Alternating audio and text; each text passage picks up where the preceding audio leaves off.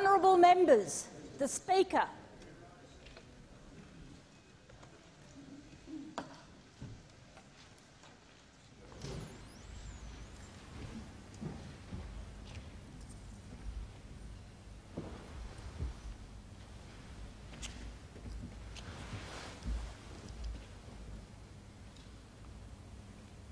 Almighty God, we humbly beseech Thee to vouchsafe Thy blessing upon this Parliament.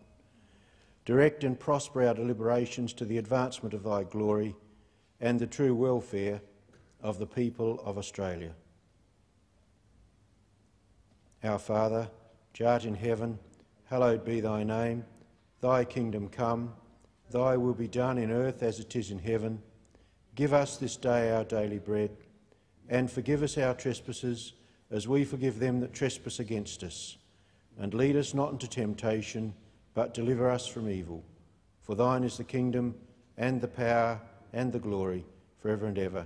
Amen. The Leader of the House. The Speaker, I ask Leader of the House to move a motion relating to the routine of business for the sitting. Whose leave, leave is granted.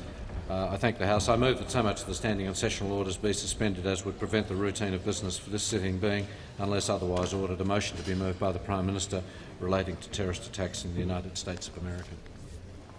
The question is that the motion be agreed to. All those of that opinion say aye. The contrary, no. I think the ayes have it. Prime Minister. Mr uh, Speaker, um, I move that this House, one, expresses its horror at the terrorist attacks which have claimed so many lives in the United States of America.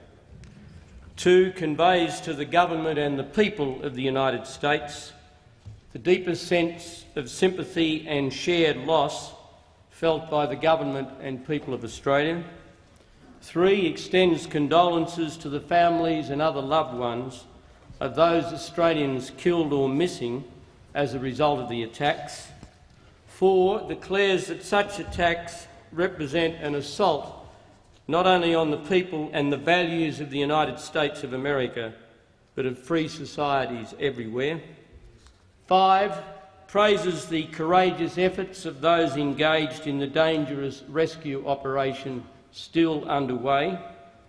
Six, believes that the terrorist attacks in New York City and Washington, D.C constitute an attack upon the United States of America within the meaning of Articles 4 and 5 of the ANZUS Treaty. 7. Fully endorses the commitment of the Australian Government to support, within Australia's capabilities, United States-led action against those responsible for these tragic attacks. And finally, encourages all Australians in the wake of these appalling events to display those very qualities of tolerance and inclusion which the terrorists themselves have assaulted with such awful consequences. Mr Speaker, in the 27 years that I have been privileged to be a member of this parliament, I can think of no more sombre occasion than the circumstances under which this House meets today. We have had tragedies of a national and international kind before. We have been touched by the poignancy of the deaths of people. We have confronted significant moral and national challenges. But none matches in depth and scale and magnitude the consequences of what the world must now do in response to the terrible events in the United States last week. In sheer scale, the death and destruction is almost incomprehensible in a time not regarded as a time of war. It would appear, Mr Speaker, that more than double the number of Americans who died at Pearl Harbor have died in New York City and Washington as a result of these terrorist attacks. The death toll could easily be more than the entire American battle losses on the first day of the Normandy invasion in June of 1944. They dwarf, of course, the terrible loss inflicted by Timothy McVeigh's McVeigh's act of madness on the federal building in Oklahoma some six or seven years ago. So it is, in every sense, Mr. Speaker, a tragedy and an obscenity of an appalling and repugnant magnitude. But it goes beyond the death so cruelly inflicted without warning, without justification, without any skerrick of moral authority on innocent people merely going about their daily lives. But its context represents a massive assault on the values not only of the United States of America, but also on the values of this country, the values of free men and women, and of decent people and decent societies around the world. It is an act um, of terror. It is an act which is repugnant, Mr. Speaker, to all of the things that we as a society believe in. And on occasions like this, those things that divide us in this Parliament, those things that we might bicker and quarrel over as a people as we go about our lives, are so suddenly and so quickly put into perspective. I remember the morning in Washington. As the House knows, I'd been in the United States. I'd been for an early morning walk. It was a beautiful Washington morning. There was just a touch of autumn. I'd walked past the Lincoln Memorial and many of the other great memorials of that great nation which stood between us and tyranny on one critical occasion in our history. And I, like millions of other Australians, was deeply moved and distressed and felt an enormous sense of empathy towards the American people who had suffered uh, this awful deed. Out of that tragedy, of course, Mr. Speaker, have come, as always, great stories of the spirit and the heroism of men and women in circumstances of disaster and tragedy. And as much as we are devastated and distressed by what has happened, and as much as we feel repelled by the belief that there should be people on our earth who would want to plot for years to undertake such attacks, as always, the events that followed these attacks have given us a source of great hope and faith in the resilient spirit of men and women who face moral and physical danger and challenge. The stories of heroism that have come out of these events are a tribute to the spirit of the American people and they are a tribute to the spirit of resilient men and women around the world. Who will ever forget the story of that wonderful Father Michael Judge, the chaplain of the New York Police Department, who remained behind to deliver the last rites of the Catholic Church to a dying fireman, or the immense courage of those three people on the plane that crashed in Pittsburgh, who, knowing they faced certain death, uh, decided to tackle the terrorists in the cockpit, perhaps averting even further destruction being rained on either Washington or New York. Mr Speaker, as we struggle as Australians and as we struggle as citizens of the world to come to terms with what has happened, it is certain, Mr. Speaker, as others have said, it is certain that the world has changed. We are all diminished and we're all changed. And we're all rather struggling with the concept that it will never quite be the same again. Because this is no isolated act of terrorism. That is, this is the product of years of careful planning. It is the product of evil minds. It is the product of an attitude of a group of people who, in every sense of the word, of the words to invoke those very evocative words of Winston Churchill to describe the Nazi occupation of Europe, should be regarded in their brutish hour of triumph as the moral outcasts of mankind. Mr Speaker, this is a tragedy, of course, which has touched many Australian homes. There is grief and sadness in hundreds of Australian homes at present.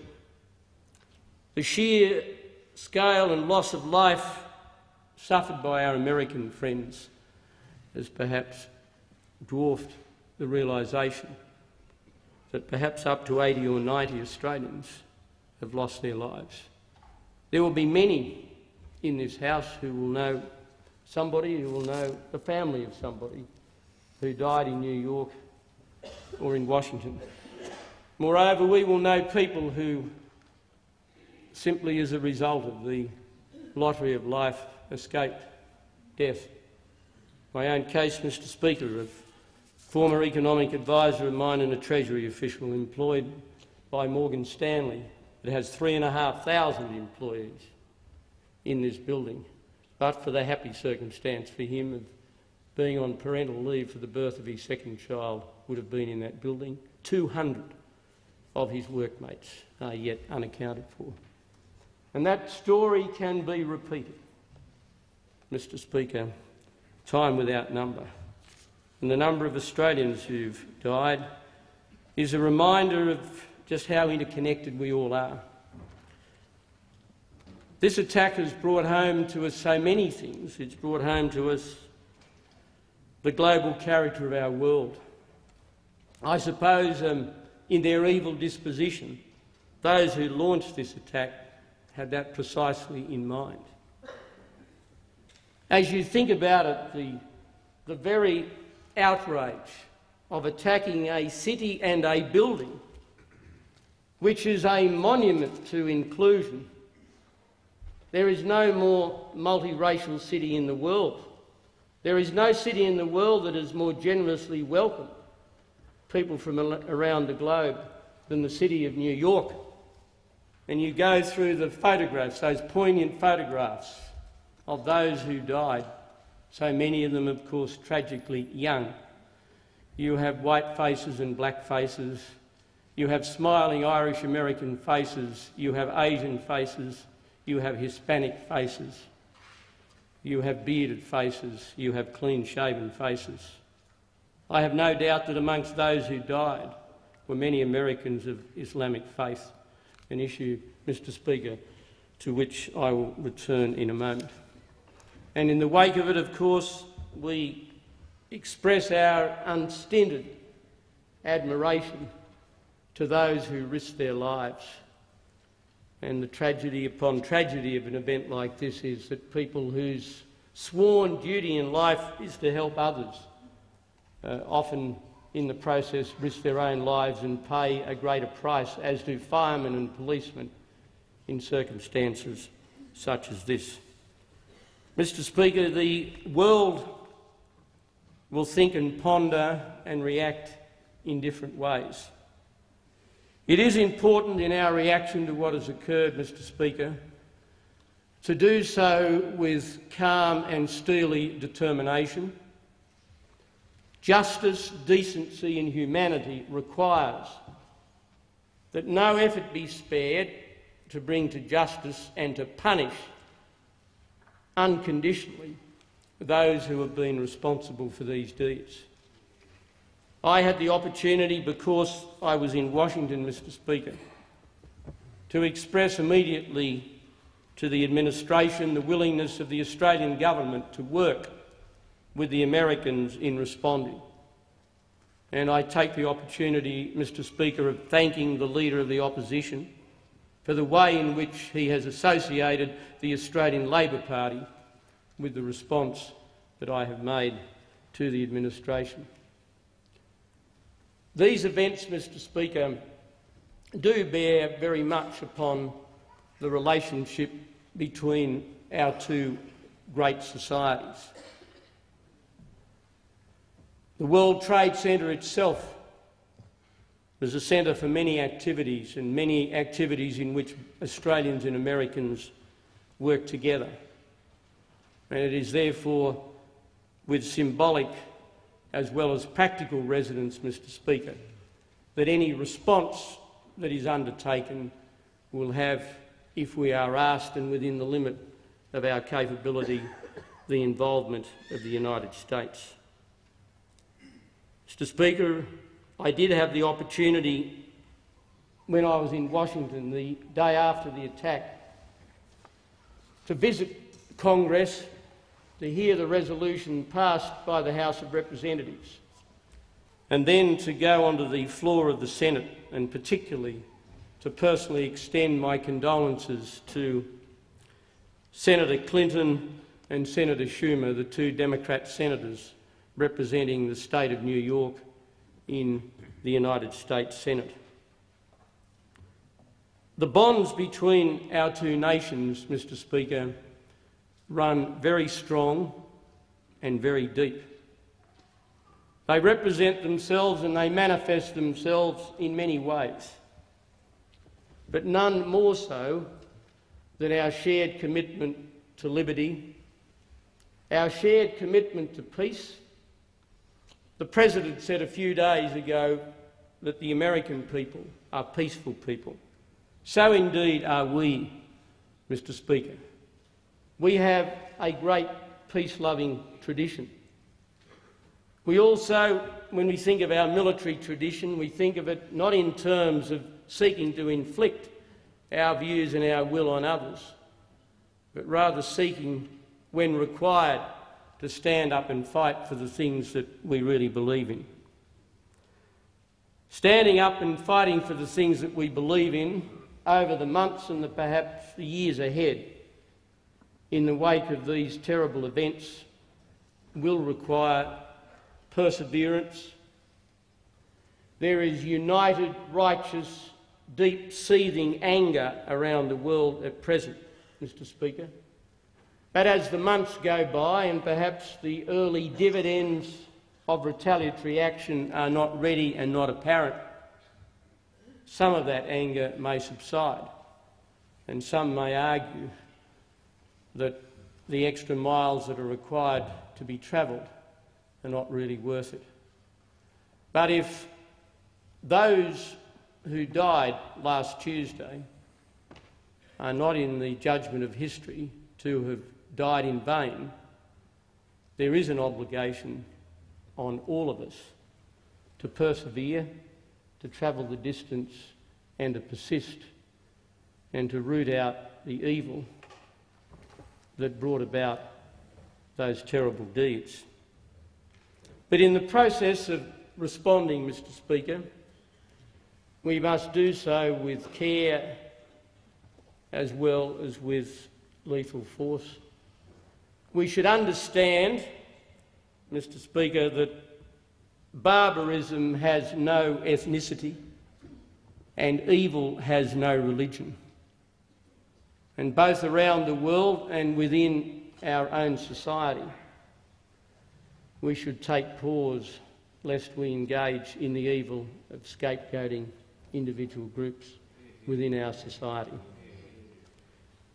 Mr Speaker, I've said on a number of occasions that I know that my fellow Australians of Islamic faith are overwhelmingly as appalled about what happened as I am as an inadequately practicing Christian.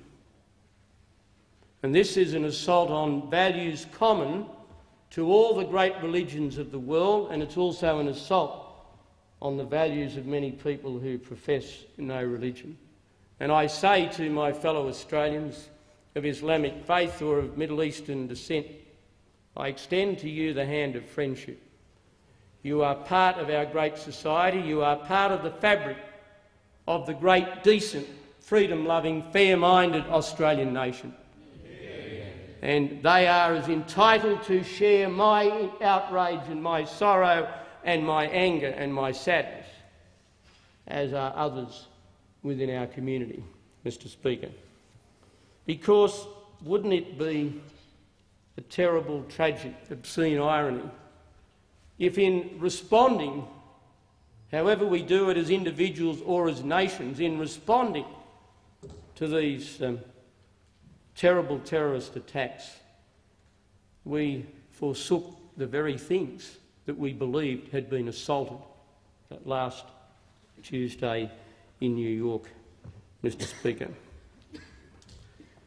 It's been said many times in the wake of um, these attacks that words are inadequate to express how you feel. Nobody is ever really prepared for personal tragedy. Nobody is ever really prepared for the sudden death of a, of a wife or a husband or a son or a daughter or a sibling or another loved one or a close friend. No nation is ever ready or ever prepared to respond to a tragedy of this order and of this magnitude. And in the end, Mr. Speaker, the quality of our people and the quality of our society will be judged by how we respond. We will be judged in the eyes of those left bereaved by the people who died. If we know we will be judged very harshly if we do not respond effectively into the full measure of, a, of our capability. But we will be also judged very critically if we respond in a careless or an indiscriminate fashion. Mr Speaker, can I say finally that the experience of being in the American capital at the time enabled me to feel a sense of the despair and the desolation of the American people, but also a sense of their great spirit and their great resilience and their great faith and the depth of their belief in the inherent decency of their society. The wonderful words spoken by the United States ambassador at the memorial service earlier today beautifully evoked the spirit of a people, a people that have carried heavy burdens, have suffered a great deal, and a people, Mr Speaker, that have been joined to this country in every major conflict of the last 100 years. In every way, Mr Speaker, the attack on New York and Washington and the circumstances surrounding it did constitute an attack upon the metropolitan territory of the United States of America within the provisions of Articles 4 and 5 of the ANZUS Treaty. And if that treaty means anything, if our debt as a nation to the people of the United States in the darkest days of World War II means anything, if the comradeship and the friendship and the common bonds of democracy and a belief in liberty and fraternity and justice mean anything, it means that the ANZUS Treaty applies and that the ANZUS Treaty is properly invoked. Mr Speaker, as a proud, patriotic Australian, I was literally moved to tears by what occurred in the United States.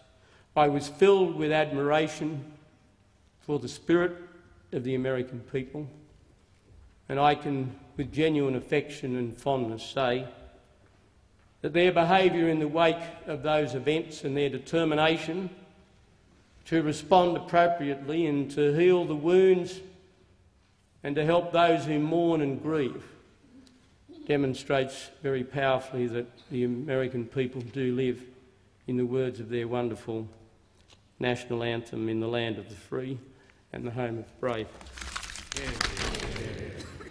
The question is that the motion moved by the Prime Minister be agreed to.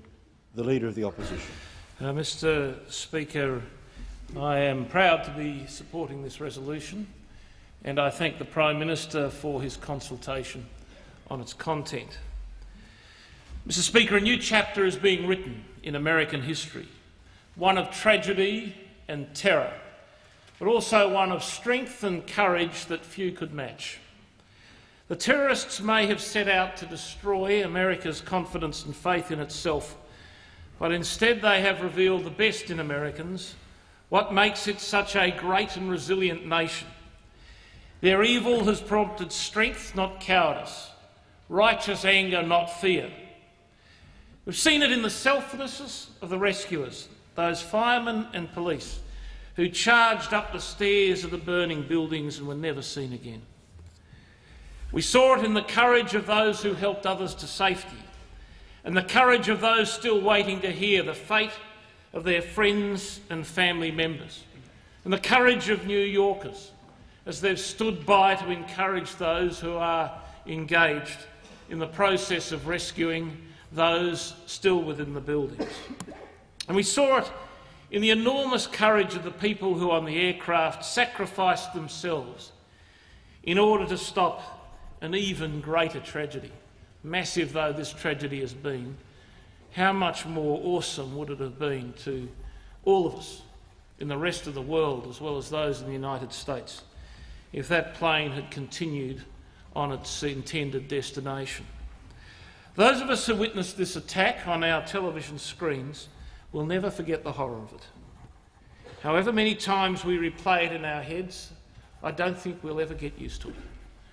I think it'll be one of those events in which we always remember what we were doing on Tuesday night, if we were still last week, if we were still awake when it occurred, or Wednesday morning, if we woke up to the horrifying news. I remember exactly where I was it was driving from a meeting in Berwick towards the centre of Melbourne when a member of my staff rang up and said there's an unconfirmed report that an aircraft has hit the World Trade Centre. And then the nightmare unfolded from that point on. We'll never forget our feelings when we first saw those extraordinary pictures of the attack and tried for the first time to make sense of it. Wherever we were, I think we all knew that things were changing forever, although we do not know quite how or why. Today we think of the American victims, thousands of them and their families. We also think of the 70 more Australians missing, many believed dead, in this terrible tragedy. I know that in the coming days and weeks, difficult national decisions will have to be made as we show our support for the United States and those in the world community who are united in their fight against terrorism. The United States is a target because it accepts responsibility. I've often said it in the past that one of the most unselfish acts in human history was a decision by the United States after the last World War that they were prepared to see their peoples a target, perhaps of nuclear devastation, in order to defend values of freedom and the security of the nations who were their allies in World War II and who subsequently emerged. The United States need not have been like that. The United States could quite easily have retreated into isolation, an economy virtually self-sufficient unto itself. Instead, the United States chose to be a different sort of country. The United States chose to be a country that would accept responsibility even though it could mean some, in some sets of circumstances that the United States would be utterly devastated. Well, the Cold War has gone, but the United States' acceptance of responsibility continues. The last time that we were engaged substantially with the United States uh, in, a, in a conflict was, of course, the Gulf War, though I guess you can count the peacekeeping operations since then as well. But in actual war, it was the Gulf War.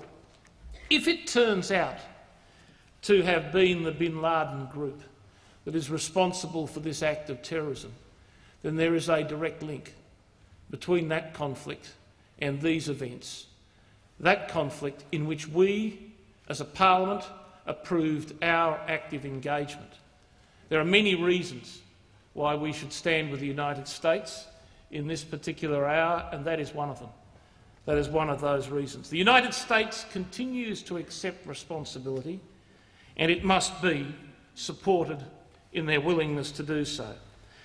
We show our support for the United States in this fight because the fight against international terrorism is our fight. This is not only because of those Australians missing, believed killed, but also because of our belief in freedom, a belief we hold in common with the United States. It was an attack on all of us and all of ours. It was a shocking thing to think of the vulnerability of the Australians accompanying the Prime Minister and the Prime Minister himself in Washington at the time of the attack, so very close to the White House, which we now, as I said, believe only escaped harm through the self sacrifice of the passengers on the flight that went into the ground near Pittsburgh. Nevertheless, I am glad the Prime Minister was there in the United States and was able to go to Congress and had our support in person at a time when it must have meant a lot to our allies to have you there, Prime Minister. Your presence there certainly brought the events closer here, as did the knowledge that so many Australians have been lost, and our hearts go out to their families as they wait for news. The horror has already unfolded for us, but I very much fear we are going to experience a new wave of that horror as the weeks go by and names get added to that list of numbers, which is constantly from day to day being readjusted.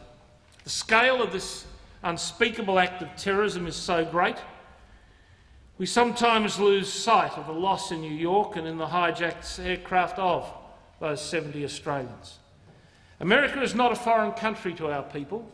So many of us travel there and work there. This makes us feel even more that it was an attack on all of us. Luck or fate might have put any of us there on that day. The Australian Labor Party is missing one of its most loyal and active members in Andrew Knox, who worked on one of the top floors in one of the destroyed towers and is still missing. It is with great sadness that I express my condolences to his family, friends, and political colleagues as they wait for news of Andrew. Andrew Knox was a member of the South Australian branch of the ALP and a member of our campaign team in Aiken. Indeed, for a, at the last election, indeed, for a period of time, he was a candidate for pre selection in uh, this forthcoming election, the area he grew up in and loved. Andrew's family has been contacted by many of those he assisted as an employee of the Australian Workers' Union, and his efforts for them will also be remembered. My thoughts are with Tom and Mary and Andrew's parents and Stuart, his brother. Confirmed dead in the tragedy, a Qantas baggage handler, Alberto Dominguez, 66, and retired Red Cross worker Yvonne Kennedy, 62, both from Sydney. There are at least another 69 missing, including 23-year-old Chris Porter, 23, from Brisbane. We can only guess what they went through in their last hours, and our thoughts and prayers are with their families. Let us not forget either that the many nations that are mourning lost sons and daughters now. The size of the calamity is truly international.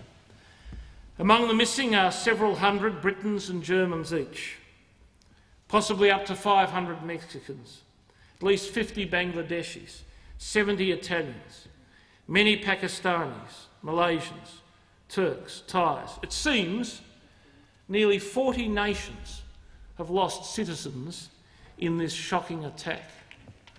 They went to the heart of the world economy and they found the world there. And the world has suffered as a result. I've heard that there have been some who blame Muslims for this tragedy, all Muslims for this tragedy. I think we need to take a leaf out of Mayor Giuliani's book here.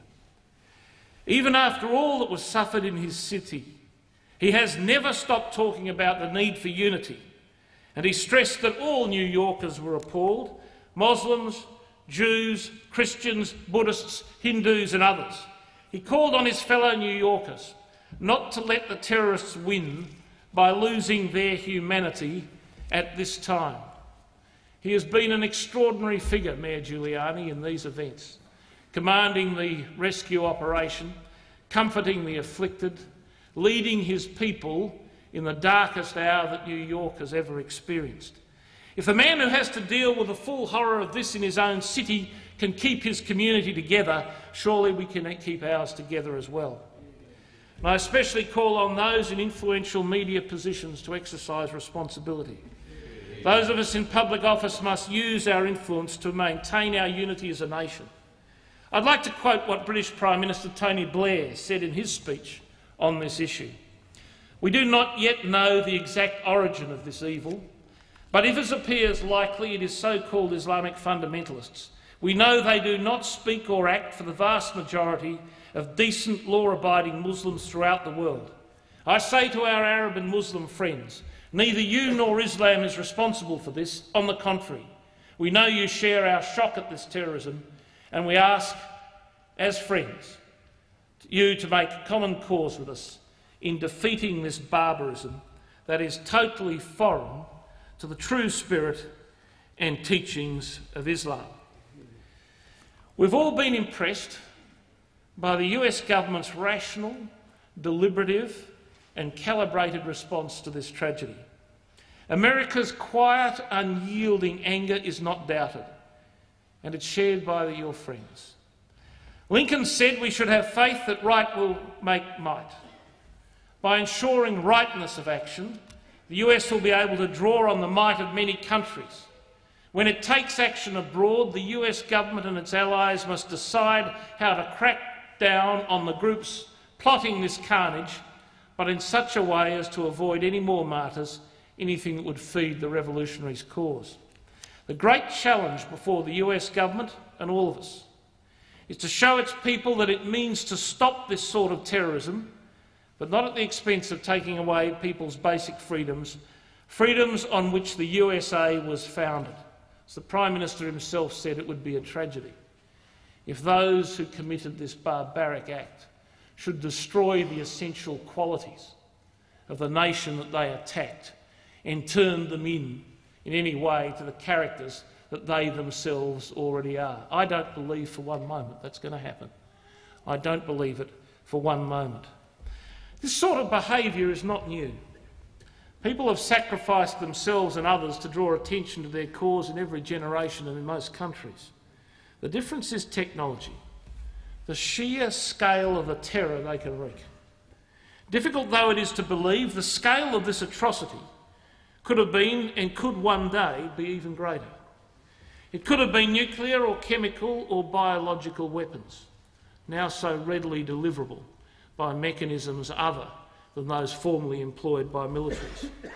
The challenge is to stop the terrorists with every means at our disposal, but it must be done in such a way as to avoid feeding the revolutionary cause that creates new martyrs. It takes common sense, and coolness, and the United States has certainly shown that. We in Australia owe our freedom to the United States. In our darkest hour in 1941, our wartime Prime Minister called on the Americans, and they did not let us down. In the Battle of the Coral Sea and the Battle of Midway, they were there for us and fought valiantly, with many lives lost to halt the progress of the enemy. And we were there too. We saved ourselves at the same time we were helped by them. That event, that seminal event in Australian history and American history, was what created the ANZUS Treaty. It's an extraordinary thing to think, really, that though we have been engaged with the United States military on many occasions since that point of time, this is actually the first time the ANZUS Treaty has been formally invoked in the history of the treaty. And I think that demonstrates, and I think too, you'd probably find that was the case with NATO as well. And I think that that does, in fact, demonstrate the seriousness with which the globe is taking this new threat to international security. We must do our utmost to assist in fighting this very difficult enemy, one that lives in the shadows, one without a face. We do have to beat it because it's struck at the heart of what we believe in, our freedom and our safety. The attacks on New York and Washington, D.C. have fundamentally changed the modern threat of terrorism. Mass terrorism is now a reality. Governments worldwide must respond to this new reality. National leaders must demonstrate that they are prepared to deal with a fundamentally new level of threat to ensure that people can go about their lives in peace and security. Australia will need to commit itself to an international intelligence, police and military effort against those who have planned the atrocities in New York and Washington and those who have supported and harboured the perpetrators. We must do this in this country in a bipartisan fashion and see this effort through, no matter what the result of the election later this year. Joining the strong international coalition to fight terrorism wherever it threatens democratic and peaceful nations, as suggested by Secretary Powell, is the right way to go. This will mean integrating more closely our intelligence and police agencies with their international counterparts. It will also mean providing appropriate military and police support to international counter-terrorist operations. A long-term counter-terrorist strategy and resource commitment is now required. The role of the SAS and Commonwealth law enforcement, intelligence, other agencies will be critical, and they must have to do the tools to do their job in the modern terrorist environment. We've put forward some ideas as far as that is concerned, and this is a time for bipartisanship working through those ideas together. But this is also primarily not a time yet for action, that will come. It is a time for grieving. And it has been magnificent to be an Australian amongst our fellow Australians as we've witnessed the outpouring of grief that, and emotion that has come forth from all of us.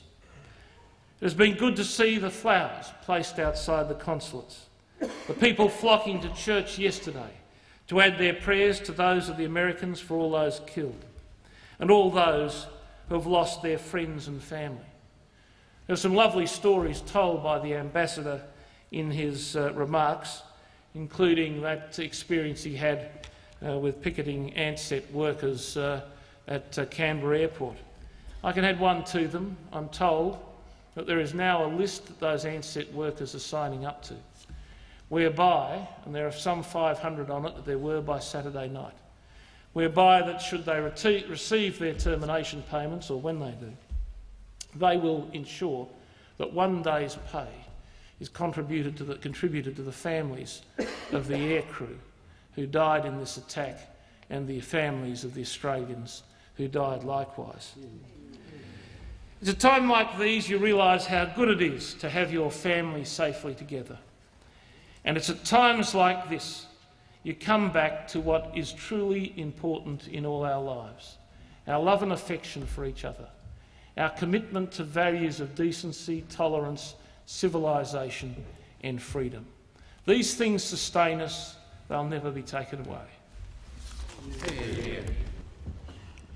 Question is that the motion be agreed to. Before I recognise the Deputy Prime Minister, could I simply point out to all members that I understand the whips have agreed on a specific time allocation for each of the speakers to the condolence motion to enable the maximum participation of parliamentarians. And so, with the agreement of the House, I'll instruct the clerks to set the clocks accordingly. The Deputy Prime Minister. Thank you, Mr Speaker in joining the uh, Leader of the Government and the Leader of the Opposition in speaking to this. And I say at the outset that the terrorist attack on the United States, on New York and Washington on Tuesday will mean that the date September the 11th will be a date that lives on in infamy. It's a date that we will not forget, a date that we cannot forget, a date that we should never forget. It was a monstrous act, a premeditated and calculated mass murder, aimed at ordinary people, but not just ordinary Americans, rather people from a multitude of nations going about their ordinary lives, and as others have said so eloquently, constitutes an attack on decent people everywhere. It was the very embodiment of evil, a visitation of evil upon our world that has left us struggling, Mr Speaker, for comprehension. No random act of a single madman, no sudden and tragic breakdown of one human being led to this. We've known those tragedies in our society, and while we cannot fully understand how they might come about, we can find at least some comprehension of them. The chilling and horrible truth of Tuesday's events, however, is that this was not one man but many. It was not a sudden madness, but a cold and careful and deliberate assault. It was done without humanity, without compassion, with no human feeling that any of us could regard or endorse as legitimate. It was, in all ways and in all its dreadful execution, evil. Mr Speaker, we mourn the loss of lives that our friends in America have suffered. We mourn with their families for those confirmed Australian dead and we pray that by some miracle the 69 Australians yet unaccounted for may be found safe and returned to their families.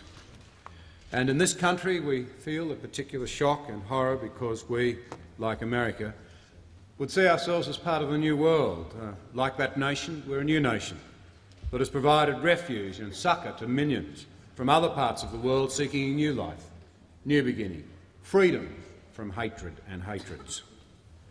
But Tuesday has visited those dreadful hatreds upon all of us. It has attacked the very openness and regard for each other upon which Australian democracy is based. It tends dreadfully to make us want to suspect others, and it makes us afraid, Mr Speaker, for our children and for their futures. Mr Speaker, as has been said, of course, uh, the perpetrators of this horrifying terrorism must be, will be, ruthlessly pursued and brought to book. And Australia will stand steadfast with its allies in this. We must not rest until the task is done. It should also be said, though, that while ruthless, our response must be fair and just. We must not inflame misunderstanding, but rather build more widely a deeper understanding of the sanctity, sanctity and value of life and of human freedoms and the democratic traditions that then are built upon those essential values. The battles we now enter against terror terrorism are battles that will be fought in the name of our democratic freedoms, a fight to re-establish the trust and the safety and the openness of our society. And as others have also alluded to, we've heard uh, some evidence that might suggest uh, a backlash against some members of the Muslim communities here in Australia. I would certainly join with all who would condemn such actions in the strongest possible terms. Mr Speaker, if we are to deem people guilty because of some association or to condemn them because of their background, we are playing, in fact, right into the hands of the terrorists. We are adopting the very values that they espouse but we reject. And what they want to do is spread these dreadful values from one world to ours. What we stand for in Australia is an end to those hatreds. We must judge a person by what they do, not where they or their parents came from and that is why we are so affronted by this terrorism. That is why we must play our part in pursuing them. Mr Speaker, I won't delay the House for long because uh, much of what should be said has been said so eloquently by the Prime Minister and the Leader of the Opposition. There are many others who want to speak. I do, however, want to particularly thank those who sprang into action in this place at very short notice for all sorts of events and contingencies and planning and so forth that needed to be addressed and that obviously happened very late, uh, uh, or sorry, very early uh, on our time uh, Wednesday morning last week. Uh, and for those who were able to ensure uh, that uh, the Prime Minister was in contact uh, with people back here, myself included, and for those who covered off on a whole range of other very, very important matters, I do record my very great respect. I would too, of course, want to pay tribute to all of those emergency workers and volunteers who rushed to the aid of victims in New York and Washington last Tuesday. Uh, we've all seen and heard the reports of the loss of life among New York firefighters, police officers in particular, and the reports of the extraordinary heroism that they displayed in what was to them uh, their line of work and how magnificently they responded. While we mourn for them, they are, of course, also a symbol of hope and of strength. Now, Mr Speaker, I think we all know in our hearts that as long as our society has people who selflessly give their lives for others in this way, while our communities come together in times of crisis in the way that New York has done, democracy has indeed a very strong future. As I reflect for a moment on this, I'm uh, reminded of Solzhenitsyn's words as he, having survived the barbarities of uh, Soviet uh, uh death camps, observed that the dividing line in the end between good and evil lies in truth somewhere across every heart. All of us know what it is to struggle from time to time with resentment, with jealousy, with demeaning thoughts about others. Indeed, Mr Speaker, it seems to me that the strength of a civilised society is built to a very great degree on the extent to which the individuals who make that society up are able to put aside their baser instincts and encourage in themselves in their children and their neighbours the more noble and less selfish instincts in our make-up.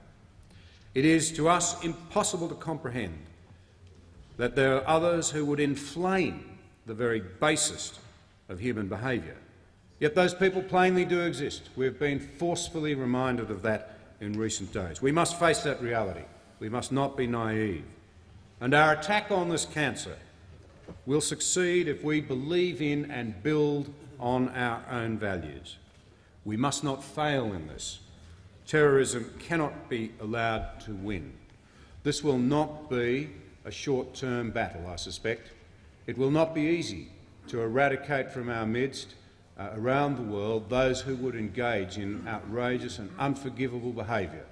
Whilst initial action may be rapid in coming, I think we should brace ourselves for a reality that to rid ourselves of this sort of uh, appalling behaviour uh, based in such appalling attitudes is something that all of us must commit to for however long it takes.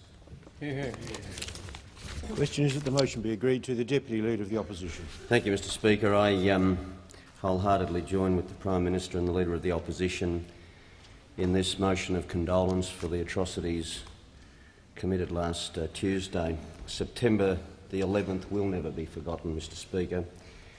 It's changed again we view things and it's worth reflecting that when the end of the Cold War came, then US President Bush declared that there would be a new world order, a world that we then hoped would not only be free of the threat of a nuclear holocaust, but one where former adversary, adversaries would come together to end wars through peaceful means.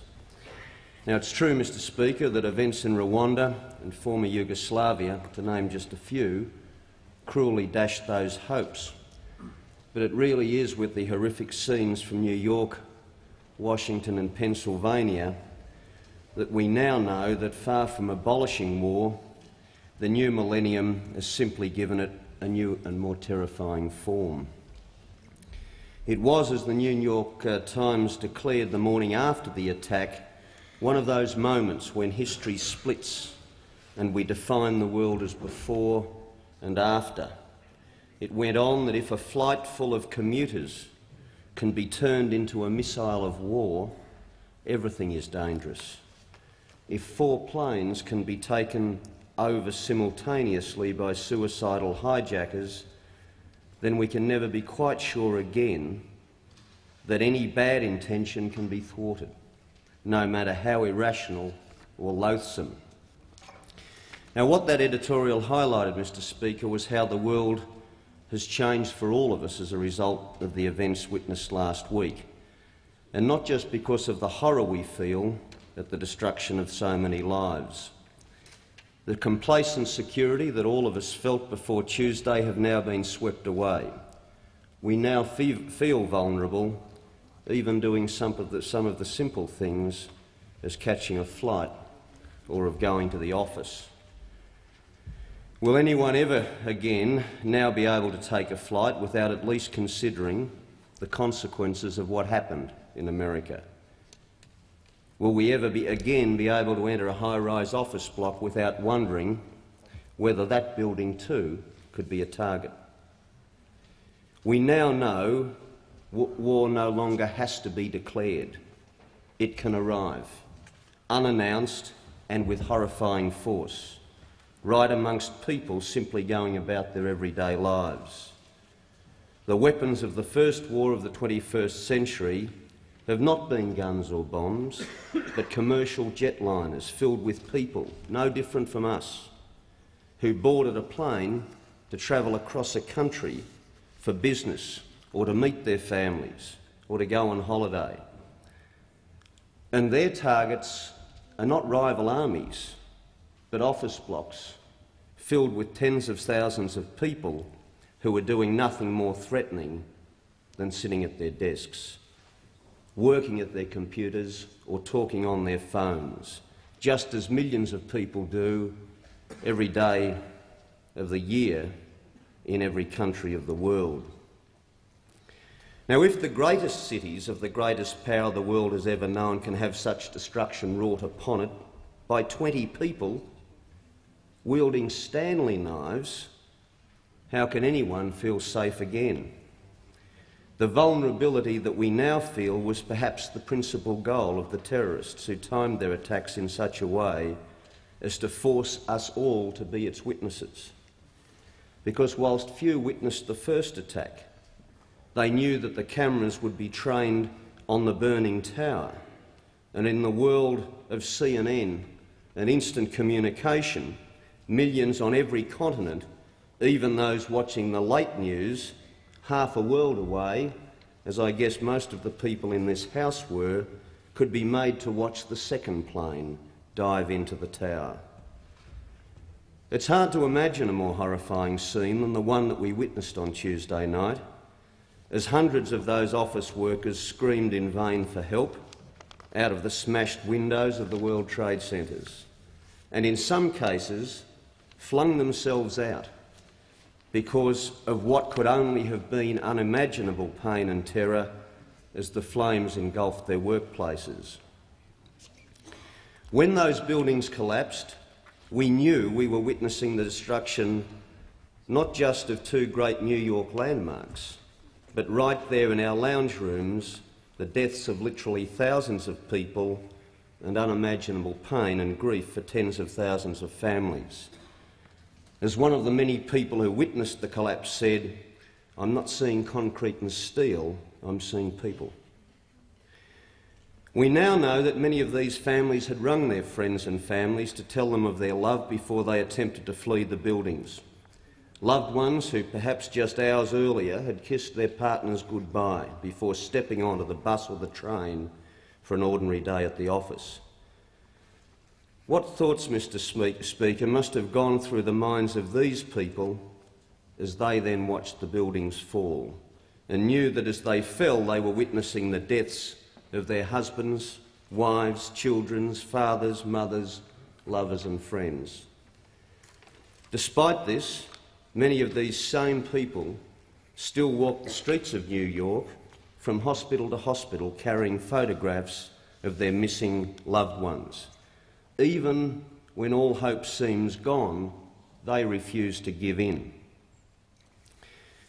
The terrorists also couldn't overcome the bravery of the hundreds of firefighters, police officers, ambulance workers and others who raced into the buildings to save lives, knowing full well the danger that they must have faced, and as a consequence themselves suffered horrendous losses. But in doing so, they've already shown us that the terrorists haven't won, because if even in the midst of such carnage terrorism cannot, become cannot overcome human basic values like love and hope and bravery, it can't ultimately triumph. And so today, our thoughts go out to all the American people, and we meet today to demonstrate that you are not alone, and that as you stood by us in World War II, we will stand by you in your hour of need, in thought and in deed.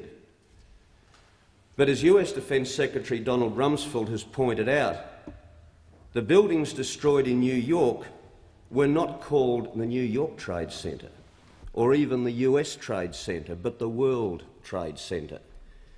This is not just a symbolic point, Mr Speaker, because the dead come from nearly 40 nations, Australia amongst them.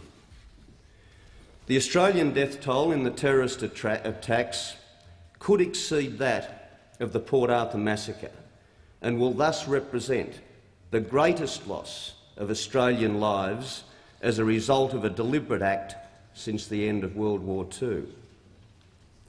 Some of these, we know, were like Red Cross volunteer Yvonne Kennedy and the Qantas baggage handler Alberto Dominguez, who were on holidays of a lifetime and died aboard uh, doomed planes. But the bulk of them will be some of Australia's brightest stars, brilliant young Australians whose prodigious talents led them to New York to demonstrate that they could stand with the best in the financial world. Here, the Labor Party has not remained untouched, with Andrew Knox, himself a brilliant young industrial advocate and one of our rising stars, whose life has now almost certainly been lost amid the rubble of the Twin Towers. But amidst all this grief and understandable demands for instant vengeance, we must not lash out at the first available target. Above all, we must not rush to judge, to judgment, or to stereotype the perpetrators. The demonstrations by some Palestinians in support of the terrorists indeed did sicken us all, but they're not clearly representative of the feelings of the Muslim community in Australia, who have condemned the attacks in the strongest possible terms and held prayer vigils for the victims. The violence directed against Muslim communities in Australia shames us all, and above all, it shames the victims and the memory of them in New York, Washington, and Pennsylvania. Instead, we must calmly gather the evidence, identify those responsible for this horrific crime, and build a coalition of nations as occurred in the Gulf War, and then coolly bring to justice the perpetrators to ensure only those responsible are punished. And the tragedy and terror of the past week is not visited upon more innocent victims. Australia also can't ignore the consequences of this new threat, and Labor has offered the government bipartisan support for a renewed effort against possible terrorist attacks at home. And I hope, in the spirit of the bipartisanship that surrounds this resolution today, that that issue can indeed be advanced. The Leader of the Opposition has put forward a 10-point plan that the Australian Labor Party believes Australians must now do undertake to fight terrorism. There will be significant changes in coming months, Mr, Mr Speaker, that will impact on all of us as we're forced to respond to this new threat. It may be as insignificant as meals being served on aeroplanes, as knives are banned, for example, from cabins, perhaps, to delays at airport security and greater controls on our movement around the world. We all accept these sorts of changes are now a fact of life after last Tuesday. But we mustn't overreact. We must not allow the terrorists to force us into a new dark age. As US Senator Joseph Biden warned within hours of the attack, if we alter our basic freedoms, our civil liberties, we will have lost the war before it's begun. And I'm also reminded, Mr Speaker, of President John F Kennedy's inaugural address in 1961 when he declared, let every nation know, whether it wishes us well or ill, that we shall pay any price, bear any burden, meet any hardship, support any friend, oppose any foe to assure the survival and success of liberty. Only now do we see just how terrible that price could be and how great is the burden. America, as the symbol of democracy, was the principal victim, but all of us, Mr Speaker, were the target. So when we say we stand with the United States, we're not just saying this because of our shared history and because in every, in every war fought by America since, Australia became a nation that we've stood together. Mr Speaker, we stand together also because the attacks on the World Trade Towers and the Pentagon were indisputably an attack on freedom and democracy everywhere. The question is the motion be agreed to. The Minister for Foreign Affairs. Thank you, Mr Speaker. Mr Speaker, I join with others in uh, supporting the Prime Minister's um, um, and the Leader of the Opposition's motion before the House here this afternoon. And I join with them in condemning, as strongly as any human being can condemn anything, the terrorist attacks that were committed last Tuesday against the World Trade Center uh, buildings in New York and uh, against the Pentagon in Washington. Mr Speaker, last Tuesday, the 11th of September, will indeed be one of those days when we will always remember what we were doing at the time we were first informed of the attacks. I myself I was at home. I'd spent the day in Sydney. I was sitting at my desk working on my computer. Somebody rang my office and said, turn on the television, the World Trade Centre's been hit. by an aircraft seems an extraordinary proposition. And the th first thought that came to my mind was how bizarre that an aircraft could have lost so much height and accidentally flown into that building. And I turned on my television screen, and within moments, a second plane went into the second tower. And I sat there for some hours watching the appalling scene unfold. Throughout all of that time, as you can imagine, Mr. Speaker, in my house there was a great deal of telephone contact. We, um, of course, uh, I spoke with the acting Prime Minister, I spoke with officials, one kind or another, as we put together our consular crisis centre. But I guess I also had the experience that many have. I thought of who do I know in New York, and I thought of somebody working there. I knew he worked down in that area near the World Trade Center in the lower Manhattan area. And um, my wife and I tried to get in touch with him. And, you know, we couldn't for ages. We finally, my wife came up with a great idea to send an email. She sent the email and an email came back. And um, that was a very happy moment that night. But when you reflect on it, how many people didn't get the email back? How many people have never heard back? Uh, Mr. Speaker, uh, nearly 5,000 people are missing as a result of these attacks in what, in what must be termed one of the greatest human tragedies of um, the last two centuries. It's estimated that people from at least 19 nationalities have been killed, and of these we now know that at least three fellow Australians are dead, and uh, as others have said, there are 69 missing, unaccounted for, although we're hopeful that that number may come down over the next few hours. It's almost certain to be the greatest number of Australians killed in a single incident overseas outside of wartime. So our prayers go out to those whose families have been affected, to their loved ones and to their friends. Mr uh, Speaker, I'd like to acknowledge the role performed by many people um, in these difficult circumstances by our Consul General in New York, yeah. Ken Allen, and his staff, only new to the job.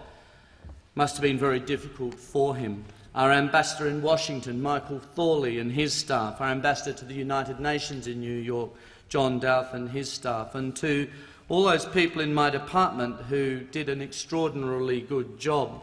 By one o'clock in the morning on the 12th of September, my department had uh, set up a crisis centre and uh, analysed what resources were required and to plan consular and other responses to the crisis. And a telephone call centre was activated and established by 4.30 in the morning, and the first 20 volunteer te telephone operators were briefed at 5.30 for the task that lay ahead of them. In, 20, in, the first 24 hours, there were 15,000 calls handled on these lines, and a further 20,000 were received subsequently. So, Mr Speaker, it's um, a very good effort done by those, those hard-working public servants, many who went without too much sleep, as they tried, on the one hand, to reassure many Australians, and on the other, um, to do their best to find the whereabouts of those who were unaccounted for. Like others, Mr Speaker, I'd also too like to acknowledge the efforts and indeed the heroism of the thousands of Americans, the firemen, the police, and some many um, citizens not involved in official service. For example, the construction workers who did so much to try to save people's lives at both the World Trade Center and the Pentagon. And, Mr Speaker, others have said as well, and I feel very strongly about this, that the United States has uh, always been the champion in my lifetime of liberal democracy. And uh, it stood up for us in World War II. In the Ber in, it, it, stood up, it stood up to uh, communism in the Berlin, Berlin blockade, in the Korean War, in the Cold War. It's always stood against tyranny and oppression and, Mr Speaker, we have proudly stood beside America in every conflict there has been through the last, uh, it's been involved in through um, the last century. It's these terrorists who have brought innocent victims to the front line. For this and the threat they, they represent to our institutions and our values, there must be a unified national and international response. Mr Speaker, our government's heartened by the near uniform condemnation of this heinous crime by the nations of the world. But it must be remembered that words are not deeds. The challenge for the international community is to join together in a concerted international effort against terrorism and those who provide terrorists with safe haven. And, uh, Mr Speaker, this House, I think, has already today demonstrated at the political level so exactly what you hear at the community level, and that is that Australians stand ready to do their part. We'll stand with our most important ally in this time of need. For the first time in 50 years, and indeed almost to a day, 50 years after the signing of the ANZUS Treaty, we invoke the ANZUS Treaty with the support of the opposition because we regarded these terrorist actions as an attack upon the United States of America within the, meanings, the meaning of Article 4 and Article 5 of the ANZUS Treaty. And as the Prime Minister has said on several occasions, Mr Speaker, Australia stands ready to provide military support to the extent that it is needed and to the extent to which we are capable. Some people will ask whether action taken by the United States and its allies is legal. And I think it's important to understand, Mr Speaker, that there is full coverage already in the United Nations uh, Charter and through a United Nations Security Council resolution for appropriate action to be taken by the United Nations, uh, by the United States. Mr Speaker, Article 51 of the United Nations Charter says that nothing in the present Charter shall impair the inherent right of individual or collective self-defence if an armed attack occurs against a member of the United Nations. Mr Speaker, this was without any doubt an armed attack against a member of the United Nations, and as Article 51 makes clear, the United, the United States has a right of self-defence. The House may also be interested to know, Mr Speaker, that the United Nations Security Council on, I think, the 13th of September um, unanimously passed a resolution which, amongst other things, said that it calls on all states to work together urgently to bring to justice the perpetrators, organisers and sponsors of these terrorist attacks and stresses that those responsible for aiding, supporting or harbouring the perpetrators, organisers and sponsors of these acts will be held accountable. Mr Speaker, whatever doubts or scepticism many members in this House may have about the United Nations and its efficacy, I think the Security Council resolution that was passed so soon after the attacks and with such a degree of un unanimity, not even with the usual delicate attempts to try to negotiate some sort of a consensus, a paper-thin consensus, but in this case a solid unanimity of support for the United States, its uh, right to self-defence and its right to bring to justice those responsible for these appalling acts. Mr Speaker, I said already in the context of any military assistance what the Prime Minister had said, that we would do what we could usefully and within our capabilities. But we will also use other channels, our intelligence connections, our diplomatic channels, in order to assist the United States deal with the appalling problem of terrorism. I spoke last uh, Friday afternoon from my electorate office in Adelaide to the Pakistani Foreign Minister Abdul Sattar, and I encouraged him in my conversation, I encouraged him to cooperate with the United States in their efforts to locate Osama bin Laden and in their efforts, the United States' efforts, to fight terrorism wherever it may be. There's no doubt Pakistan has an important role to play here, and it's appropriate for Australia to make its own effort to help to persuade Pakistan to take appropriate action to assist the United States and the rest of the global community in its fight against terrorism. And um, Foreign Minister Abdul Sattar gave me, I might say, Mr Speaker, a very positive response to my telephone call. In conclusion, Mr Speaker, I think we all know, as the, I think the Prime Minister said, that as a result of these terrorist attacks, the world will never be the same again. The international agenda will change and has changed. Terrorism and other transboundary crimes will become substantially more important, indeed dominant, international agenda items, because although the world has passed many a resolution, there are many UN conventions condemning terrorism and designed to oppose terrorism. This just proves, if proof were ever needed, that the world has not done enough to counter terrorism and it must do more and it must do better. And that effort will be very strongly supported, Mr Speaker, by this government and by not just this government, but by the whole of this country.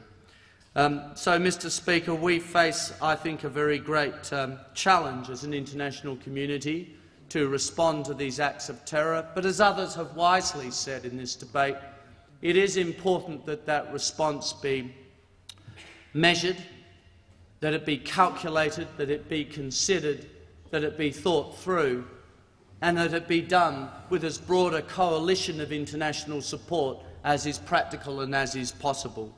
The United States absolutely can count on its NATO allies and it can count on Australia.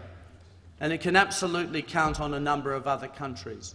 But it is going to be important to ensure that there is a broad coalition to, to, to, uh, to fight this big fight that lies ahead of us against terrorism. So, Mr Speaker, I can say I have been very impressed by the re uh, resourceful, um, strong, thoughtful response so far taken by the United States administration. They demonstrate strength, but they demonstrate considered balance. And we look forward to working with them over the months ahead, Mr Speaker, to assist them in this great war against terrorism. All those people who will have died at the World Trade Center and at the Pentagon, those people must not die in vain, including the Australians. Those Australians who have died must not die in vain, and we as Australians must do all we possibly can to fight terrorism as a result of this heinous crime. Mm -hmm. Question is that the motion be agreed to. The honourable member for Kingsford Smith. Well, Mr Speaker, as the Prime Minister observed in his remarks today, this is a very sombre occasion for, for this House and for Australia. The terrorist uh, attacks on the United States last Tuesday constitute the worst single act of absolute evil perpetrated in my lifetime. And this is a whole new class of terrorism. It's mass terrorism being carried out with real time, worldwide media coverage. More than 5,000 lives have been lost, more than 5,000 innocent victims killed in the most horrific of circumstances, people of many nations, many faiths, more than 70 amongst them Australians. The destruction itself is truly astounding. The cost of reconstruction and repair will amount to many billions of dollars, and the economic effects will be felt across the globe. The world has indeed changed, and as many people have said, this is an attack upon civilization, and civilization must respond. Those responsible for this great atrocity must be pursued and brought to account. No stone should be left unturned in this task. Today's motion rightly expresses the horror felt by all Australians about those terrorist attacks. It conveys our heartfelt condolences to the families and the loved ones of those killed or missing. It very rightly applauds the courageous efforts of those engaged in the rescue and recovery operations. Indeed, the heroism of the firefighters, the police, the military personnel, and the countless ordinary people of all walks of life, that, uh, that heroism really knows no bounds. Today's motion rightly affirms that these acts of mass terrorism represent an assault upon the people and the values of free societies everywhere. And of course, the motion endorses Australia's commitment to support the United States-led action to pursue those responsible. In this task, Australia stands four square with the United States. The government's response to this terrible tragedy has been absolutely appropriate, and the opposition is, of course, completely supportive of it. We must not only sympathise with the US, we must not only, we must not only express our distress and our shock, we must do everything within our power to assist through our intelligence services, our law enforcement agencies, and through the capabilities of our defence forces in helping to identify, to locate, and to bring to account those responsible for these terrible deeds. President George Bush has declared the United States to be at war against terrorism. He has rightly elevated the struggle against terrorism to be a great national and international undertaking. But no one should underestimate either how difficult or how protracted this international campaign may prove to be. This is no easy undertaking, but we have no alternative other than to embark upon a journey down a very difficult and dangerous road. The first step in winning any war is knowing one's enemy. The criminals responsible for directing these terrible acts in New York and Washington chose to remain hidden. They have not stepped forward to claim responsibility. Some people have suggested that this is cowardice, but these people are not cowards. It would be a mistake to think that they are. They are fanatics utterly devoid of respect for life, respect for their own lives, let alone the lives of others. These are people of fearsome determination and resolution. They are highly intelligent. They are cold, calculating, and possessed of considerable resources of manpower, of finance, and expertise. They are very patient. They planned and pre prepared these attacks over a long period of time, perhaps as much as two or three years. They failed in their attempt to destroy the World Trade Center in 1993. This year they were clearly determined to finish that task. And in this, their ambition knew no bounds. They planned simultaneous strikes against the World Trade Center, the symbolic centre of American capitalism, the Pentagon, the central command post of US military power, and it appears the White House or Capitol building, as well, of course, as on the very heart of American democracy. They will also have thought long and hard about the likely reactions from the United States and the world community. Indeed, we should be very clear in recognising that one of the primary purposes of these attacks is to elicit a large-scale military response by the United States and its allies against targets across the Islamic world. The terrorist objective is indeed to, to trigger a conflict which will further radicalise Arab public opinion and destabilise Arab governments who are friendly to the West. This is not an argument for not responding.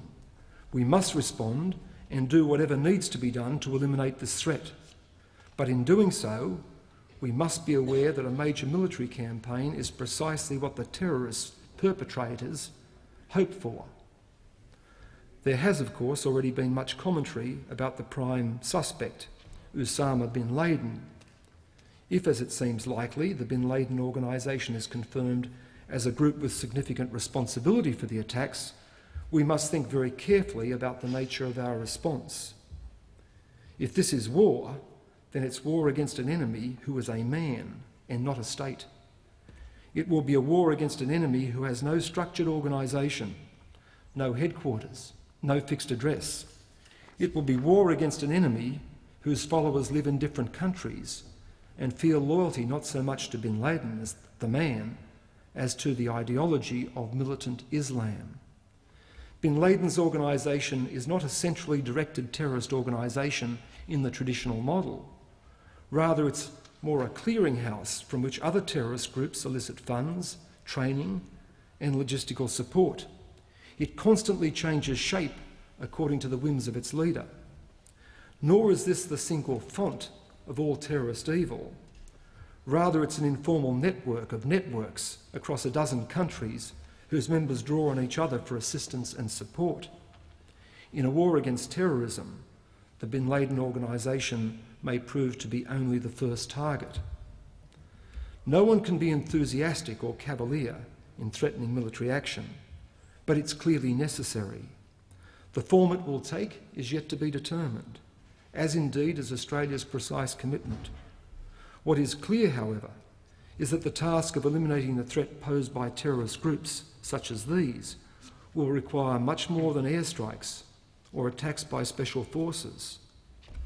First and foremost, it's the job of intelligence and law enforcement to identify the extent of the terrorist networks and locate the organisation's centre of gravity. This will be a very challenging and difficult task. Osama bin Laden was declared Washington's most wanted criminal in August 1998, more than three years ago now. Many millions of dollars and many thousands of people have already been committed to the task of bringing him to account for the US Embassy bombings in Nairobi and Dar es Salaam. Successful action against this terrorist threat will also be critically dependent on building and maintaining the broadest possible international coalition against terrorism. President Bush and his advisers are clearly very well aware of the vital nature of this task. Securing the act active cooperation of Islamic states, notably Pakistan, is obviously very challenging. We should be very mindful of the potential long-term political consequences of such cooperation. The terrorists certainly hope to destabilise Islamic governments who cooperate with the West. But without such assistance, the task of hunting down those responsible for this mass terrorism will be much more difficult, and the risks of adverse consequences all the greater.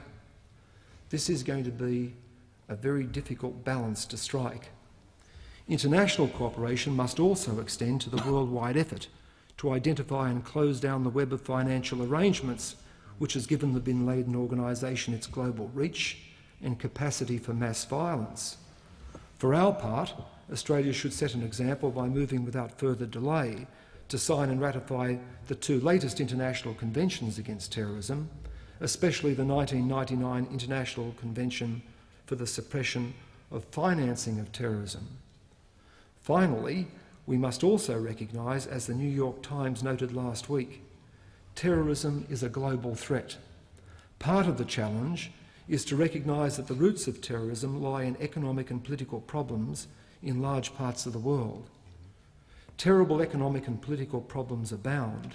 In the present context, which includes the hatreds of the Middle East, they will not be solved by military action, either on the scale of the Gulf War or the nature of a so-called surgical strike against the backers of last Tuesday's attacks. In this regard, I think it timely to, re to reiterate the thrust of remarks I made in this House more than three years ago in speaking to the motion related to the possible military action against Iraq. Back at that time, in March 1998, I observed that given the trend in Arab public opinion and its perception of Western double standards, it was incumbent upon all members of the international community, including Australia, to do everything we could to encourage a resumption of the Israeli-Palestinian peace process and to resolve each of the other outstanding Middle East issues. A Middle East policy perceived, whether rightly or wrongly, as one just focused on Western interests, will ultimately fail to secure the necessary international and regional support.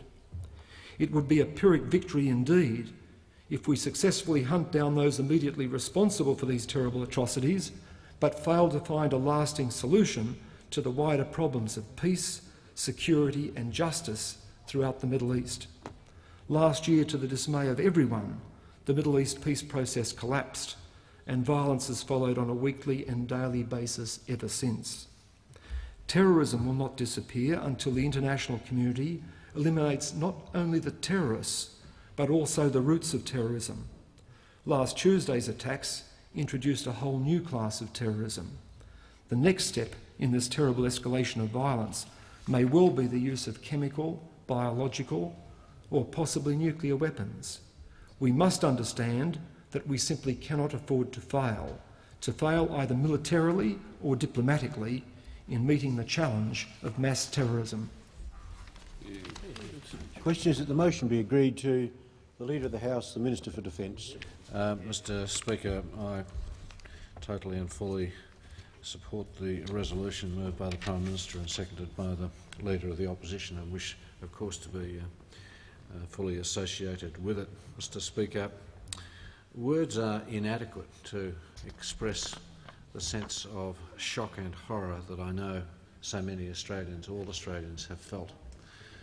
Words are simply inadequate uh, to fully express the sense of sympathy and shared loss, which is also felt by so many Australians. Words simply cannot express adequately the sense of shared loss for those Australians, those Australian families who today wait anxiously uh, for the gravest of news.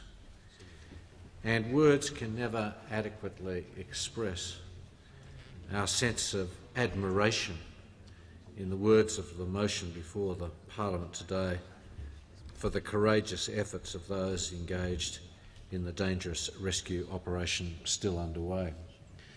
Uh, Mr Speaker, as Minister for Defence, I today want to take my opportunity to uh, focus on some matters which are perhaps more of a defence nature than uh, might be the remit of others.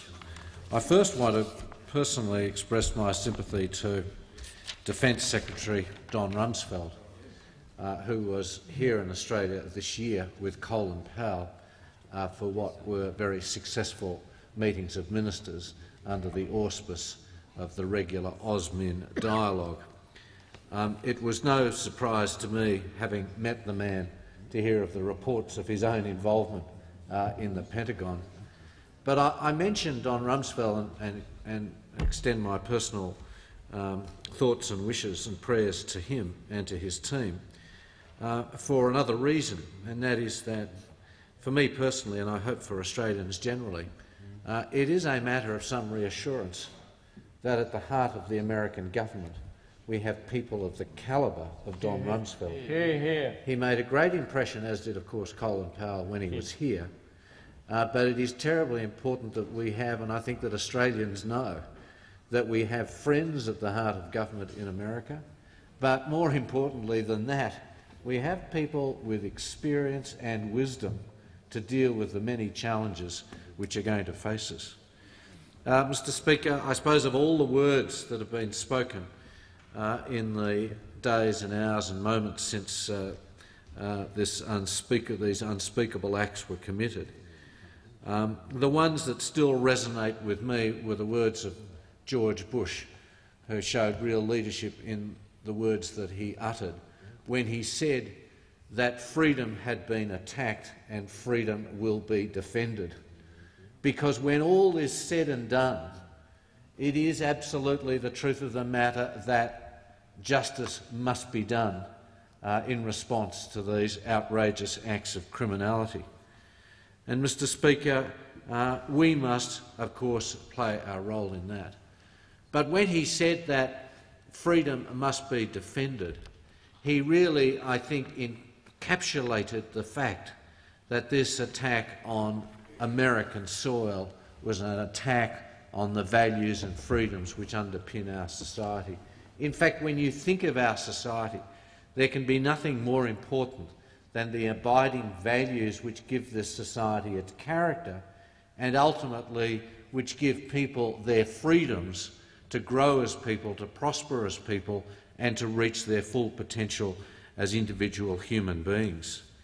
And so it is, Mr Speaker, that uh, on that terrible night here in Australia, as the first reports came through, one of the first responses back from the Australian government, of course, uh, our Prime Minister was there in Washington, but from the Canberra end, as the phone calls went back and forward, uh, our people at the military level and at the central level in Canberra, one of the first responses to the US was to say, we are with you, and whatever we can do as a society we are keen and anxious and ready to do.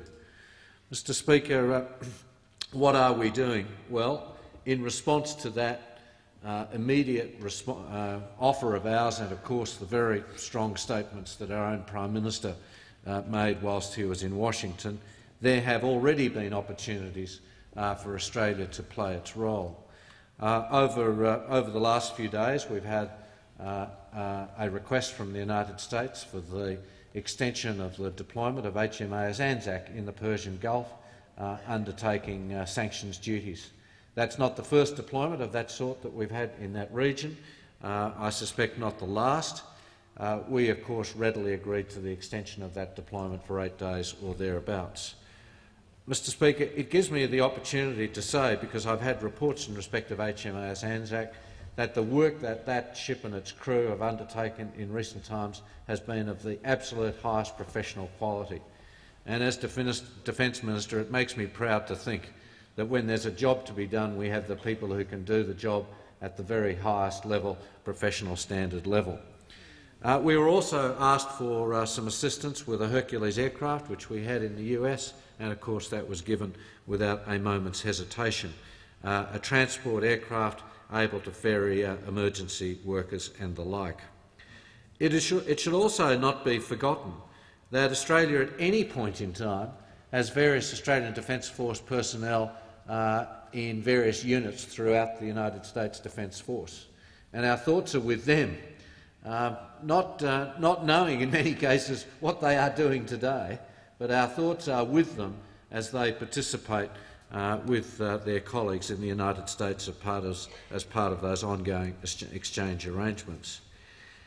And one other area where we have uh, been immediately involved, and I don't go into any details, of course, is in the intelligence area, but we, of course, do have very close relations with the US and have had for many years, and that's a, that's a day-by-day, moment-by-moment uh, relationship where again we can provide practical assistance in the work which is still ahead of us. Mr Speaker, um, it is of course the case uh, that we've not had evidence, uh, facts or reason or otherwise, uh, to have particular concerns in Australia about the security environment. But as the Prime Minister has said on a number of occasions, the fact is that no one is immune from this sort of terrorist behaviour, and it is therefore as a matter of sensible precaution that as soon as the reports came in, the National Anti-Terrorist Plan was put in place. We've heightened security around the, the personnel and, and, property of uh, uh, the US in Australia. We've increased security and the like around defence establishments and in the aviation sector. All of those are sensible precautionary uh, measures that have been taken. Again here, this also requires a significant effort uh, by members of the Australian Defence Force as well as uh, law enforcement agencies. And I want to put on, my, on the record my appreciation for the work uh, that those people are already undertaking on our behalf. Mr Speaker, uh, it is true that this uh, terrorist act, these acts, do mark a form of war uh, of the dimension of which we have never seen before. But it is also the fact that in recent years there has been a lot of discussion with, uh, within defence and within security organisations to the effect that in the future the security risks that we may face may be as much terrorist acts and the like rather than the more conventional warfare of which we uh, have had experience, sadly, in the past. As a result of that, I am able to say to the House that in recent years the Australian government has made uh, a number of uh, changes, policy changes, to reflect a changing security profile with which we have to deal. Australia's Special Forces have all the tools they require to do their job uh, in the modern counter-terrorist world. Over the past six years, the government has continuously built up the Special Forces capability, particularly with respect to counter-terrorism, ship underway response, clearance diving teams, Special Forces helicopter capabilities and in intelligence uh, support.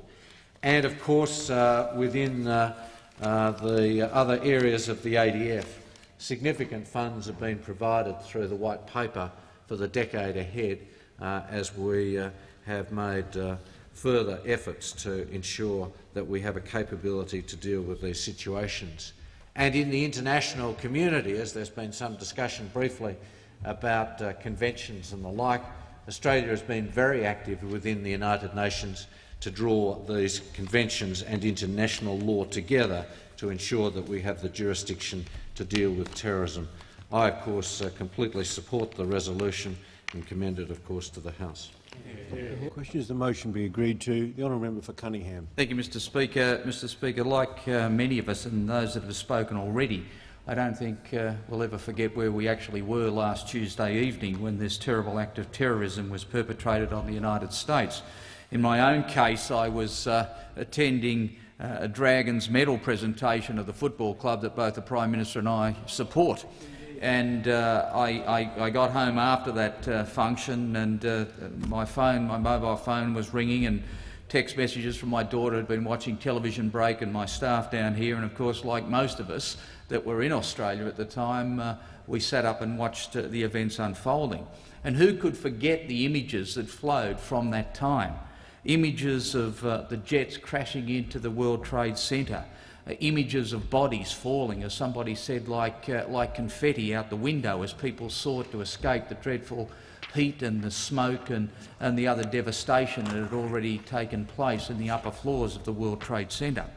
Who could forget the image of uh, once the towers had collapsed, uh, the video taken by that doctor who continued to film and said, I hope I survived this as all the rubble came down upon him immediately did survive. He said on his own tape, I think I've survived, now I've got to go and help someone else. Who could forget the 67-year-old who said, thank God I could still run? Who can forget the images of the volunteers, those construction workers that were down the road, simply said there's a job to be done, I've got to get in there. And these are the images that I think that are enduring for us all. These are the images that tell us something about the human spirit and the way that it will respond to tragedy. And these are the images that we continue to see on our television screens, in our newspapers, that we hear about through uh, the radio media. And of course, what it has done is cement in the psyche of all of us, I think, forever, concerns about the frailty of human nature and as, as, as others have said in this debate already this afternoon on this condolence motion, our resolve to do something about terrorism. I think it's interesting, Mr Speaker, uh, as uh, in years past when I had uh, the position that you now hold, I attended a number of IPU meetings. And at every one of those IPU meetings, invariably, there are resolutions on the table about terrorism and what parliaments of the world can do to stamp out terrorism. And I've got to tell you, in the three years that I attended those meetings, which probably amounted to about six, those same resolutions kept rolling around. But I've got to say, each year when I fronted up, there didn't seem to be a lot that had been done by members of the parliaments of this world that attended those IPU conferences to stamp out terrorism. This particular event, I think, may, may at least resolve some of those problems at a parliamentary level into the future. But the most immediate concern, of course, of us all is what response is going to come from the world community. As the Prime Minister has said, as the Leader of the Opposition has said, the United States response to date has been measured, it has been full of anger, understandably so, but the words that have come from the leaders of that great nation have left no one in any other mind than justice will be done. On this side of the parliament, we have supported the Prime Minister, we have supported the government, we have supported Australia in the attitudes that we have adopted. It's interesting when you think that some 69 Australians are still missing, many of those are presu presumed, I think, dead as a result of this catastrophe. It's interesting also that many of us have been touched by events of people that we knew that were there. I mean, I, there's one article that appeared in the Illawarra Mercury this week, uh, hellish start to Jason's new job. It goes on to tell the story of a young man, his second day working on Wall Street uh, for a finance company, but was in the vicinity of the, the World Trade Center. His father is a personal friend of mine. In fact, he's my accountant. It goes on to say how he ran out of the district was covered in, in the dust and the grime and so on, jumped in a taxi cab, and then a huge girder came crashing down in the back of the taxi cab in which he got. And uh, he survived. I mean, he got away. But that's yet again another example. In this case, it was young Jason Kasher in Wollongong. Another uh, constituent of mine, uh, actually the brother of the person from the Democrats who stood against me at the last election, was there, and he too was in harm's way, but was able to survive. The concerns, I think, of each of these people, or the, the, the stories of each, these people identifies for us all, is the concern of every Australian. That is, we have loved ones and the last thing we want to see is that in some way their life is tragically cut short because of some inhumane terrorist activity. And if we feel that here, we can only imagine what Americans feel like. Those people that have lost loved ones, those people, as was said, the moms, the dads, those people that were brothers, were sisters. Each of those had a long, fulfilling life to look forward to, and now they don't. But I think one of the other things that's important here that we must always uh, turn our attention to again, and I am so pleased that both the Prime Minister and the Leader of the Opposition made comment about this, that is that terrorism knows no religion, no race, no colour, no creed. We may well read, we may hear people talk about Muslims if it is as if it is an all-embracing group of people that embrace terrorism and are supportive of what's happened. Clearly, that's not the case, whether it's Palestine or whether it's in Australia. That is not the case. And indeed, as the Leader of the Opposition said to the caucus this morning, Basques, the IRA, the Shining Path, indeed, Tim McVeigh, I don't think any of those groups, particularly, are Muslim by religion. They are not. And so I think it, uh, it behoves us all in this place as we represent this great nation of ours to recall that we have embraced people from every different background to this country and they have sought to live here and they have sought to live here in peace and in harmony.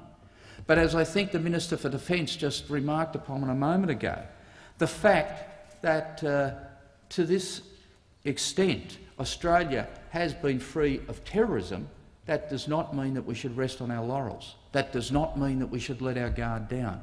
Just as I think what has happened in the United States has meant that the guard of any freedom-loving country, indeed any country in the world, should let its guard down. I mean, how often have we all in this place come and spoken to our friends about a bomb that's gone off in the centre of Jerusalem, about something that's happened uh, in Germany or in France or in Italy or somewhere else in the world, where, or in Turkey, where an act of terrorism has taken place, and we've said, oh, isn't it shocking, but gee, thank goodness it's over there. Well, thank goodness, yes, to an extent, but no longer. I think, as has been so eloquently said by the leaders of the United States, by the ambassador of the United States to Australia in that moving speech, that commemoration speech that he delivered this afternoon, have pointed out again and again Innocence has been lost. We have all experienced some major changes, but I think equally what we've got to think about is Australia's commitment, and that commitment, whether it be in a military sense, whether it be in a, a, a diplomatic sense, is unequivocal. Both sides of parliament recognise that, and we do so on behalf of the Australian people.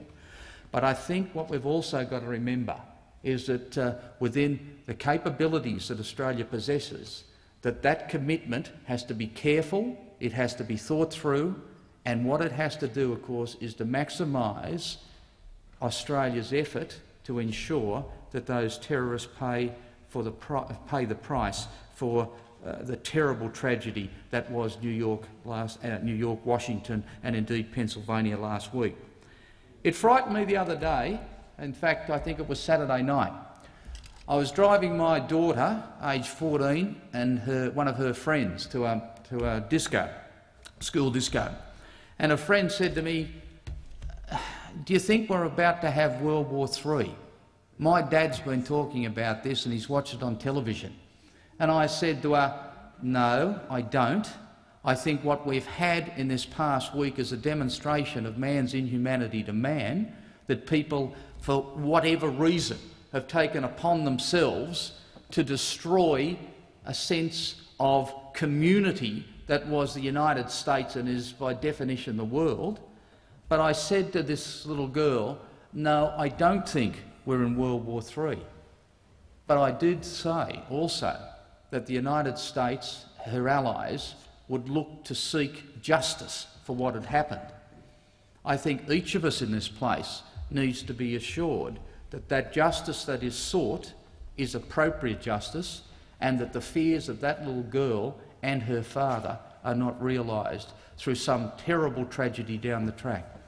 It was a dreadful day, there is no doubt about that. The ramifications we continue to see on a daily and a nightly basis. I lend my support entirely to the resolution that's been moved. Questions. The motion be agreed to. The Honourable the Treasurer.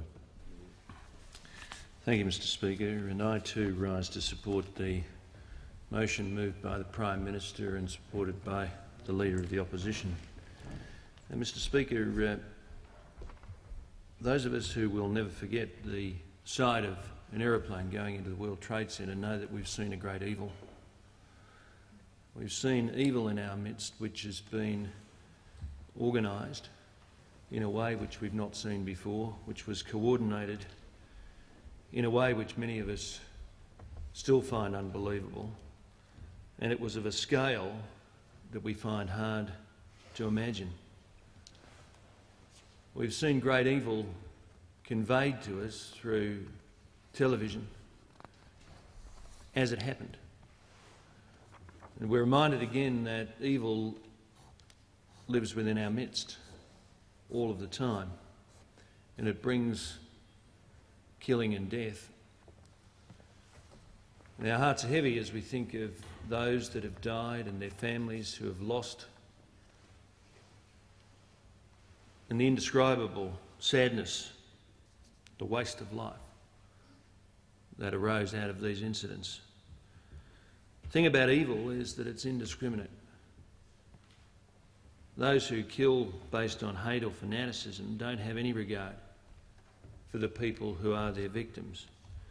They don't have any regard for those that are living their everyday lives. And that's why it's been said that this is an attack on civilisation because it's an attack on the right of people to go about ordinary lives without being killed. Undoubtedly, those who perpetrated this wrong thought they were bringing down the financial system or punishing captains of industry. But we know that they killed cleaners, clerks, telephonists, men, women, Christians, Jews, Muslims, Americans, and not just Americans, they killed Australians too. Terrorists don't make much of a distinction when it comes to indiscriminate killing an attack on civilian people who planned no war, no military strike, but were just going about their ordinary lives, going to their offices, doing their jobs, creating a work environment. But for those who killed them, they undoubtedly targeted what they saw as a symbol of economic pro progress in the World Trade Centre and of constitutional government in seeking to attack the White House or the Pentagon. Mr Speaker, although we've seen great evil in our midst, we've seen a great triumph of the human spirit. And how often is that the case? That the worst in human beings brings out the best in human beings. That the worst killing of the terrorist brings out the greatest bravery of the firefighter and the policeman and our leaders. And it reminds us again that those values that can pull us down will only be transcended if we defend those values which will elevate us and lift us up. Ours, like the American society, is an open society. You can travel where you want, when you want. You don't need permission. Terrorists don't like open societies, even though they seek to take advantage of them. They don't believe that people should have freedom of movement, conscience, decision. In fact, that's one of the values that brings them to have contempt for our kind of societies. And it's one of the reasons why we have to defend our kind of society.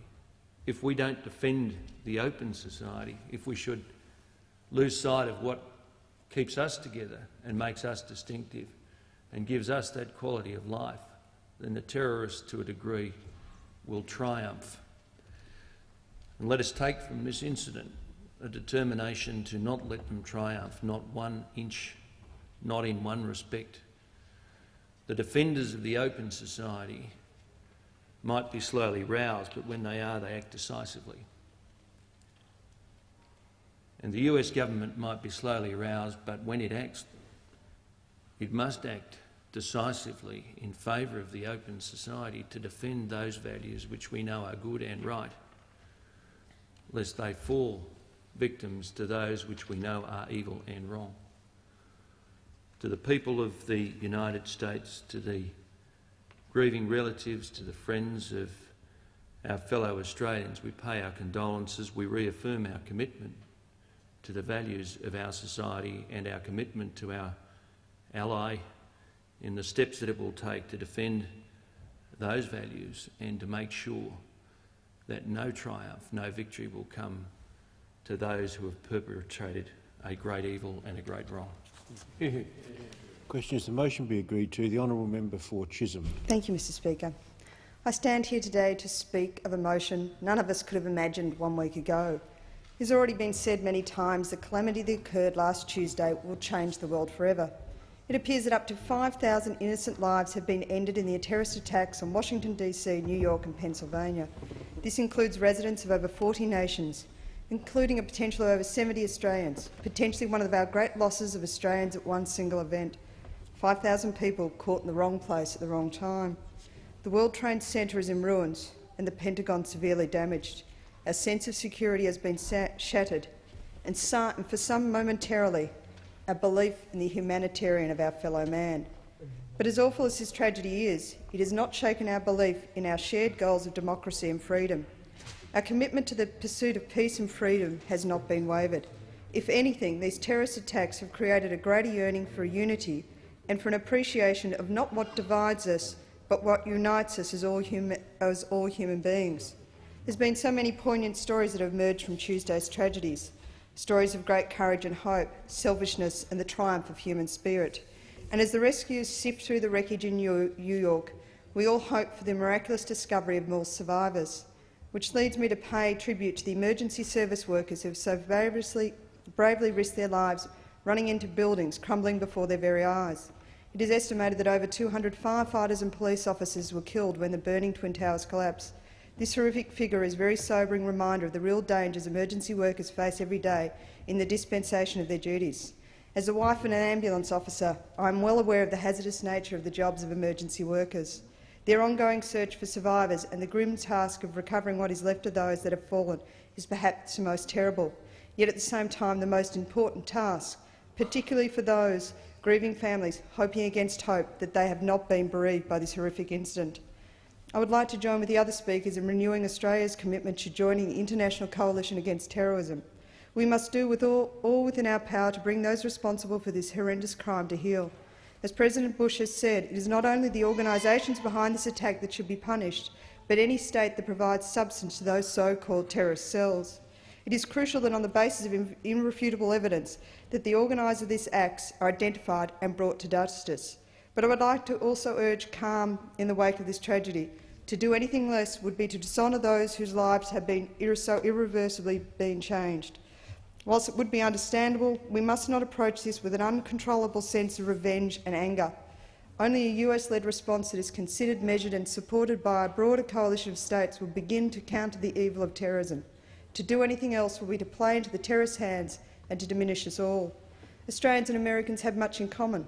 We are both relatively young countries. We are both multicultural countries that have opened our door to thousands of people made homeless by the ravages of war, natural disaster and persecution. We are both countries that fought the excessive of Nazism and Japanese, Japanese during World War II. And we are both countries with a fierce democratic tradition where freedom is cherished. The US came to our aid during World War II, and they remained our most important ally. As the American people come to terms with this attack, I've been impressed by the calls by, by leaders both here and in the US for tolerance in dealing with our fellow citizens of, of different ethnic backgrounds. To date, there have been a few isolated instances of racism, racist acts against our local Muslim communities. We must deplore this act.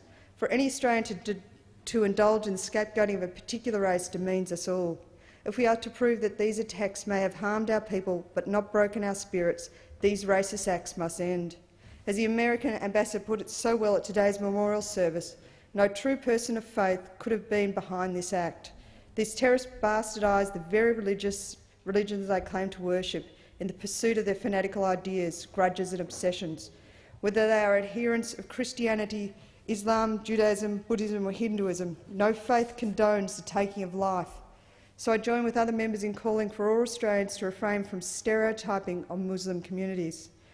There are parts of the mosaic of Australian society, and we know their leaders share in our sorrow for these devastating events. It has been said before, these attacks on America are really an attack on freedom everywhere and must be defended. I formally extend my condolences to the American people and all those who have been hurt here in Australia and across the world. It is my hope that the bond has developed amongst the citizens of the world in reaction to this horror can be a springboard for a more tolerant and compassionate world. Question is that the motion be agreed to. The Honourable the Attorney-General. Thank you, Mr Deputy. Mr Speaker, Mr Speaker, all Australians join with our American friends and allies in this time of grief and shock and all Australians condemn those responsible for these most atrocious and heinous terrorist attacks. The indiscriminate use of violence with total disregard for innocent life is the hallmark of terrorism, and the attacks on the United States mark a watershed in the scale, intensity and brutality of such violence. The fanaticism and hatred that drive terrorism are always frightening. In this case, as in so many others throughout history, the name of the Almighty is invoked. But no God, no religion, be it Buddhism, Christianity, Hinduism, Islam or Judaism, preaches wanton violence and destruction. Because of this, the terrorism we've just seen represents an assault on all fundamental human values. The Australian government and the Australian people, like the rest of the international community, want to see those responsible for these atrocities brought to justice. While we cannot yet be certain, there is evidence that the attacks in the United States were the work of the Osama bin Laden organisation. It will take some time for the investigation to be completed. No doubt a complex network of interrelationships between those responsible will be re revealed. But what has happened demonstrates that terrorism of any manifestation represents a threat that knows no borders terrorism is an attack on all decent people of all races and all religions. Not knowing exactly who is responsible for these attacks, we must not rush to retribution, but we must do all we can to ensure that justice is done. We must also avoid the trap of assuming guilt through assumed association. And I, like others, am distressed by reports that Australian Muslim and Arabic communities are being subjected to violence and vilification on the basis that they're somehow associated with the perpetrators of the United States attacks. Such incidents merely play into the hands of those who, like terrorists, do not share civilised democratic values. I call on Australians to promote tolerance, decency and inclusion to all members of the Australian community. We're not presently able to conduct a detailed analysis of what all this may mean internationally and for Australia the horrific events are of such a magnitude that it will take some time to comprehend fully the issues that will need to be examined over the coming months. Indeed, it will be essential for the examination to be undertaken with a cool mind and a steely resolve. However, we can say with certainty that what happened in the United States on the 11th of September 2001 has fundamentally changed the global environment in which we live and the impact will reverberate for years to come. As a civilised people and as a civilised nation, we owe it to our fellow, fellow Australians murdered in the United States and to the hundreds, thousands of other innocent people from other countries who died to stand with the people of the United States in this time of need. Our memorial to their death must be a renewed, determined and sustained commitment to the elimination of terrorism. Anything less would be a betrayal of their memory. We must make the commitment to the elimination of terrorism in the certain knowledge that it will not be easy. There will be setbacks, there will be pain, and we must be acutely aware that our own active involvement in the fight could well bring terrorism closer to our own shores. But the enormity of the challenge laid down on the 11th of September leaves decent people the world over with no other choice. It's not a fight of our choosing. It is, however, a fight in which we must join and in which we must win. Australians will need to work carefully and systematically through the implications for our own security and counter-terrorism arrangements. As is the case after any international security incident, we will of course review our security and, and intelligence procedures.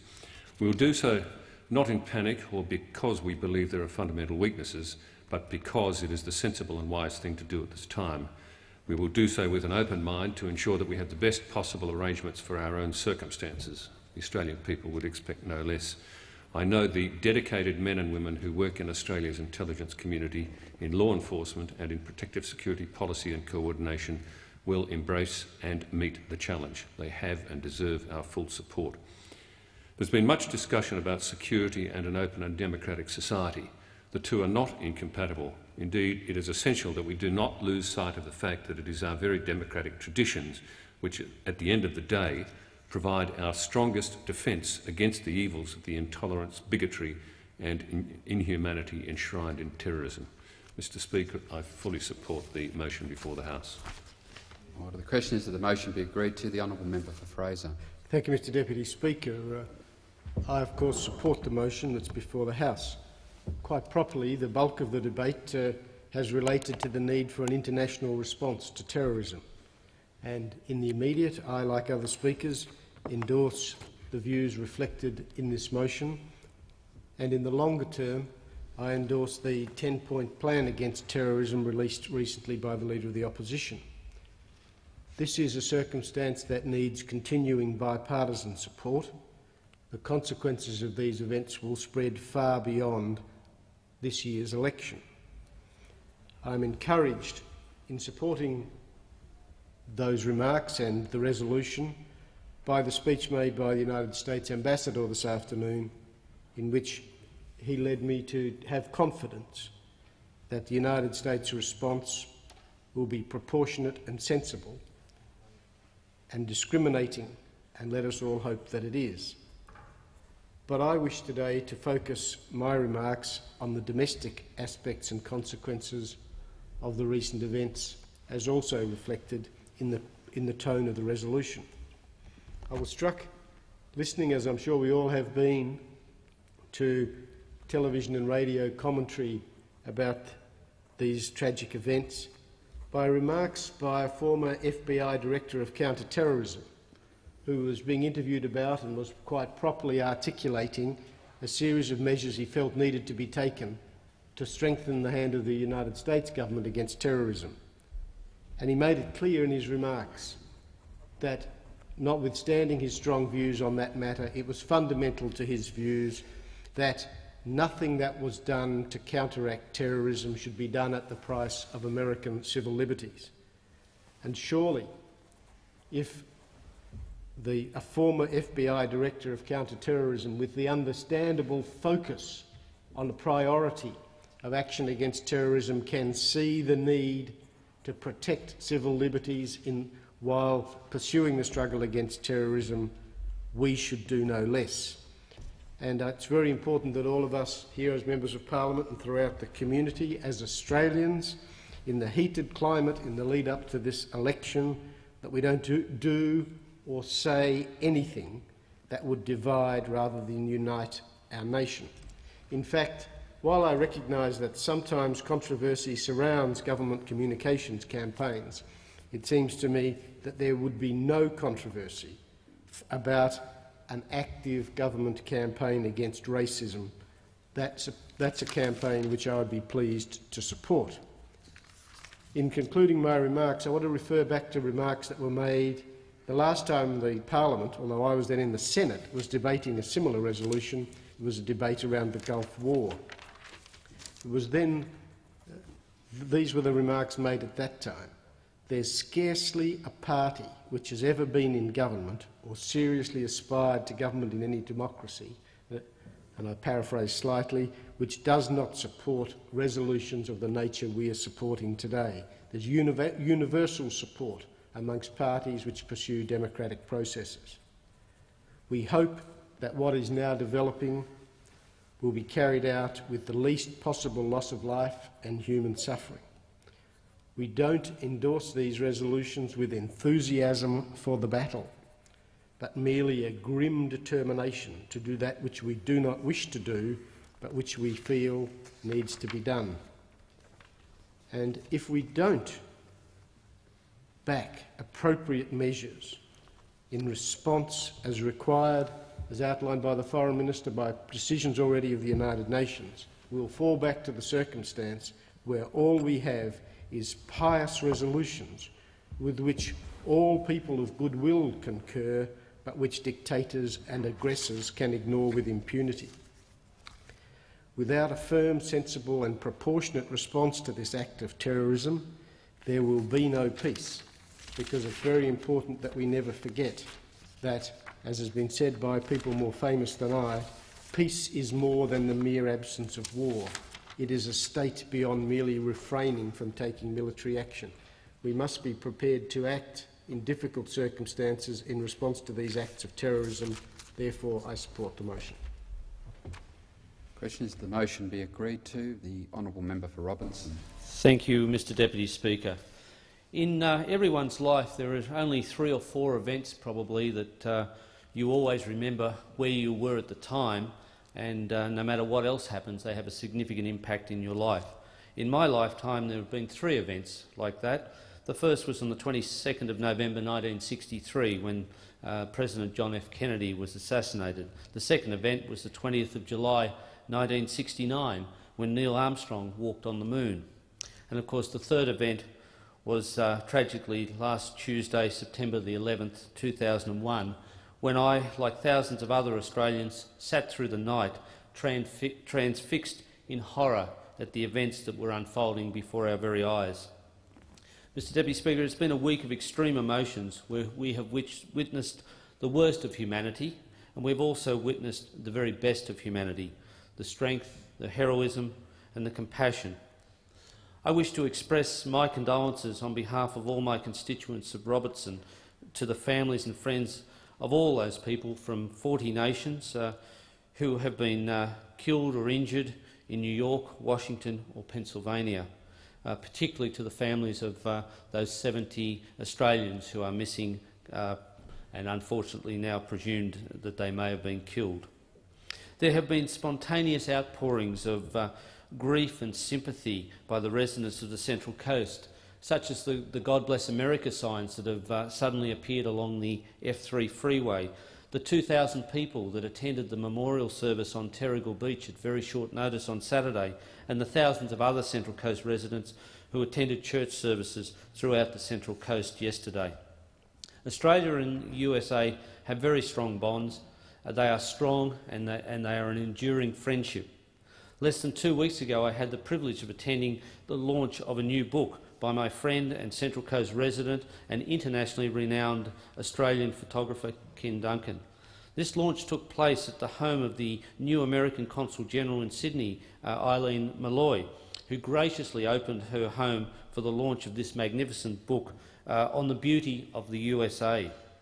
This particular book was actually taken by our Prime Minister John Howard as a gift to President Bush on his recent trip, and I do hope that he did have an opportunity to present the book to him. It's by an, an internationally recognised Australian photographer, and it is a book uh, take, well, photos of the beauty of the USA. And I think this book now becomes a, a symbol of the friendship, of the bonds between Australia and the USA and I had the opportunity when speaking to the Consul General to discuss what depth we have in our friendship between Australia and America. And many of us would have seen President Bush just after he had met with Prime Minister John Howard before the terrible events of September the 11th, when he called to the, the uh, assembled media and said, it's great to have friends who will tell you the truth. And that is what the friendship is so strong with Australia and the USA, that we can discuss issues frankly. We can dis disagree on some things, but at the end of the day, we are um, strong friends, and the relationship between Australia and the USA uh, will go on to be, continue to be a, a very strong relationship. Mr Deputy Speaker, those, those bonds of friendship between our two nations are very strong, and all Australians will stand side by side with our American friends to fight against terrorism. Mr Deputy Speaker, terrorism must not succeed. Terrorism will not succeed and democracy and the free world will stand against terrorism and Australia will stand against terrorism for the sake of our future and for the sake of the future of our children. Thank you, Mr Deputy Speaker. The honourable member for Franklin. Thank you, Mr Deputy Speaker. New York is a wonderful city and New Yorkers wonderful people. I've been fortunate to visit this amazing place several times, as I have my brother Bob and his wife Sue and their four children living close handy in New Jersey. Like many in this place, I visited the landmarks of New York, clambered up the steps of the Empire State Building and the Statue of Liberty, and stood in awe looking at the towering heights of what, what were once the World Trade Twin Towers. I have very pers personal close links with the United States of America. My Auntie May was one of the first American war brides to settle in the USA during World War II. Her late husband Bill, an American Marine, fought in the Pacific, especially at Guadalcanal. And their children, Judy Dale, Greg and Kim, and their families, have made me and my family very welcome during our various sojourns over there in the United States. My sister in law, Sue, her late father, Red Regan, was a fire chief, and during my first visit to New York in 1974, I was lucky and privileged to witness the obvious camaraderie and fellowship of the firefighters working in that part of the United States of America.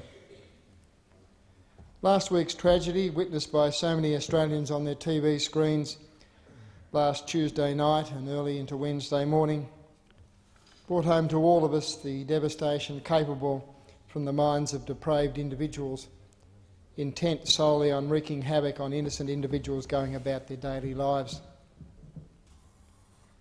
I can imagine New York that morning, tourists seeing the sights, New Yorkers enjoying a morning coffee and newspaper, couples planning their future lives, workers going about their daily tasks in their offices. We can imagine it all taking place. Nothing out of the ordinary, daily life in another big metropolis. The sight of aircraft slamming into twin towers repeated time after time, angle after angle, seemed surreal. Most of us have been desensitised after seeing so many disaster movies based in downtown New York.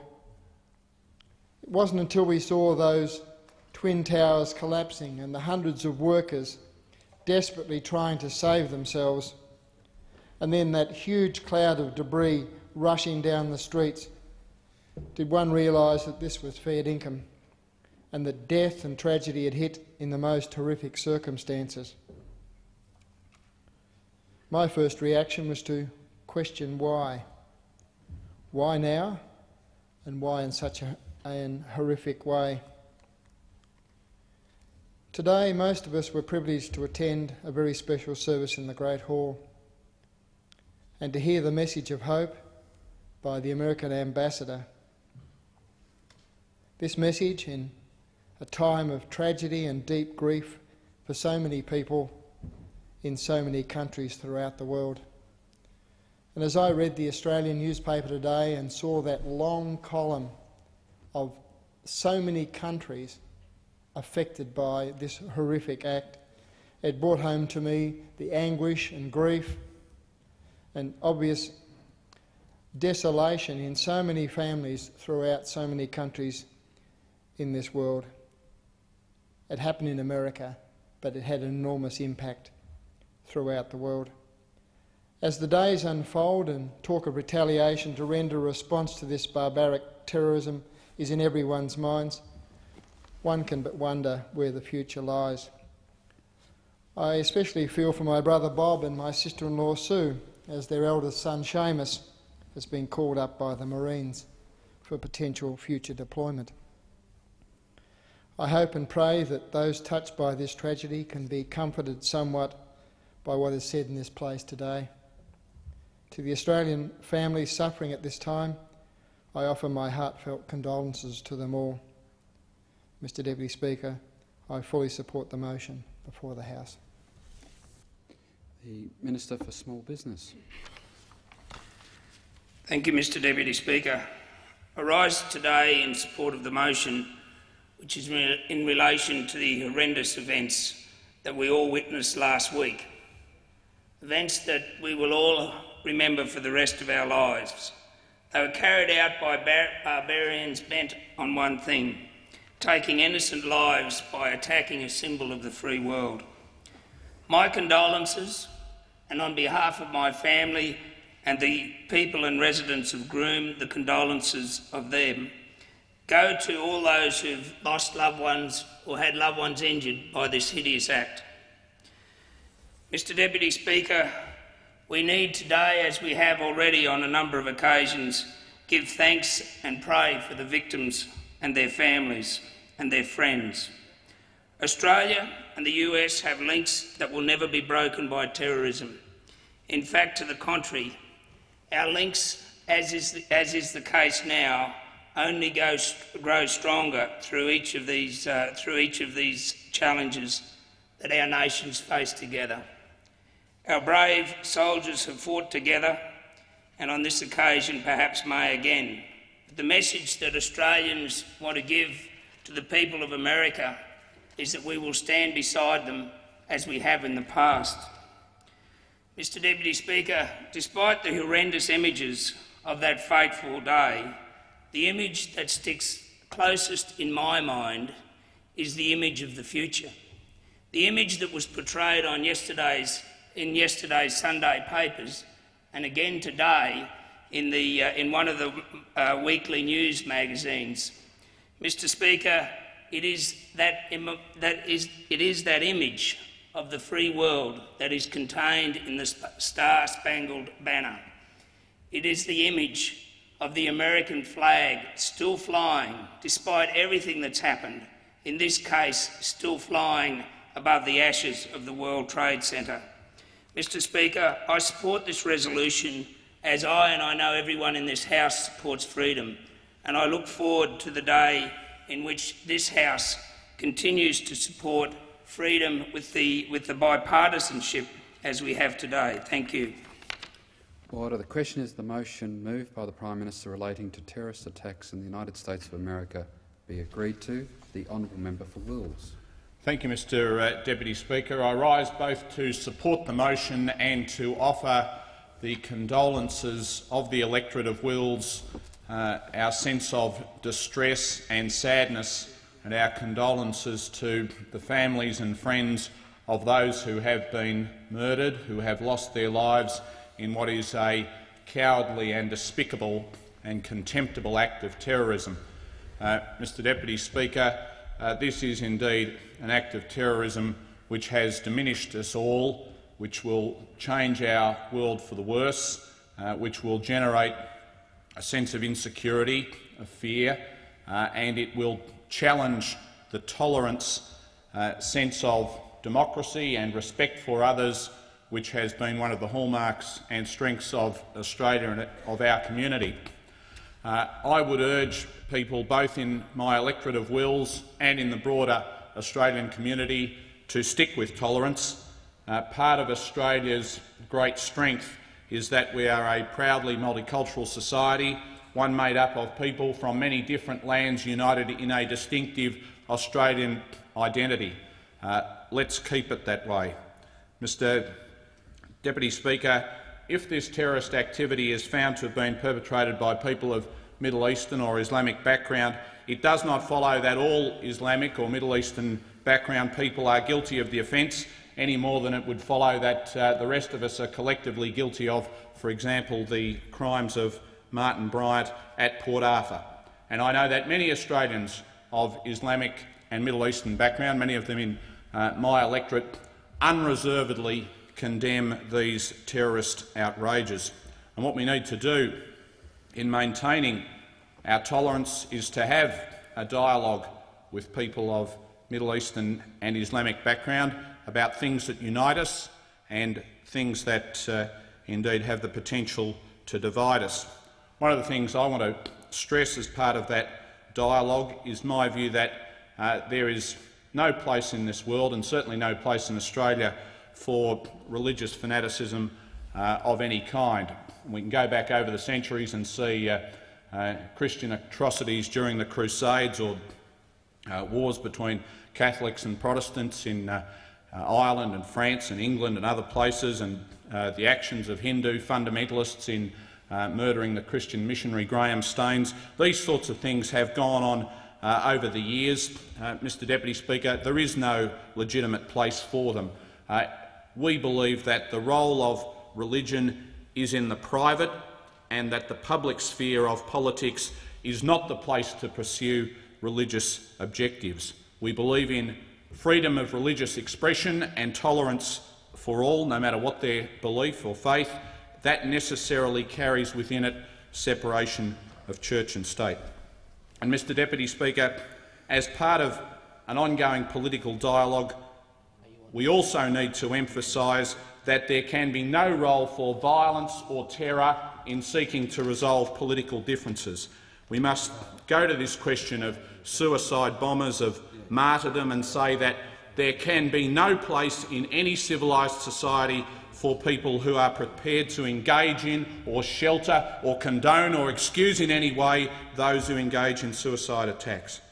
Um, Mr Deputy Speaker, I urge a response uh, to this outrage, as does this resolution. But like other speakers, I urge that it not be indiscriminate. What we seek is justice, and we are entitled to engage in self-defence. Uh, we have no interest in revenge or vengeance.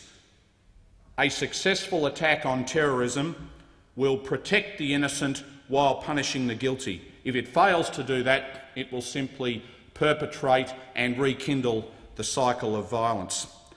The world will be diminished by this, Mr Deputy Speaker, and we must all accept some privations which will flow from it.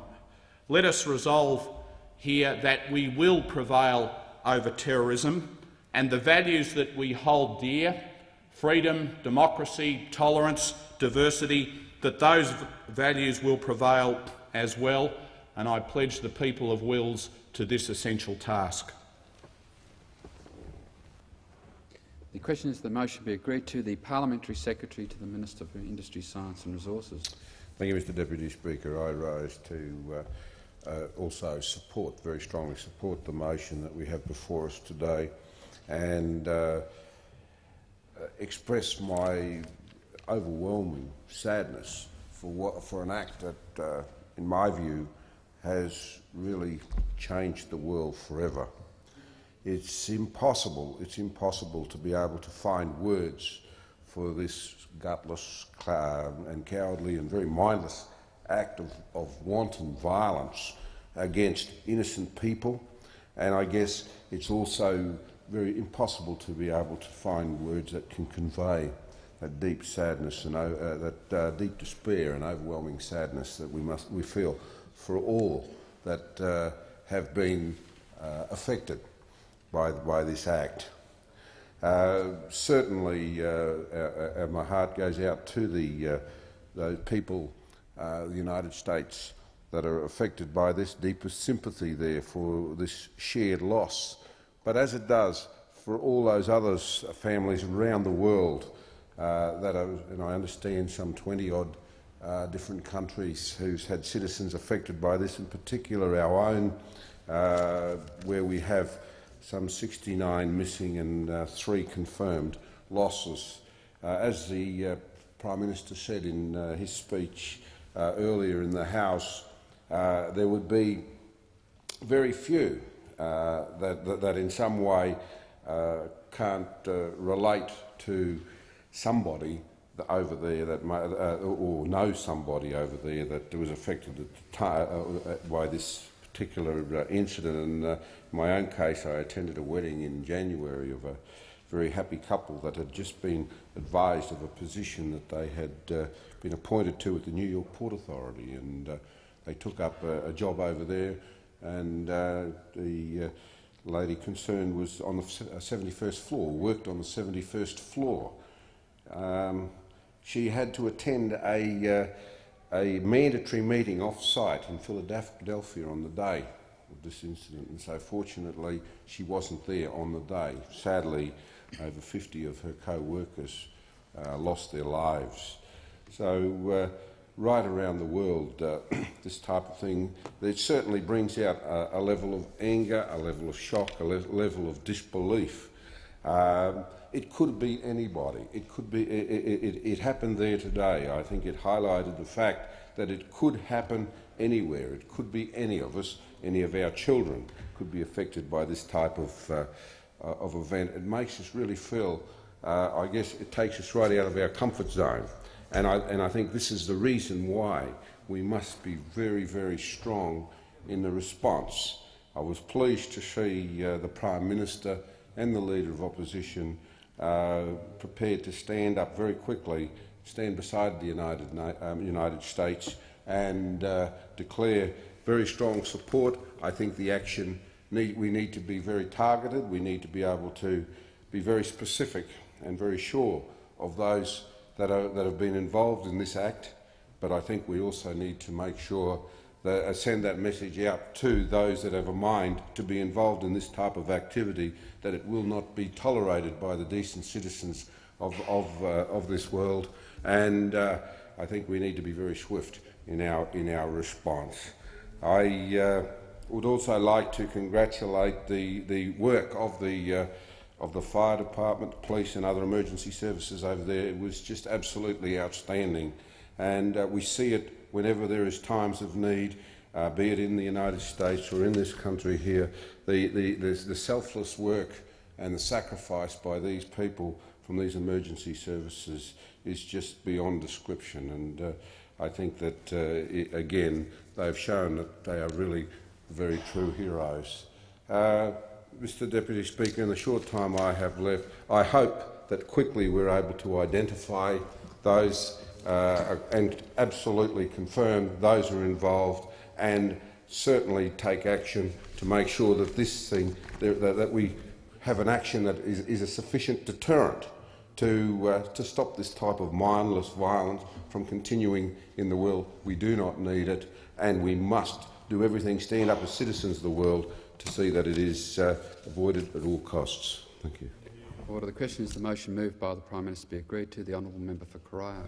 Thank you, Mr Deputy Speaker. I rise in this parliament today, Australia's great symbol of democracy and freedom, to join with the Prime Minister and the Leader of the Opposition in expressing uh, my condolences to the families and friends of all those who perished in the terrorist attack on New York and Washington on September the 11th.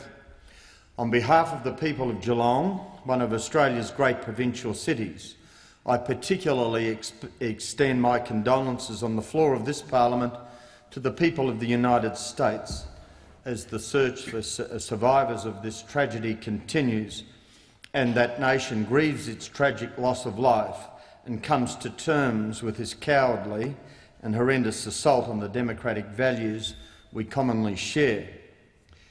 Mr Deputy Speaker, my personal association with the people of the United States goes back many, many years to 1972, when I left Australia with my then five months old son Adam to spend a year working and travelling in the United States. I spent that year in the city of DeKalb, Illinois, and experienced firsthand the extraordinary generosity and the great love of life of the people of that uh, city. Those people made our stay uh, a very memorable one indeed.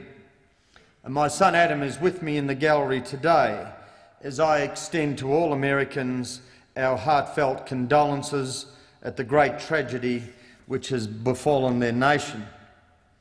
I've not seen many of uh, the Americans who were such an important part of my life back then for nearly 30 years. But today, as the Australian Parliament expresses its condolence in this motion which I support, I remember the Modron family in Chicago and Peg and Jimmy Nelson and the many people in DeKalb, Illinois, who are now coming to terms with this attack on their nation and its tragic aftermath. As we all recoil in horror and disbelief at the carnage wrought by this attack, let us keep foremost in our minds that it is once again ordinary people going about their daily lives who are the casualties of this senseless and premeditated act of violence. among them 70 Australians who will never see their loved ones at home again.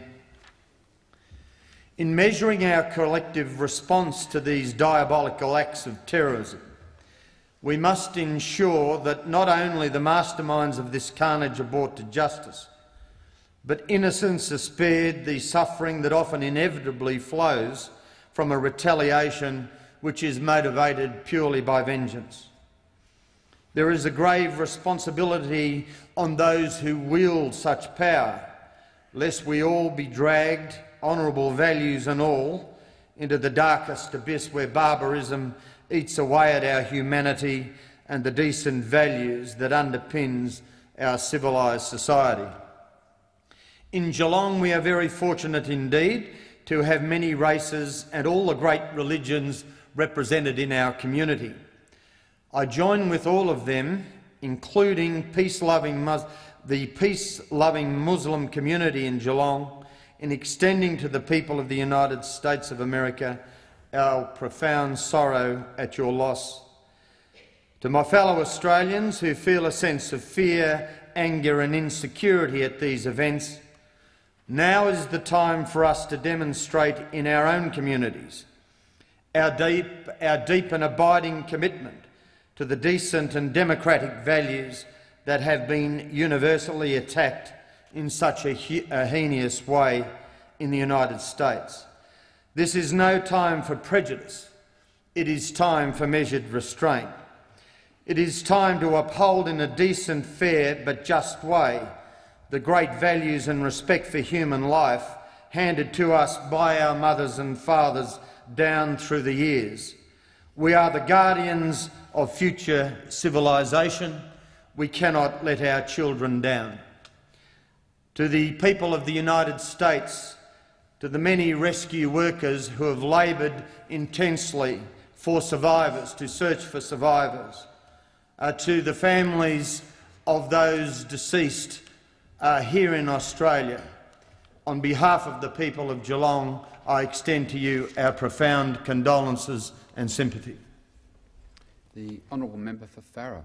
Mr Deputy Speaker, 60 years on from World War II and all its horrors and the Holocaust, 55 years since White Russians and Cossacks were forcibly loaded by the West and sent back east to be exterminated, 25 years or thereabouts from the tragedy of the Munich Olympic Games, and 11 years since the fall of Berlin, we now have the 11th of September 2001, that horrific tragedy, the subject of this motion. Firstly, I'd just like to say there are many things that unite religions, including the Christian, Jewish and Islamic faith, their reverence for Abraham and Moses. But there are things that are even more uniting, and that is peace and tolerance. And that's revered by Christian, Jewish, Islamic, Buddhist and Hindi. And that proves, in a sense, that the terrorists that took this action were outside the law, outside anything possibly reasonable in uh, their approach, and of course uh, outside the spectrum of any religious faith. Mr Speaker, I'd like to just uh, quote Alistair Cooke, a famous uh, broadcaster who said on ABC Radio National yesterday from his base in New York, where he had survived, the end of his powerful commentary, he quoted from a spiritual hymn. America might be up, and America might be down, and America might be almost in the ground, but America is not in the ground. End of quote.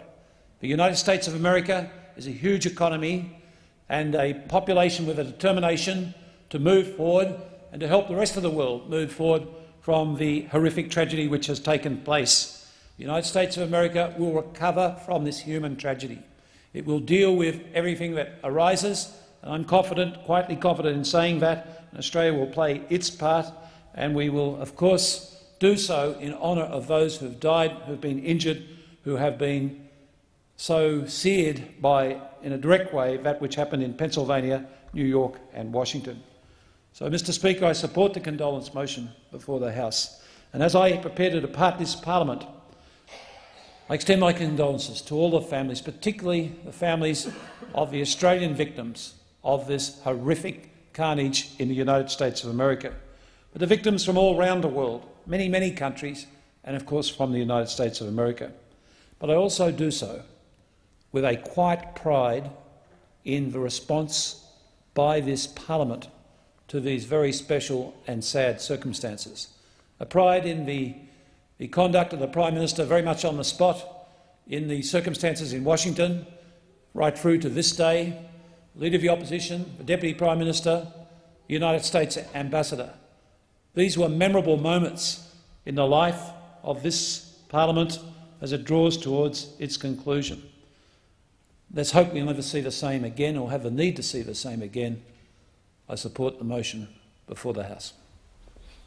The Honourable Member for Sydney. Thank you, Mr Acting Deputy Speaker. Um, I'm, I'm rise today to extend my condolences to the families of all of those who have perished in the United States, to the families of those who are still missing, and to the citizens of countries other than the United States who are also have died or are missing um, since the terrible tragedy last Tuesday. I think that uh, all members of parliament here share um, a sense of compassion for the families of those people who are either have died or are missing. And I'm a little surprised that we've been referring to this, um, as President Bush has been referring to it, as an act of war, because I think in a, in a, in a way, in a terrible way, that almost cleanses the act. I think that we all know that terrible things happen in war, and yet what happened last Tuesday, I think, is more accurate, accurately described as murder. It's murder that's happened 3,000 times, or 5,000 times, or 10,000 times. We don't know how many times, but it's murder that's been committed again and again on one day. And um, I think it's worth remembering that the only thing that has, um, has will stop the numbers um, continuing to grow is the, the uh, the final um, plane load of um, terrorists was actually thwarted. We don't know how many, um, how many more people would have died had that not happened. There's no way, um, when someone is murdered, to prepare for that. Um, there's no way of understanding it. There is no logic to the act, and it's not something that any human being or any family should have to deal with um, in a lifetime. And it's worth thinking about the effect on a country where this happens 3,000 times or 5,000 times or 10,000 times in one day. There is an inevitable, inevitable uh, effect on a country where such a tragedy happens. And I think that really it's difficult to understand that effect fully until we see the individual photographs of people who are still missing, families who are still searching for loved ones, until we hear the stories of people trying to phone their families in their last minutes of life that really, I think, brings home to us the, the true human tragedy of this event. I think we also wish to express compassion from this Parliament to the, the families, especially of the Australians who have died or are still missing, and also, of course, to the, um, the citizens of the 40 other nations that have been affected. Um, we express our admiration for the bravery of the rescue workers. And I know that many of my other colleagues have have expressed admiration for this bravery, but what an extraordinary thing it is to ignore every human instinct and instead of fleeing from danger, turn around and walk into the heart of it in the hope of saving some other life. While we debate um, this condolence motion, I think that it is wise to remember also that there are, there are countries around the world where acts of terror are perpetrated on civilian populations every day. And um, while nothing, nothing has happened um, in our recent history to match the scale of this act of terrorism, it's worth remembering that in countries such as Ireland or Spain or Sri Lanka or Egypt or in our own region, the Philippines, their citizens face this fear every day that they will say goodbye to a loved one and never see them again because of some act of terror. Some people have drawn comparisons with um, what happened in Pearl Harbor, and yet it's wise to, um, to take heed of what former Secretary of State Warren Christopher said in relation to Pearl Harbor. There is one mistake that we should not repeat when we're talking about the response, and that is after Pearl Harbor, many citizens of Japanese nationality were locked up for no reason other than they were Japanese. And in my final comments, I want to say that we, we mustn't compound the tragedy of this event by, by punishing the innocent. And when we're talking about um, pursuing Osama bin Laden perhaps in Afghanistan, we have to remember that the, the civilians in Afghanistan have suffered perhaps more than any other people on earth, and they are suffering still from famine, from drought, from um, the, the uh, rule of a, the Taliban government. And when we set out to punish those who are responsible, it's also worth remembering not just the civilians in these countries such as Afghanistan, but also that um, when the US seeks to punish, it sometimes, um, it sometimes makes mistakes. And when, um, when the United States initially backed the Mujahideen in Afghanistan in the hope of um, fighting communism, they, they created part of the monster that we're dealing with today. When we seek to punish, we need to be, we need to be accurate and be sure of who we are seeking to punish. Order. The question is the motion moved by the Prime Minister relating to terrorist attacks in the United States of America be agreed to. The honourable member for Latrobe. Thank you, Mr Deputy Speaker. I rise to support the motion before the House. Those of us alive in the world today will never forget the 11th of September 2001 a despicable, calculated, premeditated, coordinated act of terrorism and murder was perpetrated on the United States of America, its citizens and citizens of another 40 countries around the world. This was indeed a worldwide act of barbarism which has repulsed those human beings who believe in freedom, democracy, liberty, and justice. This was not a random act of terrorism designed to frighten but a crime so heinous as to have been a long time in the planning, executed with precision and with the objective of destroying the maximum number of buildings and the maximum number of civilians in New York City and Washington, D.C. It was calculated as well to destroy buildings which were seen by those who carried out these crimes to be stark symbols of the free world, of the United States, a wealthy nation. Mr. Deputy Speaker, in a sense, I bridge the societies of the United States and Australia, having been born in and lived in America until age 33, and having now lived in Australia for 32 years. Mm-hmm. Having been a citizen of this great nation for 27 years and a member of this House of Representatives for 11 and a half. And while in every sense of the word I am Australian, I still have many friends and, of course, hundreds of relatives in the USA, from coast to coast and from north to south. My support for the United States in this time of crisis is not that of an ex American, but rather as an Australian, friend, neighbor, trading partner, and military treaty alliance partner with the USA. The relationship between America and Australia, of course, goes back a long way, and I remind those of you here in the House today that the foundation of our federation, our Commonwealth government, is based on an executive drawn from the Westminster tradition, and a House of Representatives as the People's House but with a Senate styled on the U.S. model of equal representation from each state, and on a high court, which is a direct steal of the Supreme Court of the United States. The terrorist attack was not only on the United States of America, but on freedom and democracy everywhere around the world. It is possible that 90 Australians have lost their lives in this tragedy, and while their deaths occurred not on our shores but in another country, it represents a far greater loss of life than our not so distant massacre at Port Arthur. This terrorist attack has touched our national psyche and our hearts.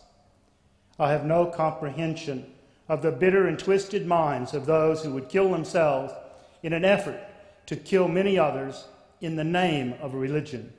I think all of us know that these psychopathic killers were not religious fanatics, but simply fanatics. All of the world's great religions are founded on the basis of love and caring and a value system that helps us towards the establishment of a decent and moral society. No religion could support this kind of barbaric action. I don't know if I have lost friends, but my sister advises that my family is safe, and I send them my love.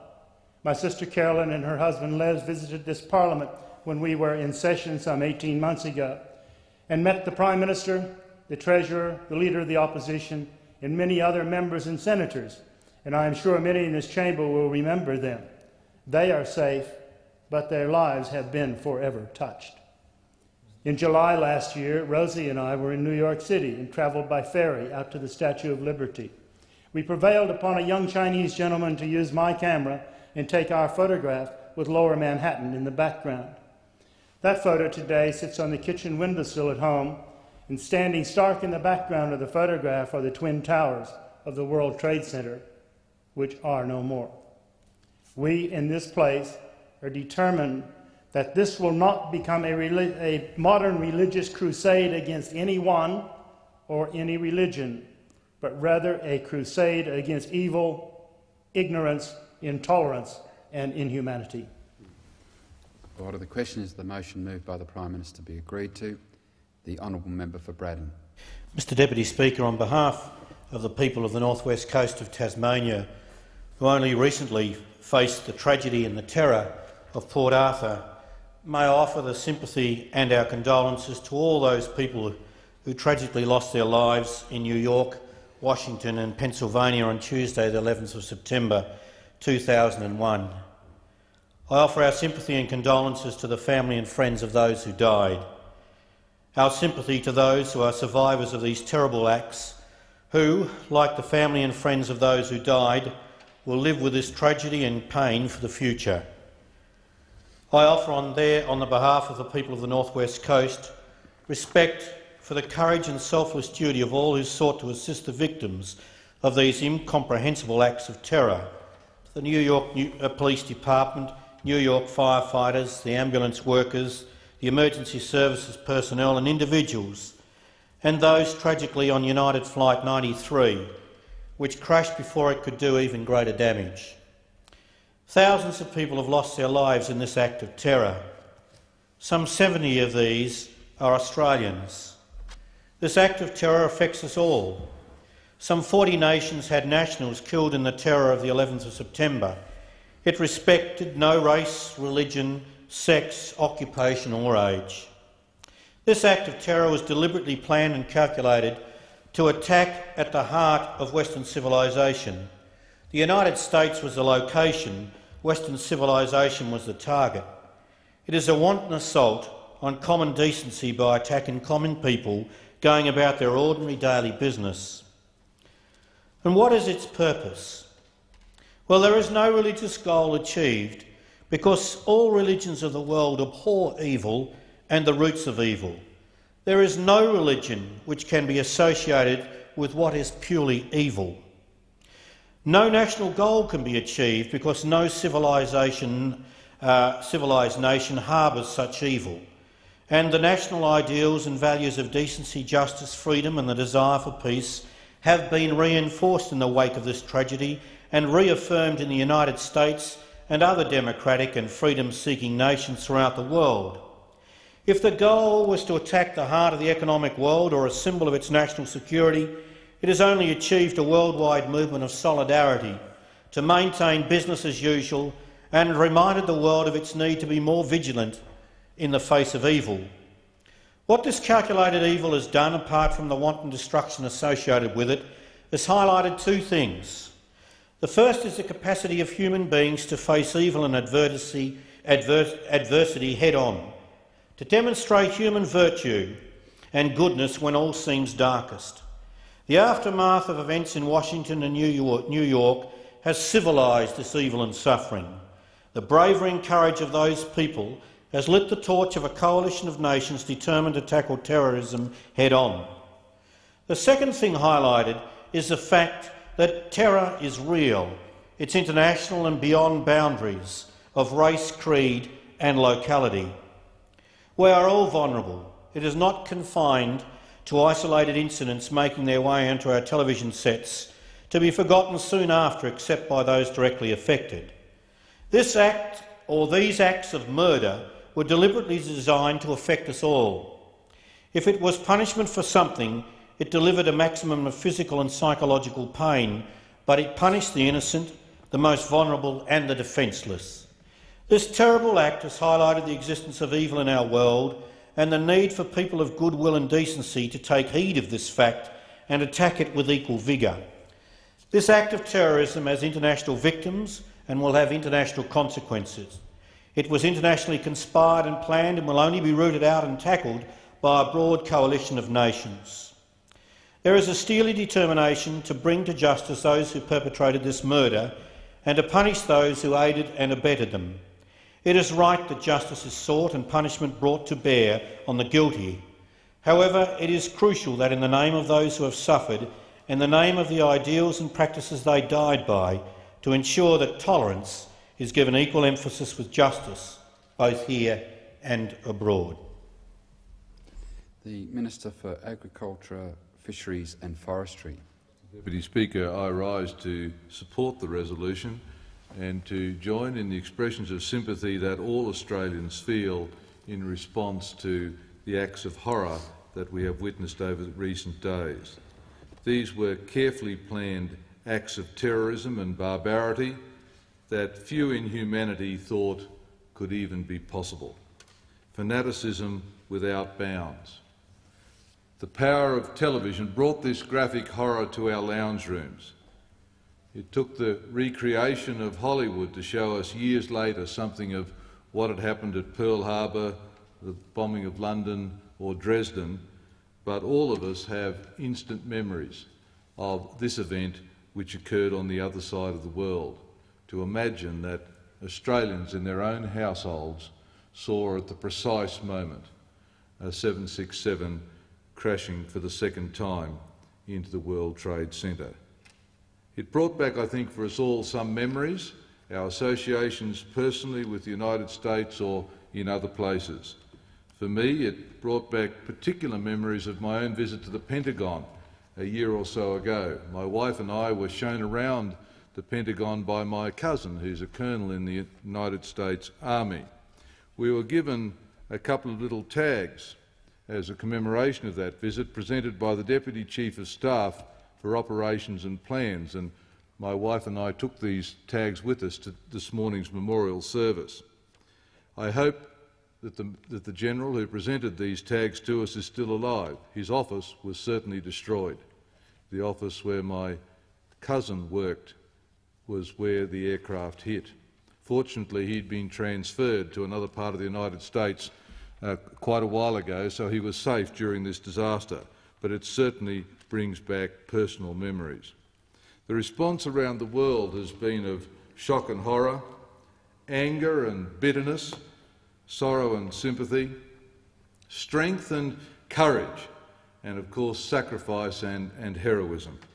But there's also a determination and resolve, a resolve to seek out those who are responsible, a resolve to ensure that terrorists do not achieve their objectives of disrupting and destroying an, a nation and the enthusiasm of mankind, and a resolve also to rebuild and to resist this sort of terrorism and barbarity.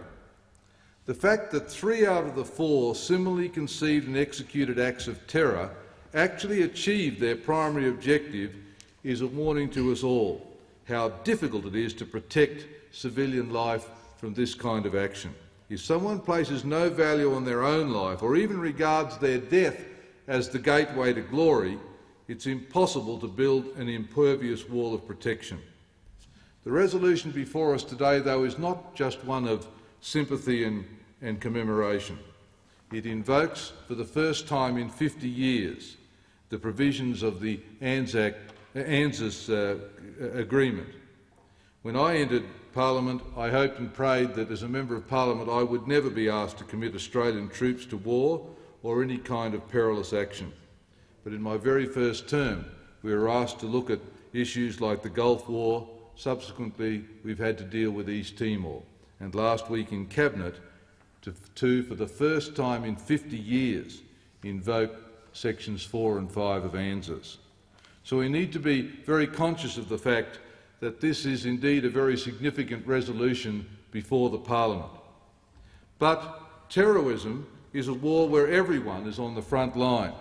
We cannot assume that this commitment is merely about sending trained soldiers. It could be our houses or our offices. I was greatly moved and, uh, by the powerfully eloquent tribute of the United States ambassador in today's memorial service.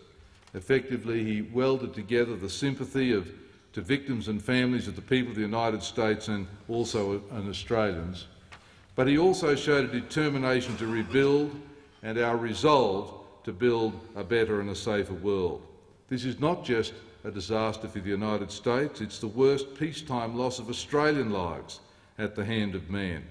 So this is also an Australian tragedy, and we must show the same sort of resolve to fight back, to resist this sort of terror, and to show that we can still be a compassionate and caring society for the betterment of all mankind.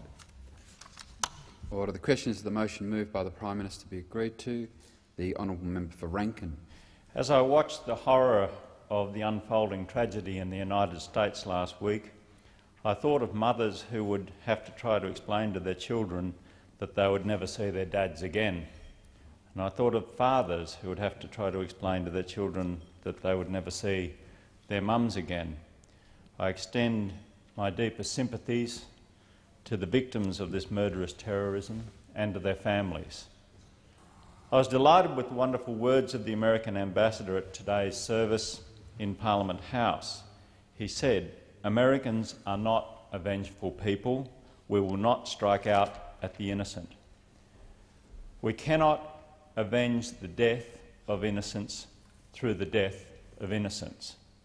If all we achieve is the death of more innocent people, we will have achieved nothing and we'll, we will have lost our humanity. We must not lose our humanity, but we must hunt down terrorists and bring them to justice. I trust the President of the United States will be guided by wisdom and compassion, and I'm encouraged by his measured response and his steely determination. I'm encouraged too by the words of the President the Mayor of New York, the Australian Prime Minister and the Leader of the Opposition, all of whom have said that they extend to the Islamic community the hand of friendship. As their elected representative, I extend the hand of friendship to the Islamic community of Logan City, who are a peace-loving community. So let us fight terrorism. Let us fight terrorism with wisdom. Let us retain our humanity and let us not seek to avenge the death of innocence with the death of innocence. The question is that the motion moved by the Prime Minister be agreed to. I call the Honourable Minister for Trade. Thank you, Mr uh, Deputy Speaker, and uh, I'm pleased to have the opportunity to associate myself with the resolution moved uh, by the, uh, the, Prime Minister in this uh, most uh, serious of all times that we've experienced uh, in uh, recent history in, of, the, of the world. And just reflecting on the events of, of last week and some of the, um, the I suppose, fora I've been involved in in the, the last two or three months representing Australia's interests with my responsibilities as the Trade Minister. And I was thinking in terms of how much um, you know, the you know, global interaction between nations had changed in the last 10 or so years. A lot of the political divide and differences uh, had dissipated with the Berlin Wall. Uh, most of the interaction between most countries was based on um, a, a, desire to improve the economic well-being of their societies, uh, and one had a sense that um, at last uh, our, uh, our globe, mankind, was moving ahead um, with a view to eliminating poverty, to improving the circumstances of all peoples around the world, and of course, in large part uh, being led by the developed economies of the world. And of course, Australia is one of those, and the United States of America is one of those. And uh, uh, it was only a matter of uh, weeks ago when we had a significant event here in Australia, the US-Australian Leadership Dialogue, where a number of senior Americans were out here, participated in that dialogue with uh, senior Australians from government uh, and also from the business community in how we're going to manage the future um, economic development and growth across the world. And, uh, and then we had the tragedy of, uh, of last week, um, where uh, terrorists demolished the, the World Trade Center buildings in New York. Uh, and I suppose the icons and the epitome of uh, the developed world and uh, the way that, um, the, you know, the democratisation of capital, of information, of technology is taking place and how that is benefiting all the nations of the world. And I suppose the other thing, and it was, um, I think it might have been uh, the Defence Secretary mentioned that uh, these buildings were not the New York Trade Centre, they were not the American Trade Centre, they were the World Trade Centre. Uh, and, and, also indicative of that fact uh, the, the many different countries that had uh, nationals from their countries that uh, are still missing, um, believed killed uh, in that act of terror last week. Uh, and 40 or so countries, and of course Australia amongst those where we still have, I think, about 69 people unaccounted for. Um, and it's a, it's a terribly sad circumstance that the whole world was moving forward so well in an economic sense. We were seeing over the recent years, we have seen over recent years, hundreds of millions of people lifted out of poverty because of the focus and the cohesion and the cooperation uh, of the majority of the countries of the world because at last the energies of all those countries were being put into improving the economic and social well-being of the nations of the world and not into uh, conflicts over sovereign borders and not into the sorts of conflicts that have, uh, um, we have suffered from over the centuries uh, across the world. Let's hope that that direction has not changed with the events of last week. Let's hope that maturity, professionalism, uh, clarity of thought and vision uh, dominate the thinking across the world uh, over the coming days, weeks and months. It is going to be critically important. I was just watching CNN before I came in here, and there's a delegation gone from Pakistan into Afghanistan to seek, um, or to seek from the, uh, the Taliban um, government in Afghanistan the, uh, the handing over of uh, one of the suspects uh, of this act of terror. And so we are seeing um, a very, very united front, I suppose, across the world in trying to uh, get some answers and bring some people to justice. Mr, uh, Mr Deputy Speaker, I thought it was important today um, in this debate, if I could just record in Hansard um, some comments that I received last week from our representatives, the Australian government's representatives in New York. And it was by way of an email from Jeff Gray, Austrade's Senior Trade Commissioner and also the Deputy Consul General in New York. Uh, and I quote, I sit here now with my shirt stained with the tears of my shocked staff. Behind me I can see out of my window southern Manhattan, which is covered in smoke and dust as the horrors of the events four hours ago sink in and anger builds in the city. This morning, just before nine, I was at the computer uh, when I turned around and witnessed the first plane hit the left side of the tower. This was a shock for all, and as uh, just four years ago, the consulate was temporarily located in the World Trade Centre. We were all consoling ourselves as we watched the second plane hit the East Riverside Tower and explode. The anguish and shock was nothing compared to how we felt when an hour later one tower exploded and fell down like a house of cards. Then half an hour later the second tower disintegrated. All of a sudden two of the world's greatest buildings had gone before our eyes. All our staff and family are safe. Several, including myself, cannot return home. We know all the Reserve Bank people are safe, but we have concern for many Australian bankers, brokers and consultants who were in their offices in those buildings this morning.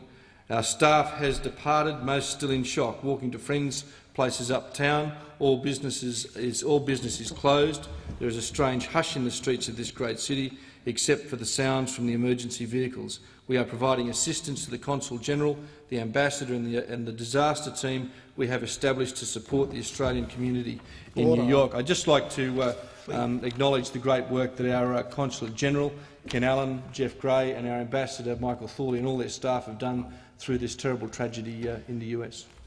The question is that the motion moved by the Prime Minister be agreed to. I call the honourable member for Kingston.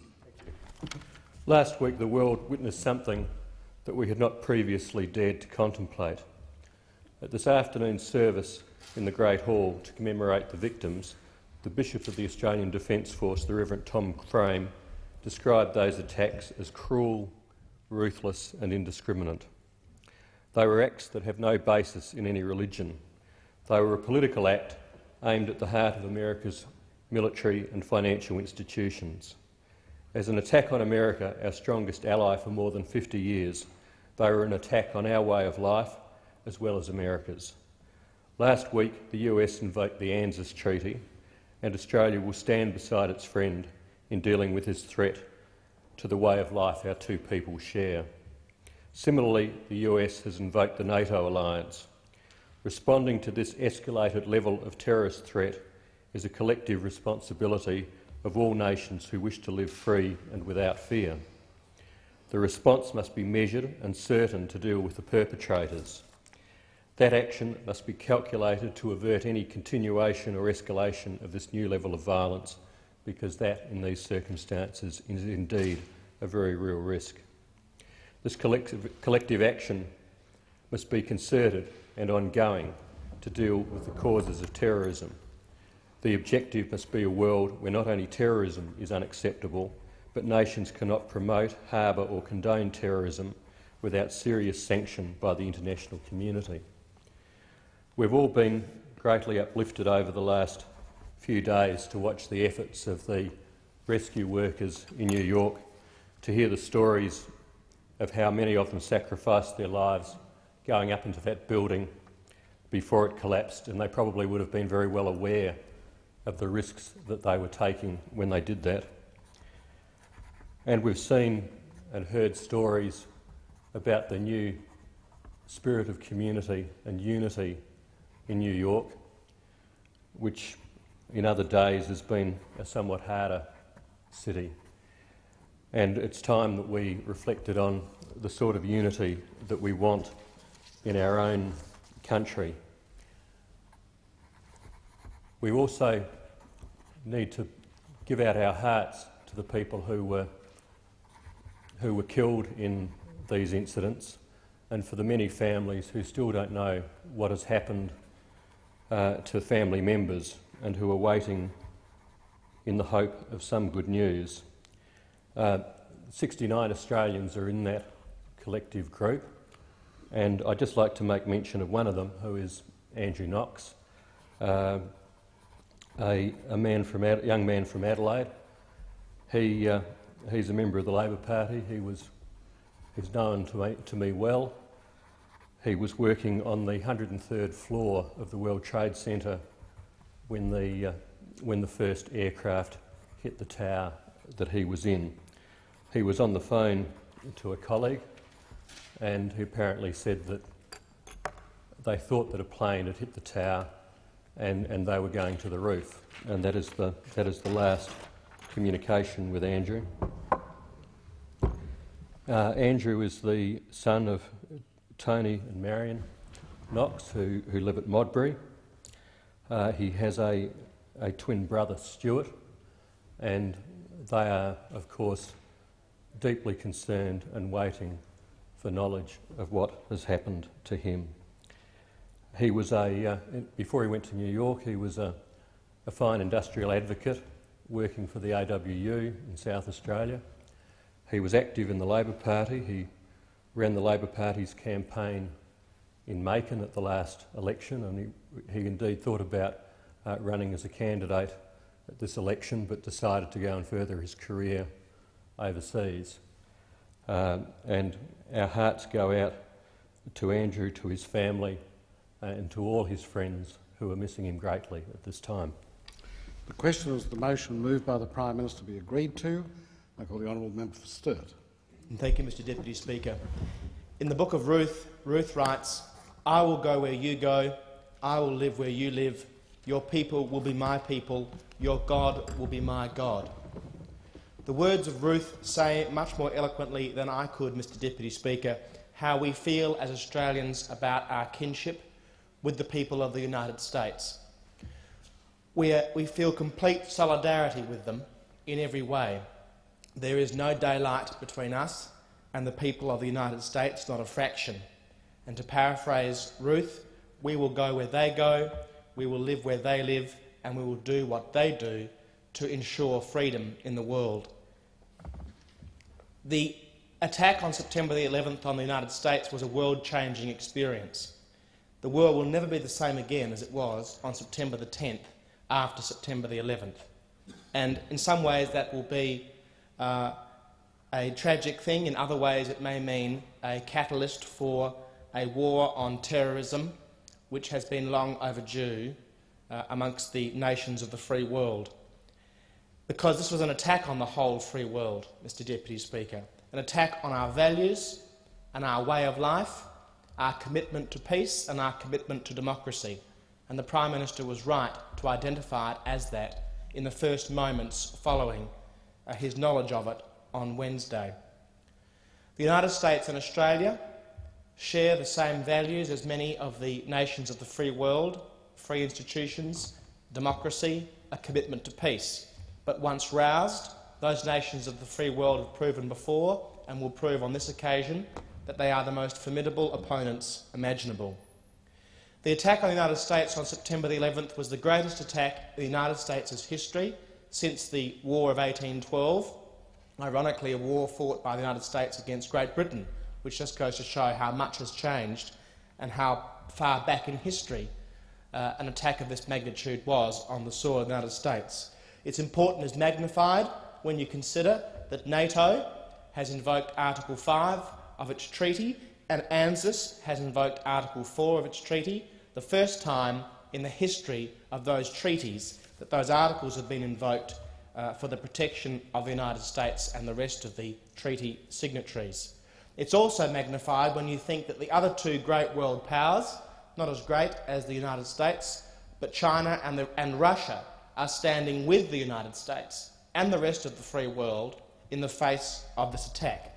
The change in the geopolitical order of the world will be seismic as a consequence of September the 11th, because all countries are united against terrorism, all countries are united against the indiscriminate attack on civilians. And we have to remember, Mr Deputy Speaker, none of these people signed up for military service. None of the people who died on September the 11th ever thought of themselves as being in the front line of any battle. They are innocent civilians just like you and I, and it could have been any one of us who were in the World Trade Centres, the Pentagon, or on those planes that were used so disgracefully, so repugnantly on September the 11th. Australia has pledged to join the United States and the rest of the free world to fight this war against terrorism, and it's not an idle pledge. It's not meaningless. Australian lives have already been lost on September the 11th, and it may well be that other Australian lives are lost as part of the war. The words of Tennyson in Ulysses uh, come to mind at this time. We are a part of all that we have met. Though much is taken, much abides. That which we are, we are, one equal portion of heroic hearts, made weak by time, but strong to strive, to seek, to find, and not to yield. The question is that the motion moved by the Prime Minister be agreed to. I call the honourable member for Watson. Thank you, Mr Deputy Speaker. As a member for Watson, I represent a diverse group of Australians, many nationalities, many religions, many cultures, and I'm grateful for this opportunity this evening to extend my condolence on behalf of my constituents to the people of America in the wake of this act of barbarism. Like many members of this House, Mr Deputy Speaker, I never miss an episode of West Wing, that encapsulation of American politics. So, so it was last Tuesday night, and it was with a sense of unreality that I then watched on the news that immediately followed West Wing the events which were unfolding in New York and Washington. Like many Australians, I was up until the early hours of Wednesday morning watching the news, wondering, can this possibly get worse, when all the time it did. There is no doubt that these were acts of barbarism, and our hearts go out to all those who have been touched by this disaster. It was particularly poignant to hear the stories of those who had worked in the buildings, ordinary people going about their daily work life. The people who were in these buildings were not involved in any acts of aggression or war against anybody. And it was not just American citizens who were killed or injured in these events. I'm particularly mindful of the nearly 70 Australians who are still missing, a reminder to all of us that we now live in a truly international society. But, Mr Deputy Speaker, as in all disasters, our spirits were lifted by the selfless sacrifice of many. Every day in the newspapers and on the television last week, we saw new heroes, people who lost their lives to support others, the passengers on the plane that crashed outside Philadelphia, the brave firemen and police in New York and Washington, and that terrible photograph in one of the newspapers of the firemen going up the stairs in the World Trade Centre while everyone else ran out to his own certain death, epitomised to me the courage of the emergency service workers, and our hearts go out to their families. Mr Deputy Speaker, no decent person of any faith would perpetrate a barbarous act like this against innocent people. And in supporting this motion, I'd particularly like to draw the House's attention to paragraph 8. This is particularly important because at this time of great emotional turmoil, we shouldn't be looking for enemies within. We should bear in mind what the Prime Minister and the Leader of the Opposition have said about making scapegoats of Australians of the Muslim faith. In this time of crisis, we must reach out to them as well, because they're suffering because of the actions of a few bigots. Last Wednesday, with the state member for Lakemba, I visited the Lakemba Mosque in my electorate, where they were holding a prayer vigil for the victims and their families.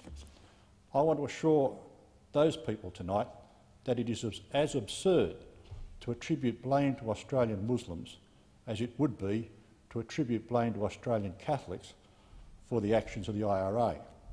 No decent Australian attributes any blame to the Australian Muslim community for this terrible disaster in the US. Mr Deputy Speaker, I've been pleased to hear the words of Vice President Cheney and Secretary of State, of, Secretary of State Powell saying that America's response to this tragedy will be measured and accurate. The international community should join together to strike down international terrorism because it is a threat to the freedom of us all. But in doing so, we should not give in to the hysteria or calls for revenge. This resolution is not a carte blanche for international war against in innocent people. Otherwise, we become no better than the terrorists themselves. This is a time for cool heads and considered actions. We should join with the Americans in bringing the perpetrators of this crime to justice, but we should ensure that we are not laying the ground for another group of disaffected fanatics to grow out of the ashes of our actions. Mr Deputy Speaker, I join with all members of the House in extending my condolences to the families and friends of all those who died or injured in these terrible atrocities in the United States last Tuesday. The question is that the motion moved by the Prime Minister be agreed to. I call the honourable member for Wannon. Uh, thank you, Mr Deputy Speaker. Mr Deputy Speaker, I join with colleagues uh, in this condolence motion and I must say that listening uh, to the opposition whip, I couldn't help but agree with some of his sent sentiments about the importance of cool heads and taking a considered view on how we might handle this.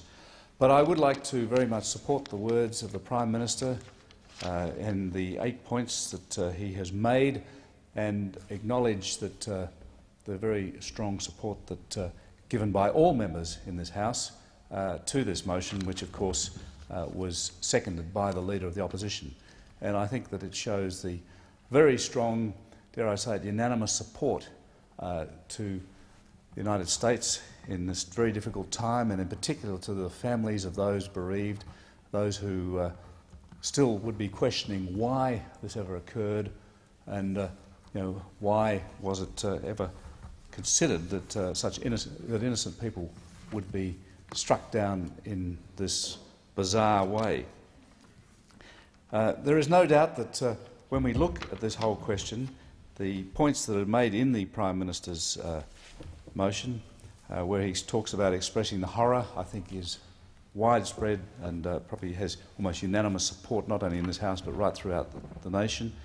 Um, I think it's very important that we reinforce the very strong support that we do have uh, for the people of the United States and their government in this difficult, difficult time and extend our deepest sympathy and uh, we certainly do share the loss that uh, they have felt, not only um, through the people, but of course the uh, ongoing effect. And as previous speakers have pointed out, it is a point in time where things have changed, where things will not go back to where they were. And not only uh, does it uh, represent an assault on the people and the values of the United States, but on free societies everywhere. And I think Again, um, that is a very significant point and one that uh, we are going to have to unite together in the free world and with people right across the world to work out how we are going to tackle this uh, very, very difficult uh, attack that's been mounted uh, on the freedoms that uh, we so much value. I think it's also uh, important that when we consider what happens from here on in, and I know today is not the day to uh, discuss that in any de detail, that we do display those very qualities of tolerance, as the Prime Minister put it, and the inclusion uh, which uh, that, you know, that uh, we value so much, which of course the terrorists have assaulted. And it is very important uh, in, when we deal with this issue that we don't uh, stoop to the terrorist level and see uh, loss of innocent lives of people, uh, wherever it might be in the world, that uh, those who need to be brought to justice are going to have to be brought to justice. But having said that, it is very, very important uh, that we do see these people brought to justice, and therefore I strongly support the Prime Minister's uh, work in invoking section, Article 4 of the ANZUS Treaty uh, to ensure that Australia has, demonstrates very clearly that uh, we are wholeheartedly with the United States in their efforts to uh, seek to out those who have perpetrated this crime against innocent people, uh, to ensure that not only uh, can they be brought to justice, but also the message is made very clearly right throughout the world uh, that this is not going to be tolerated. And uh, I think that is very important. It is, I think, uh, interesting to note how this has developed in a way that uh, probably we haven't uh, seen before. Uh, the military people have an interesting expression for it. They call it asymmetric warfare.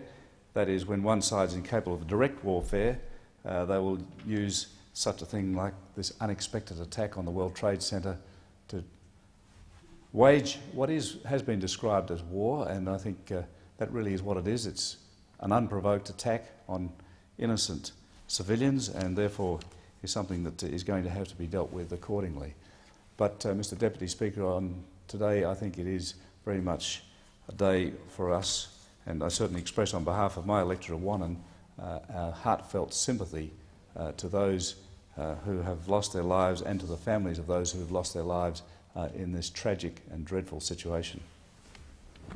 The question is that the motion moved by the um, Prime Minister be agreed to.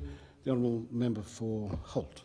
Deputy Speaker, um, is one with some sense of sadness that I rise tonight to support this resolution, this condolence motion.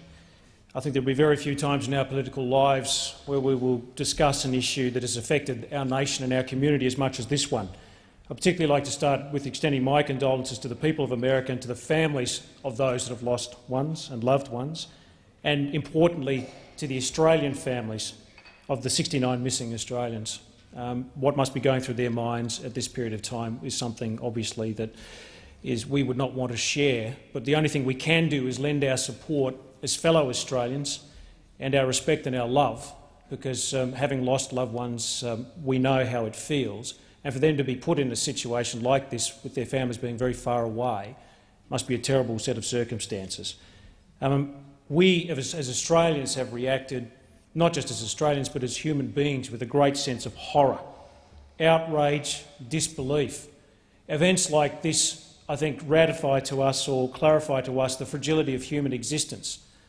Whom of us, when we were watching our television sets, watching the news at 11pm, as I was on that Tuesday evening, would have possibly envisaged that a plane would smash with intent, with intent of wanton destruction of human life, into a symbol of democracy and of freedom and of power. What it quite clearly illustrates to our community, to the community at large, visually, dramatically, inescapably, is no building, however tall, or no country, however strong, is immune from acts of wanton human destruction, of evil, as I said, and, our, and this has been brought back to us in the most dramatic and visual way possible. There's no doubt that freedom-loving nations must react and must react strongly to this atrocity, this barbaric act that was committed. But can I urge that we must react in a measured way, a calculating way, a deliberative way. We have been obviously given an inescapable reminder that these sorts of terrible acts can be committed.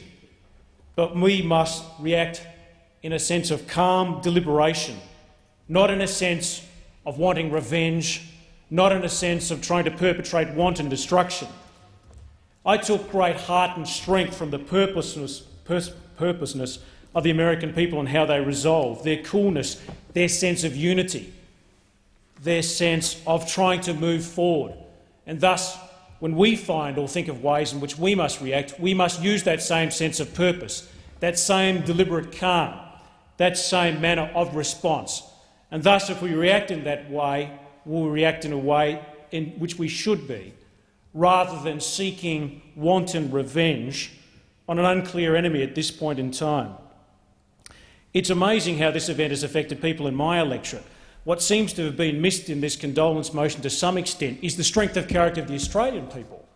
I mean, whom amongst us, when we moved through our electorates, would not have been impressed by people coming together, talking about their experiences? In Melbourne, for example, a radio station threw open its lines so people could just talk about their experiences. And Australian people have reacted in a sense of sympathy, in a sense of profound sorrow, in a sense of profound grief and they've been in a sense of sharing. They are sharing their experiences with fellow Australians. We've had some other sort of less um, palatable manifestations of what has happened, particularly within my community, where we have a large Muslim community, and people have been felt as though they've been unfairly scapegoated, but that's a very, very small proportion. What I have found are people talking with sincere regret, with horror, about what has happened, trying to rationalise what has actually happened, trying to make sense of it. And that certainly is a hallmark of the Australian character, and trying to provide support. I live next to an American family who knew someone that was on a plane. It's in, we are citizens of a global community, and this event, more than anything, ratifies that. If there's something that I can just turn on, there were church services held throughout my electorate, and there was one particular story that was mentioned specifically, and a parish priest asked me to raise it. And the story goes, some time ago, a man punished his five-year-old daughter for wasting a roll of expensive gold wrapping paper. Money was tight and became even more upset when the child pasted the gold paper so as to decorate a box to put under the Christmas tree. Nevertheless, the little girl brought the gift box to her father the next morning and said, This is for you, Daddy. The father was embarrassed by his earlier overreaction, but his anger flared again when he found that the box was empty. He spoke to her in a harsh manner. Don't you know, young lady, when you give someone a present, there's supposed to be something inside the package? The little girl looked up at him with tears in her eyes and said, Daddy, it's not empty. I blew kisses into it until it was full. The father was crushed. He fell onto his knees and put his arm around his little girl, and he begged her to forgive him for his unnecessary anger. An accident took the life of the child only a short time later, and it was told the father kept the gold box by his bed for all the years of his life. And whenever he was discouraged or faced difficult problems, he would open the box and take out an imaginary kiss and remember the love of the child who had put it there. In a very real sense, each of us as human beings has been given Order. a golden box filled with unconditional love and kisses Honourable. from our children, family and friends and God. Is this what we must remember in these sorts of circumstances? expired. The question is that the motion moved by the Prime Minister be agreed to. I call the honourable member for Dawson. Thank you, Mr Deputy Speaker. I rise to support the Prime Minister's motion today.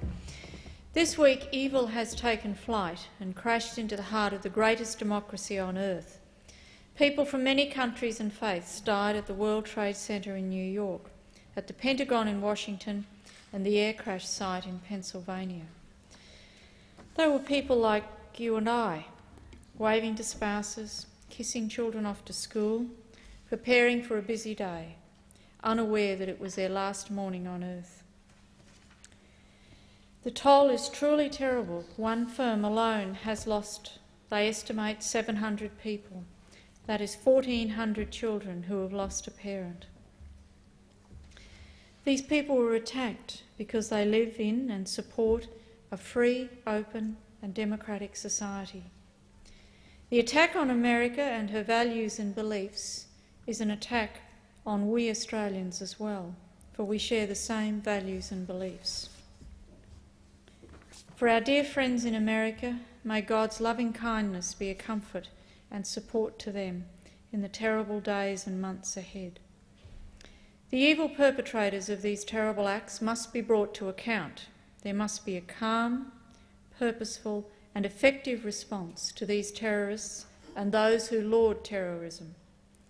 The Prime Minister has rightly said that terrorism has no faith and no nationality. This is true, I want to share with the House particularly and mentioned to the House our own Muslim community in Mackay, some of whom attended the interdenominational service on Friday afternoon. Imam Barry Hassan particularly told me how distressed the Mackay Muslim community was by the tragic events and condemned those responsible. I also fully support the Prime Minister's pledge of Australia's support, within our capabilities, of the United States-led action against those responsible for these terrible acts. Mr Deputy Speaker, we must not allow time, rhetoric, cost or academic argument to cause us to waver in supporting our American friends. Those who died and their families who remain must have justice, and those of us who live must live not in fearful shadows, but live in the sunshine of freedom and democracy. Thank you. The question is that the motion moved by the Prime Minister be agreed to. I call the honourable member for Prospect. I thank, I thank you, Mr Deputy Speaker. And as speakers who have preceded me, I too join the Prime Minister and the Leader of the Opposition in this condolence motion before the House today. In the United States, on the 11th of September 2001, what can only be described as a truly horrible attack on freedom changed our world. Many Australians watched in the complete state of disbelief as those twin towers of the World Trade Center, which was once symbols of success, democracy and capitalism in the free world, came crushing to the ground, and the defence headquarters of the world's only superpower lay crippled by the senseless acts of a few madmen. To the people of America, Mr Deputy Speaker, the whole Australian community mourns with you. Words expressing our deepest condolences and sympathy at a time like this seem so futile. To the people who have lost their loved ones in this senseless human tragedy, we do pray for them. To those who gave their lives to help save others, may you never be forgotten. We as a society must continue to denounce this cowardly act, the magnitude and consequences of which, of which are just far too great to comprehend at this moment. However, Mr Deputy Speaker, violence must not beget violence. People are looking for a reason. Feelings of shock are now being replaced by revenge, by anger, by retribution for this act of bastardry. To those people who call for, for revenge, their rage and anger is shared by all people of good faith, regardless of their religion.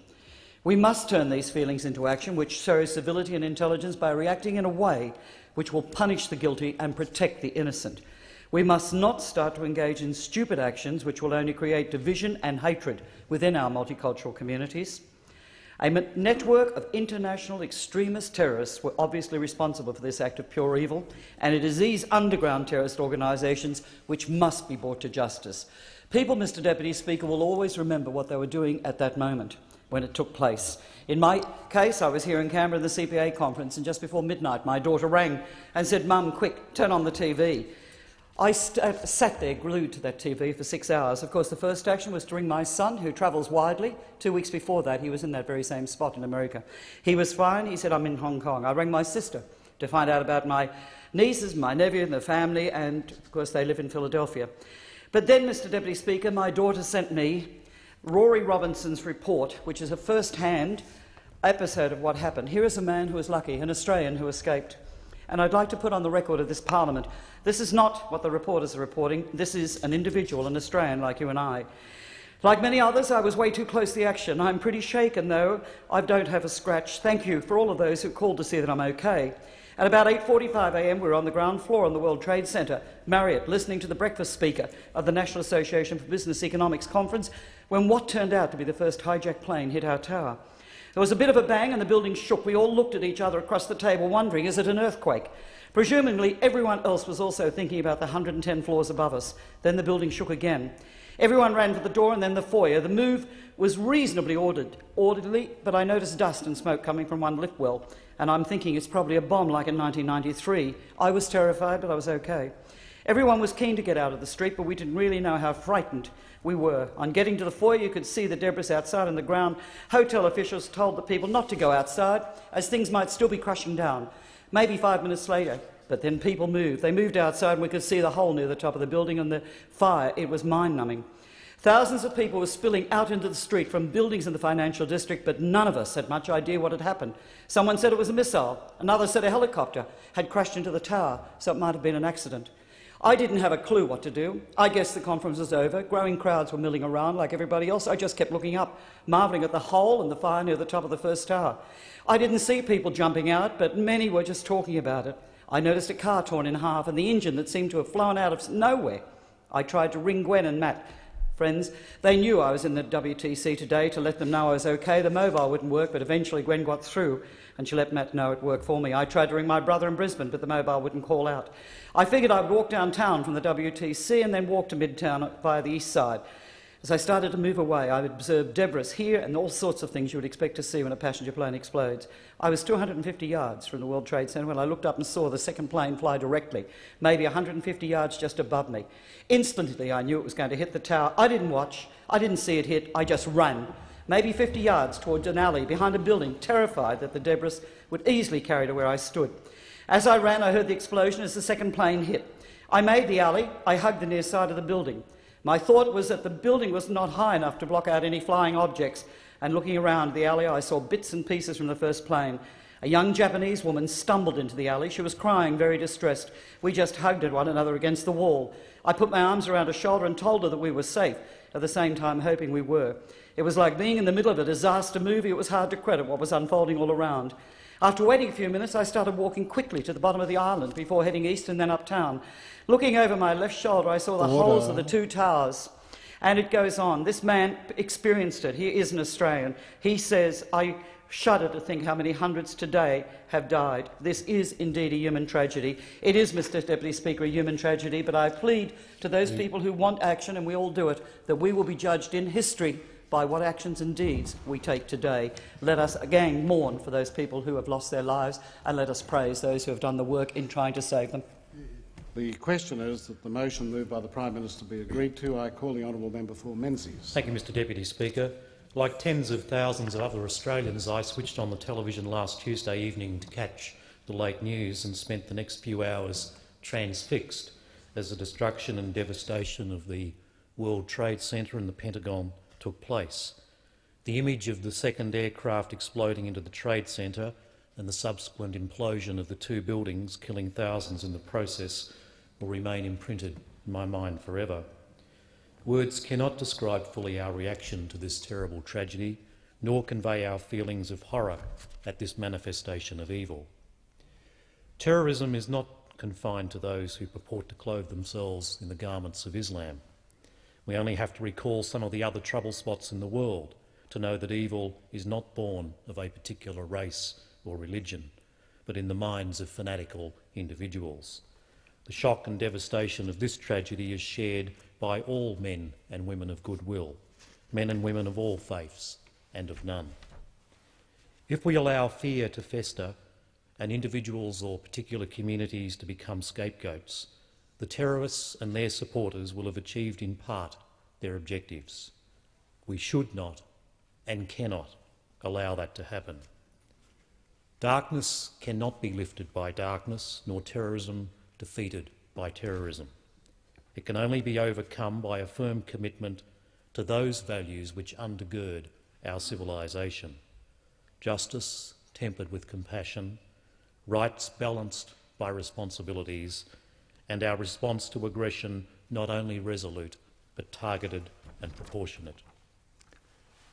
Forty years ago, John Fitzgerald Kennedy reminded us that in the long history of the world, only a few generations have been granted the role of defending freedom in its hour of maximum danger. Unexpectedly and without adequate warning, that role has been conferred on the peace loving peoples of the world. We cannot fail this task. The alternative is too horrifying to contemplate. There can be no freedom without personal safety and national security. Let our memorial to the thousands of innocent victims of these murderous deeds be a more peaceful world in which virtue abounds and fanaticism is driven from the face of the globe. Mr Deputy Speaker, I join with my colleagues in this place in condemning these attacks, offering prayer for the victims, expressing condolences to the families and friends of those killed and injured, praising the bravery of the emergency workers, supporting the United States in their response to this terror, and recommitting to the pursuit of peace, welfare and dignity for all the people of the world. The question is that the motion moved by the Prime Minister be agreed to. I call the honourable member for the Northern Territory. Thank you, Mr Deputy Speaker. On my behalf and the, that of my family, and I'm sure on the behalf of every person living in the Northern Territory, in my electorate, I would like to extend our sympathies, our deepest sympathies to the families and friends of those who have been killed and injured and those who are missing, and ask God to assist those who are undertaking that heroic emergency work, both previously and now. I know that I speak on behalf of all Territorians when I express anger, horror and sadness at this absurd, vicious and premeditated meditated act of terrorism and mass murder against defenceless citizens. This is a tragedy for the world community uh, that will reverberate through time. It's particularly important for us in the Northern Territory because we host a relatively large number of citizens of the United States in Alice Springs, most of whom work at the Pine Gap Joint Defence Facility. And I know I can say with certainty that the community of Alice Springs has expressed its concern, its concern and its support for those United States citizens in Alice Springs and their families away. We also, of course, express our deep felt and heartfelt condolences to those Australian families who've got, who we know have uh, um, family members who are missing, and we know of three who are we know to be dead.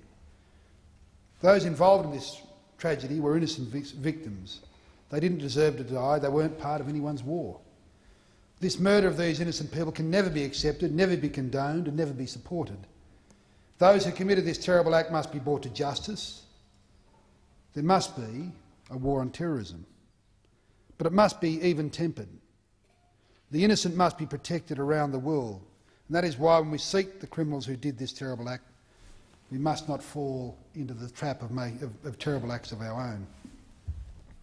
When we embark on this quest for justice, we must not allow innocent people to become victims in that quest. The, innocents, the innocent everywhere must be protected, regardless of where they live. We cannot afford to escalate the danger to innocence in our quest for justice, because if we do so, we begin to lose the battle. The only way to win this war is by protecting the innocent to ensure a permanent end to the war against terror, to end this war against terror when Islamic Australians, when Australians of Middle Eastern heritage are threatened or assaulted, when their property or places of worship are attacked, we are heading for defeat, down entirely the wrong path.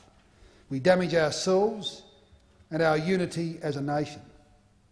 We must ensure that we are not guilty of typecasting, of vilifying, of victimising innocent people because of who they are, because of their religion or where they've come from. Our success or failure in this war depends on our capacity to defend the innocent and ensure a lasting peace. We have an obligation to ensure that in committing ourselves to this cause, we will do so with humility and humanity. We must be involved in this struggle for justice, and we must recognise and accept that our diversity is itself a mark of our strength as a democracy. And we must ensure that our quest for justice is not prompted by vengeance, but a desire to bring back the, bring those who are responsible for this outrageous act of terror to justice. And in the cold light of day, the world community has an obligation to those whose lives have been lost and those who feel the pain of loss and are grieving, and to all in present and future generations to strive to fight against terrorism and violence wherever it, wherever it exists and for whatever reason. The fight against terrorism is a fight that we must win. It must be a fought with common sense and it must be fought with humanity. Our friends in the United States have suffered. We say to them, we will stand by you in this quest for justice in this hour of trial. We stand by you with an emerging international and strong, and strong coalition of nations. We share your grief and all those who have lost friends and family, you are in our prayers. The question is that the motion moved by the Prime Minister be agreed to. I call the honourable member for Hughes. I rise in support of the Prime Minister's motion of condolence on behalf of our American friends and in their hour of national distress. The act of terrorism against a peaceful democratic nation, one of the family of democratic nations to which Australia belongs, is an act of terror against Australia and every human being who believes in freedom, democracy, decency, and justice. We say to our American friends, Your loss is our loss, your grief is our grief. The many thousands of souls who lost their lives last Tuesday in the four aircraft in the World Trade Towers and the Pentagon came from many nations, but they were all our kindred. They shared our values, our ideals, our hopes, and our aspirations for the future. We say to our American friends, we will stand beside you in your time of trouble as you have stood beside us in the past. With other nations of like spirit, we will face the future together, equally committed to liberty, freedom, truth, and human decency for all peoples of the earth. But in addition to the loss of so many thousands of our fellow human beings, and in the face of the hateful, deliberate destruction of the symbols of the economic and industrial supremacy of the Western world, we also witnessed the ravaging of the fragile, vital trust from which our shared democratic institutions derive their authority and consensus. The democratic freedoms and the decency which we in the Western world treasure but take so much for granted are all based upon trust. They stem from a mutual respect for the shared values which underpin the social and commercial intercourse of our global fraternity. After September the 11th, the democratic freedoms and the common decency which characterised our world can no longer be taken for granted. From now on, we are chillingly aware that we must be vigilant. We have again learnt the terrible lessons of our forefathers that they had learnt, and that we must be forever vigilant against tyranny, now a tyranny manifested in a warfare of mass terrorism. Last Tuesday, the world stood still. In Australia, we are very much aware that our world will never be quite the same again. We are aware that our civilisation has reached a fork in the road. While we wait at the junction with the untrod pathways ahead, it is useful to remember from whence we have come, because our past often holds sound lessons for how we can navigate the future. We look to our national flag. It boldly proclaims three crosses of ancient Christendom, the historic crosses of St George, St Andrew, and St Patrick that were revered by our earliest forefathers. And it blazes with our own cross from the celestial firmament above our island home, the great Southern Cross, the symbol of the great Southland of the Holy Spirit. Our national flag has flown high and free over several generations of Australians. It was saluted by my grandfather and his mates when they marched into the mud and death in Ypres in 1917. It was saluted by my father and his mates in the Middle East in World War II, and it was saluted by our soldiers in Kapyong and Maryang San in Korea, and later in Long Tan and Nui Dat in South Vietnam. Our national flag has been the standard of our brave for just over 100 years, and may it remain so for a thousand more. Every Australian knows our flag stands for democracy, decency, and freedom and justice. And in the aftermath of the terror of last week, we must never forget that each of these very important values has served our nation so very well for so long that they have become part of our national psyche. Our flag, the flag of the legendary Anzacs, reminds us that in the face of adversity, Australians never give up, Australians believe in a fair go, Australians always look after their mates, and especially Australians know the distinction between vengeance and justice. All Australians reject and deplore any notion of guilt by association that has reportedly been alleged against our fellow Australians of the Muslim faith. In the face of an uncertain world, my prayer at this hour is that our Heavenly Father will make Australia a blessing to all nations, that He will grant to our Prime Minister and to the Leader of the Opposition and to the Parliament the wisdom, the courage, and the determination to lead us in justice and righteousness. And as our forefathers before us, with the Southern Cross to steer by, they will lead us fearlessly and in the honourable defence of the values of democracy, freedom, and utter decency that all Australians hold as dearly as our American friends. God bless America. God bless Australia. The question is that the motion moved by the Prime Minister be agreed to. I call the honourable member for Lyons. Uh, thank you, Mr Deputy Speaker. How can one uh, express the feeling of condolence uh, on such uh, an immense uh, uh, tragedy? I watched the buildings fall, those World Trade buildings fall, and I thought that uh, I'd been there in those buildings. I had lunch with some American friends some years ago, and there was probably hundreds of people uh, there as well doing what I did innocently, without any thoughts of fear or disaster. And as I watched uh, this growing uh, uh, unfold, I saw uh, so many people, innocent people, non-combatants in, in war terms, ordinary people like us. We know the, uh, Uh, we know the bravery uh, of the emergency service personnel who rushed towards the scene rather than away when they needed uh, to be there, and of course where so many perished. Um, they must be the biggest heroes, the firemen and the police. Um, there are those who managed, of course, to divert that fourth plane from some other target. They are also heroes. Such bravery, of course, is always seen by those who are involved as I only did what others would do or I was only doing my job.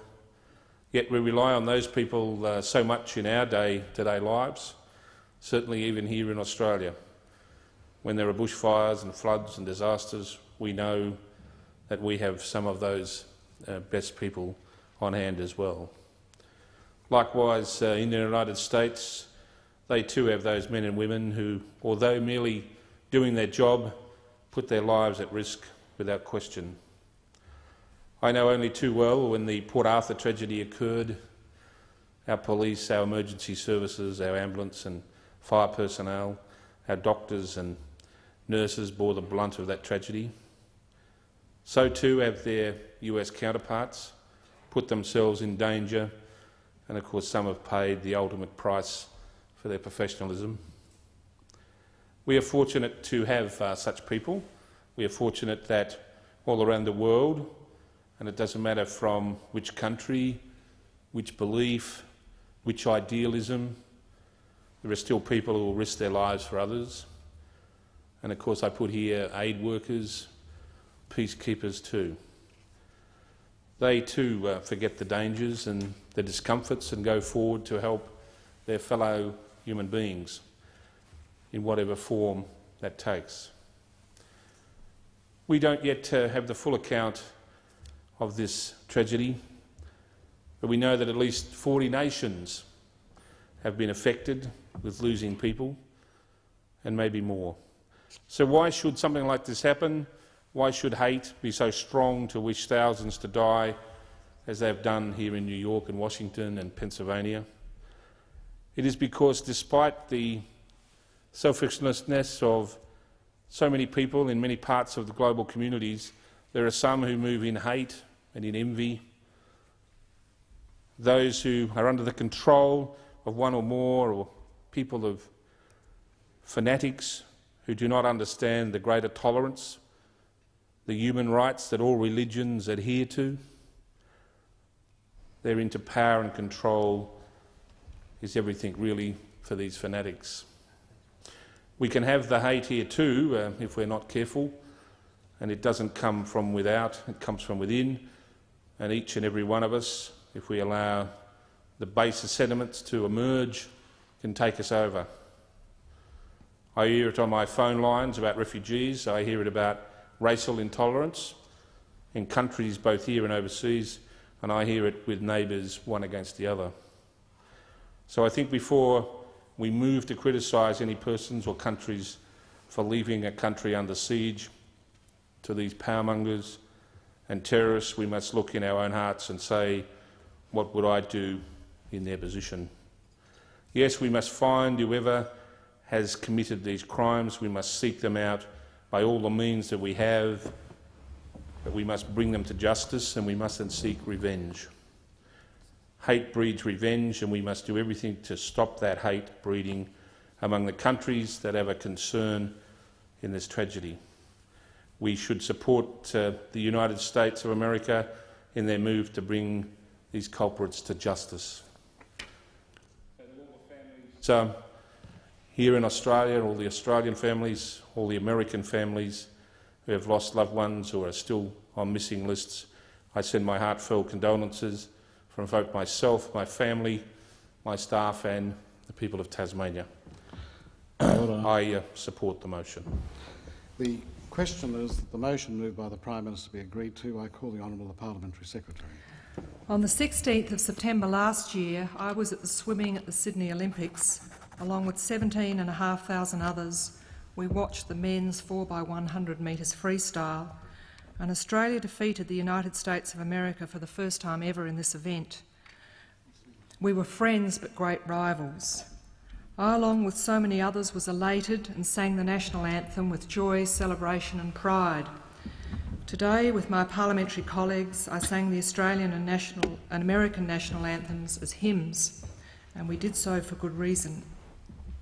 Today, in a special memorial service, we were remembering the victims of the 11th of September.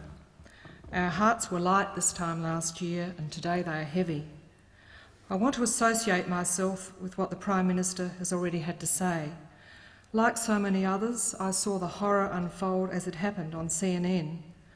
I was at home with my son on Tuesday night when I received a phone call from a friend to suggest that I put the television on because a tower of the World Trade Centre had been hit by a plane. To watch television in my own home and see a second plane hit the World Trade Centre is something that will live with me forever. Then to hear that the Pentagon had been hit and that there was another plane that was unaccounted for. To learn that the fourth plane had crashed in Pennsylvania, no doubt because of the brave actions of some passengers who decided that it was better to die then to the, than to have their plane used as another weapon of horrible destruction. I know it's been said so many times before, but it was like watching a horror movie. We now know that there are over 5,000 missing, presumed dead, from 40 different nations. It was an attack on all of us in the free world. The United uh, States stood by us in World War II, and while we are peaceful people, we must now stand with the people of America. As Brad Crouch said in yesterday's Sunday Mail, it's time to stand up for shared values and for the United States and the United Kingdom, because they are the torchbearers of values we hold most dear freedom, democracy, human rights, justice. It's also time to stand by a friend in pain.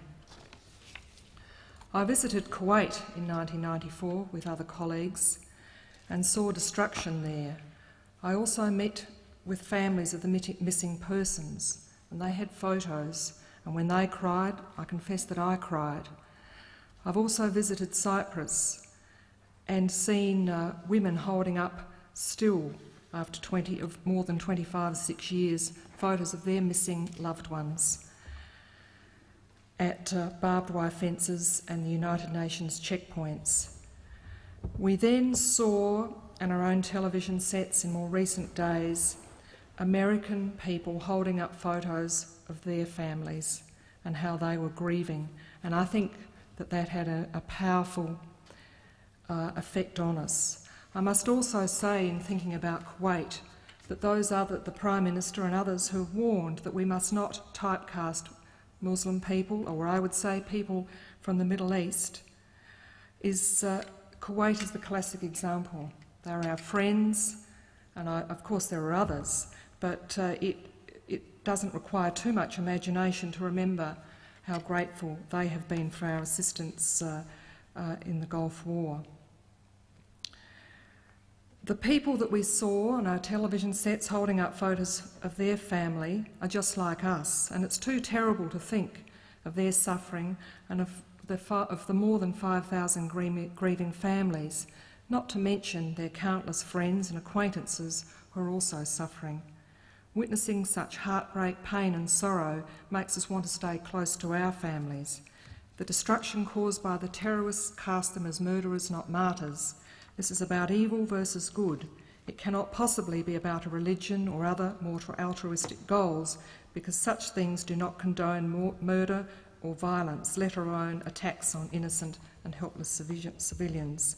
But there have been inspiring stories, stories of great survival and heroism, and today we pay tribute to those who, in frightful circumstances, have helped others. There is grief within my own electorate, wherever I have been over the last few days, including street corner meetings and community functions.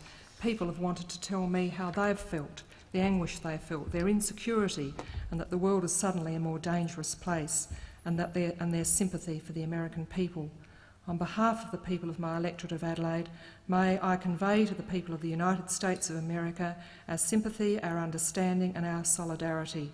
We express our sympathy also to the families of Australians who are known to be dead or who are still unaccounted for.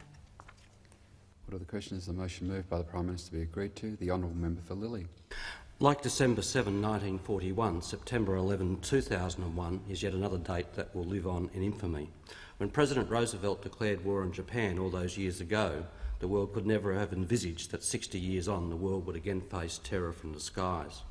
It is a grossly different world today. The stakes are higher, the weapons are more terrible, the, the fanaticism more ruthless, but the peace just as fragile. Needless to say, we're all shocked to the core by the events of the last week and are keeping in our thoughts those that may still be alive and the friends and families of all those souls that have not made it. In this difficult time for the US, every Australian spent the last week sharing the terrible sadness felt by the American people. Like America, we value our peace, we value our standard of living, and we value our security. But the last week has taught us how fragile these treasures really are. In the place that made famous the motto, greed is good, we all must now acknowledge that in, in, the events of the last week following the tragedy, we have seen through the efforts of the firefighters, the volunteers, and all of those people that have flocked to assist those in need, the bonds of love and peace that hold our families and our communities together. We've seen, I guess, good old-fashioned mateship. It is the foundation upon which Australia's culture is, is built. In the official history of Australia in World War I, the great CW, CEW Bean observed that Australia's prevailing creed was a, a, romantic one, of which the chief article was that a man should at all times and at any cost stand by his mate. It was, he said, the one law which the good, the good Australian must never break. It was there at times of war. It was also during, there during our own disasters and tragedy. It is, it is harnessed and most often displayed in our emergency services, our armed forces, our volunteer firefighters, our public hospitals and our ambulance services.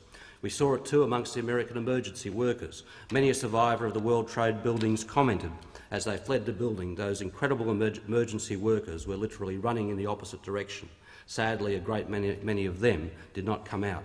Crises, crises like that of September 11 teach us how much we, we, rely on the bravery and commitment of these people, how valuable to us they and their selflessness is. It is testament to our public services and a timely reminder that we must value them and resource them in good times as well as bad. There is a terrible human toll of the last week. It will dwarf some of our peacetime disasters. 5,000 people are still missing and 70 of whom are Australians unaccounted for. So in the events of the last week, we, must confront our feelings of bitterness and the desire for revenge. But we, we also have to know our enemy and acknowledge too that the world over there are peoples filled with the same bitterness, hatred and desire for revenge for all sorts of reasons. This is now the context in which we live. Robert Kennedy said on the death of Martin Luther King, let us dedicate ourselves to what the Greeks wrote so many years ago, to tame the savageness of man and to make gentle the life of this world. Citizens around the world are now rightly asking questions about their own nation, about their world and about the direction in which the world should now move. As we look to the future, I sincerely hope that the terrible events of the last week don't trigger a vicious cycle of hate and war. History will judge those who killed, but history will also judge us by how we respond. Difficult times lie ahead. Difficult decisions mu must be made. We must strike at the heart of terrorism, but we must be careful not to exact a toll of yet more innocent lives. Above all, I hope and trust that, good, that good will come of it and we can make our world a safer place to live. And over and above that, I think we must talk to our young people about the events of the past week or so because I think they have been tremendously affected. What do our young people think by those images? I'd like to read a poem written by a 17-year-old uh, young Australian, my daughter Erin, summing up her feelings, and it says, I sit watching the buzzing TV. The cameras swarm like bees over the wildflower dying right before my eyes. Tears spilling down like the perspiration in my head, scared for them and for us. How can I imagine what it must have been like on that plane, in those buildings. People fall like rain, petals crashing down around, the ghosts climbing the skies, drifting up and looking down. I wonder what the view is like in humanity's darkest hour. So many tears, and they sweat from the heat of the blaze, that is anger. What's the point of revenge? And they wonder, as I do, how we can call ourselves humanity when the flower is dead. We can only move forward by talk, talking to our young people, and we can only talk to them about a better future. That's the good that must come from this. The honourable member for Moncrieff. Deputy Speaker, I'm pleased to be able to have this opportunity to totally support this motion of condolence on behalf of my constituents.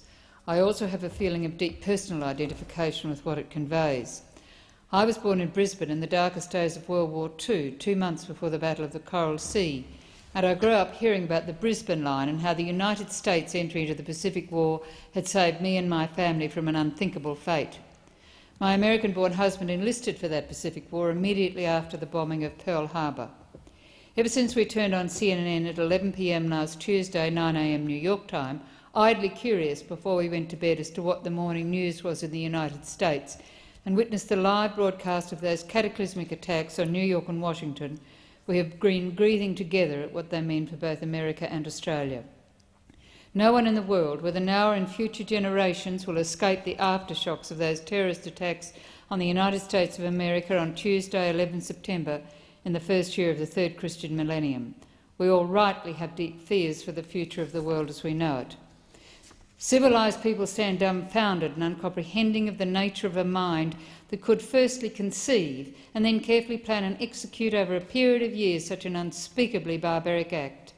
Notwithstanding its incomprehensibility, we nevertheless know instinctively that it is an act of war. We may have been able to fondly hope over the past decade since the end of the Cold War that we may never again see a world war. Now we are racked by uncertainty as to whether we would ever dare hope that again. Nevertheless, with all the fearsome possible consequences of that massacre of innocents on such a catastrophic scale, the overwhelming reaction I have sensed from the Australian public has been one of the most profound revulsion, as well as sorrow and personal sympathy for America and its people. Almost everyone recognises it for what it is an attempt to destroy American spirit and what they stand for as a freedom loving nation. The outpouring of expressions of condolence and the offers of staunch support from so many of the peoples and governments of the world have given Americans a measure of reassurance that they are not alone. It is particularly appropriate, then, that Australia express that support here today through this condolence motion in its principal national democratic institution, the Australian Parliament. It is a symbolic affirmation of the mutuality of both our nations' most deeply cherished standards of respect for freedom the very standards which are now being directly attacked by terrorism.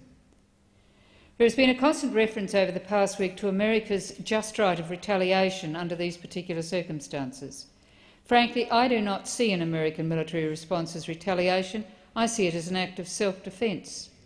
None of us believe that last week's events represent the entirety of the enemy's attack plan albeit that that enemy is as yet nameless and will most likely prove not to be a conventional military operation of a particular national government or governments.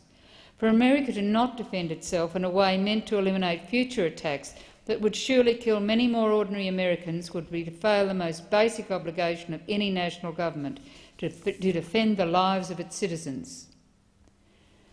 The New York emergency workers have become a worldwide symbol of courage, tenacity and decency in the face of veritably mountainous, stark evidence of unimaginable horror and personal tragedy. Their task last Tuesday and the days ever since exemplify the daunting challenge we now face, we all now face. Their response to their particular challenge sets an example for the world. I also want to pay tribute to how President Bush has handled every stage of these events since he was first made aware of them. He has shown both self-control and calmness as well as steadfastness and steely resolve to rise to the awesome duty that now rests so heavily on him. The measured way he has handled that grim task has reassured me that he understands it only too well and is determined to handle it in the best way possible under the circumstances. Mr Deputy Speaker, I am extremely grateful to have had the opportunity to speak briefly to this motion. Many other members of the House still await that opportunity, and in an effort to facilitate that, I simply say that I totally associate myself with the words already spoken by others before me regarding concern for the families of Australians killed or still missing and about the need for us all to determinedly protect the equal rights of Australian Muslims. The Honourable Member for Melbourne Ports. When we uh, saw those Twin Towers, icons of American success and diversity, collapse the entire democratic world stood eyeball to eyeball with evil. Mr Deputy Speaker, let us not underestimate the audacity or daring of this attack on the United States. uh, a close ally and friend of Australia. I hope it's not being too brutally analytical to say that even from the point of view of these, uh, the extremists who perpetrated this deed, a successful operation. That is one of the most frightening aspects of the fact that some hundred people who were involved in this activity for over a year could plan this terrible deed and not a word of it leak. Some of us will have seen last night the frightening interview with Osama bin Laden's mentor, Khalid Khawaja, from CBS that was rebroadcast on uh, 60 Minutes last night, where he said that the White House was very vulnerable and uh, could be destroyed at the cost of uh, just a couple of lives. Khawaja claimed that the weakness of the United States was that its people were brought up to avoid death. What would happen if 100,000 people were killed? What would happen if 200,000 were injured, he asked. Mr Peter Hartcher in the Financial Review on the weekend took this further. He said, Is it clear that bin Laden believes that he will weaken the US resolve to fight by inflicting massive casualties? Is that what lies ahead of us? And those numbers imply something far more lethal than the attacks during the week. They suggest a chemical and biological and perhaps nuclear capacity. Al Qaeda, the base, is said to have chemical weapons capability. Mr Deputy Speaker, I can't help but fear that this whole operation is very well planned. I can't ignore the fact that the leader of the opposition in Afghanistan, Ahmad Shah Massoud, was killed just at the height of these events.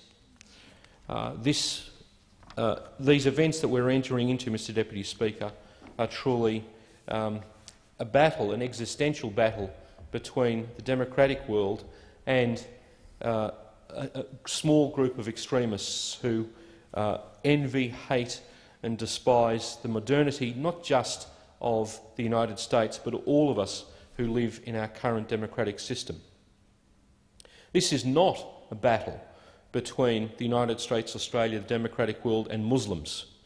That would be a defamation of one of the world's great monothe monotheistic religions. Moreover, we must not conflate the desperate boat refugees who happen to be uh, of Muslim faith uh, with these few extremists. Let us not fall also into the trap of saying that uh, these events in New York and Washington were as the result of some poor people's angst over Western colonialism. This is not a fight over this or that US policy. There is no, this is no justifiable response to American policy in the Middle East. What should our response be? I, I, want to echo the words of the American ambassador and my friend, the member for Wills, earlier in, the, in this condolence debate. Our policy ought to be not vengeance, not retaliation, not retribution, not revenge, but rather a cool, calculated and measured policy of self-defence. This ought to inform our response. Lethal force would only be used discriminately to prevent these terrorists from triumphing, to prevent these people from doing it again. The US ambassador said in the very moving condolence speech uh, uh, condolence ceremony that we had that, we, uh, that the United States policy would not be informed by vengeance.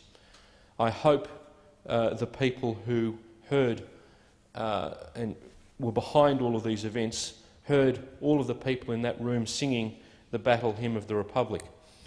To hear an Australian audience singing that so lustily in, should inform them that when democratic people are aroused, as we were during the Second World War, uh, we have the ability to respond to the kinds of things that were perpetrated in New York and Washington.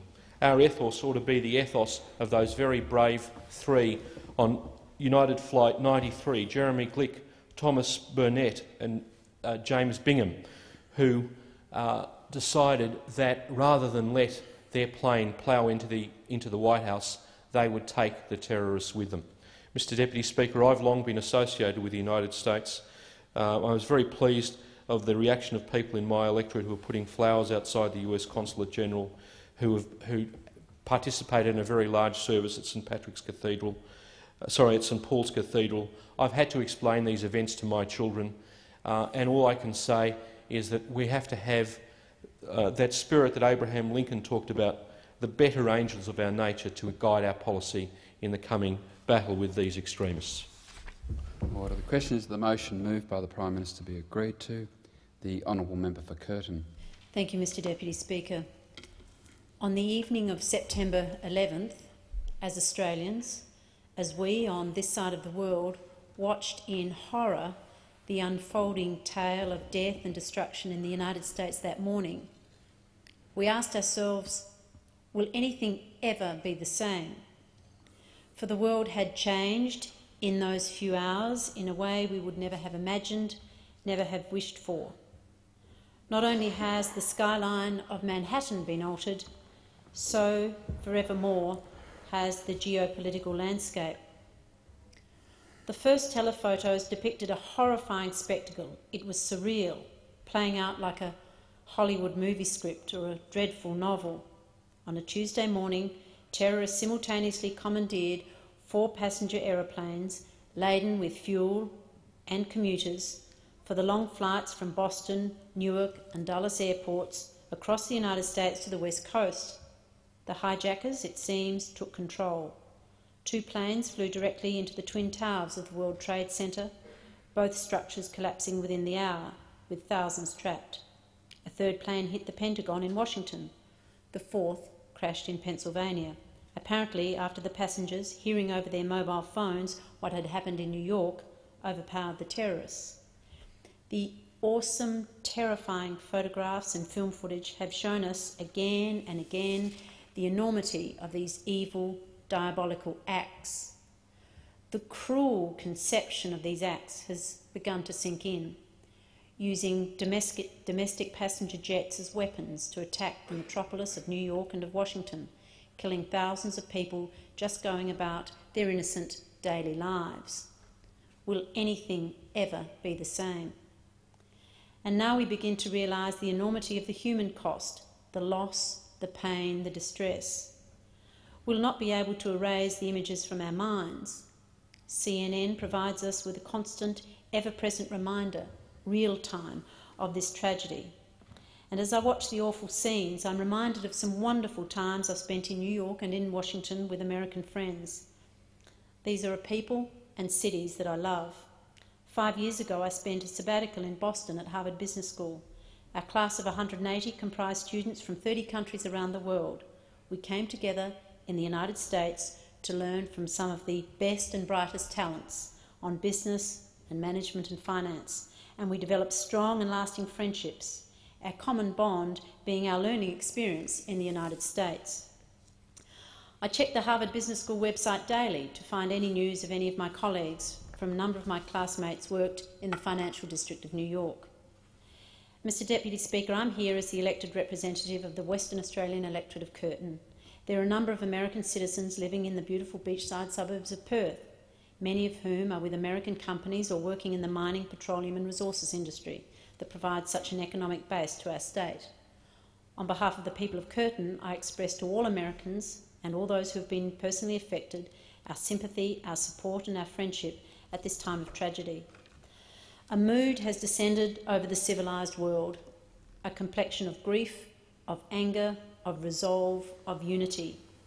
Australia joins the international expressions of solidarity and support and friendship with the United States. As it faces one of its greatest challenges in its proud history, the United States is not alone. I support this motion. Order. The question is the motion relating to terrorist attacks in the United States of America moved by the Prime Minister be agreed to. The Honourable Member for Calwell. Thank you, Mr Deputy Speaker. Mr Deputy Speaker, I also wish to support this resolution. I just I will begin by uh, reading a, a, letter which I sent uh, on Thursday, the 13th of September, to His Excellency the Ambassador Tom Schieffer. Dear Ambassador Schieffer, We wish to express our most heartfelt and sincerest condolences to the people of America. Our prayers, thoughts, and hearts are with you in this time of sadness and devastation. Time will mend, but the memories will last a lifetime. As Deputy Chairperson of the Australia USA Parliamentary Friendship Group and the Federal Member for Calwell, I wish to extend our deepest sympathies. I would like to take this time to say that our thoughts and prayers are going out to the victims and their families and to all Americans. We have all been deeply affected by this horrific series of events. I have no doubt that the perpetrators of this heinous crime will be brought to justice. Our hopes are for a fast recovery to restore your nation with its sense of freedom and security. It is obvious that all of America is joining in the spirit of togetherness and solidarity in engendering a full recovery. Warm regards, Andrew Theophanous. Mr Deputy Speaker, as many have said, this is a very solemn and sad occasion. We have um, a situation unparalleled in modern history in terms of destruction of innocent people by the deliberate hand um, of people acting with motives unknown but with obviously uh, very evil motivations in terms of what they were doing.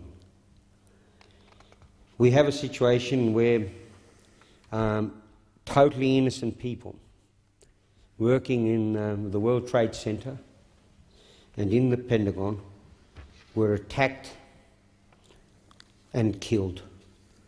Thousands of people given no chance whatever, and their whole, not only they killed, but all of the, their relatives and friends who have to bear the suffering of the consequences of what has happened.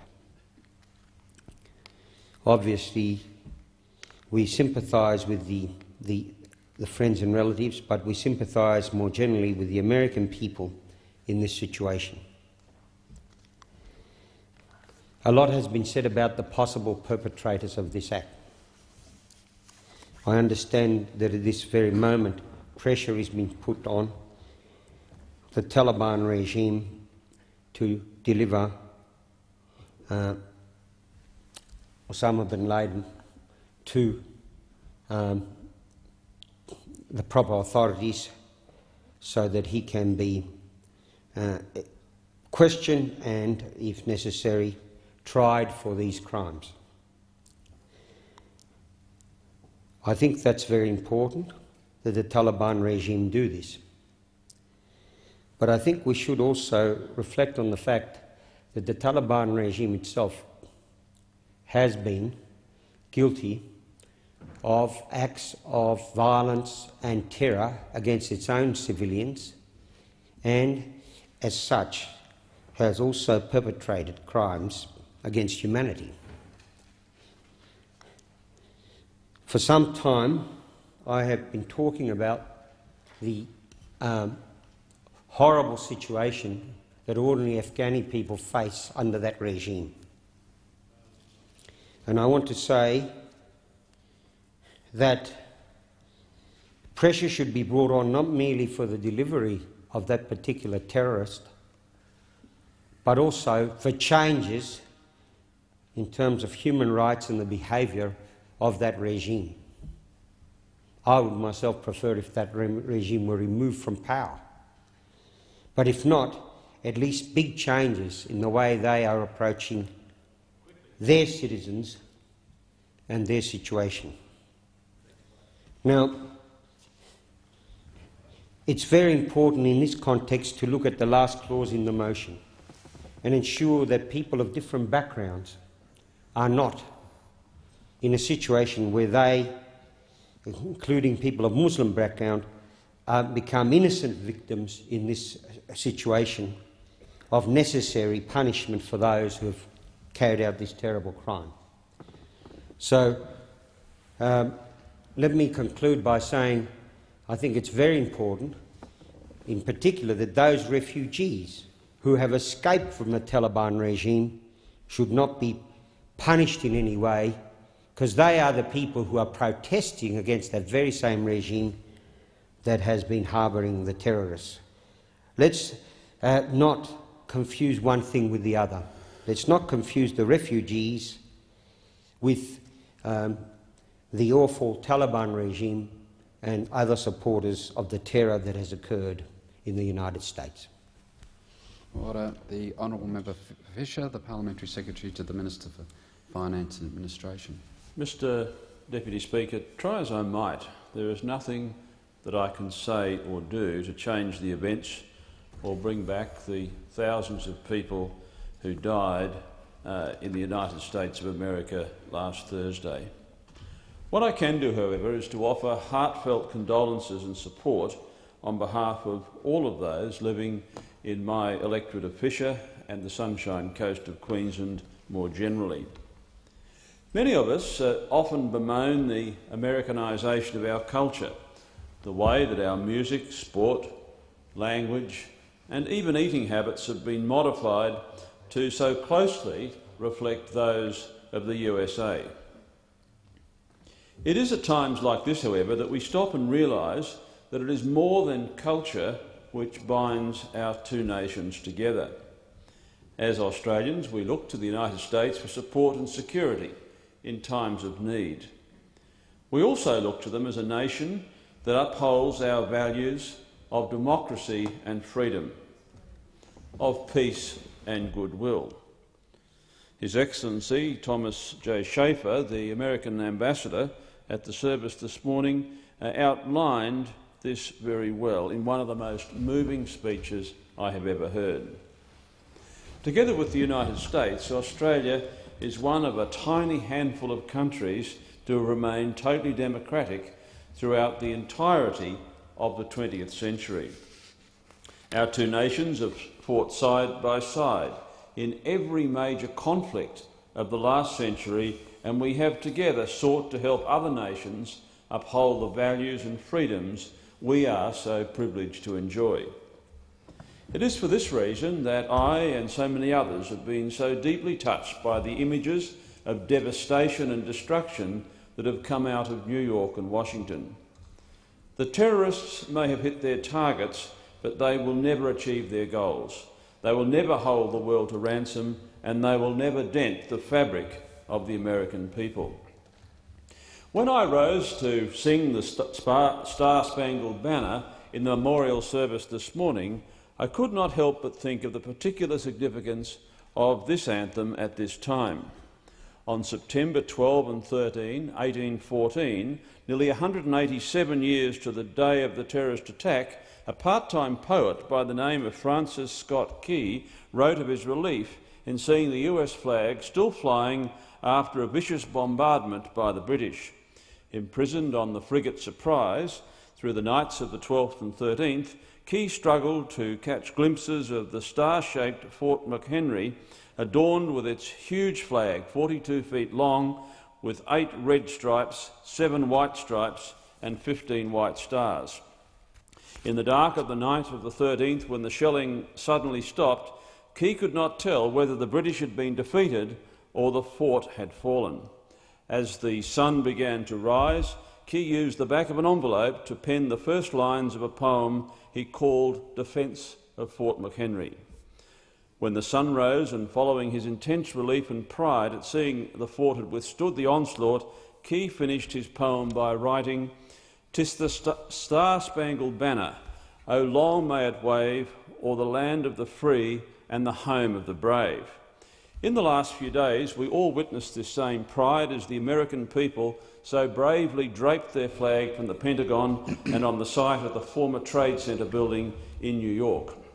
These touching images speak volumes about the strength of the American people and their determination to ensure good triumphs over bad.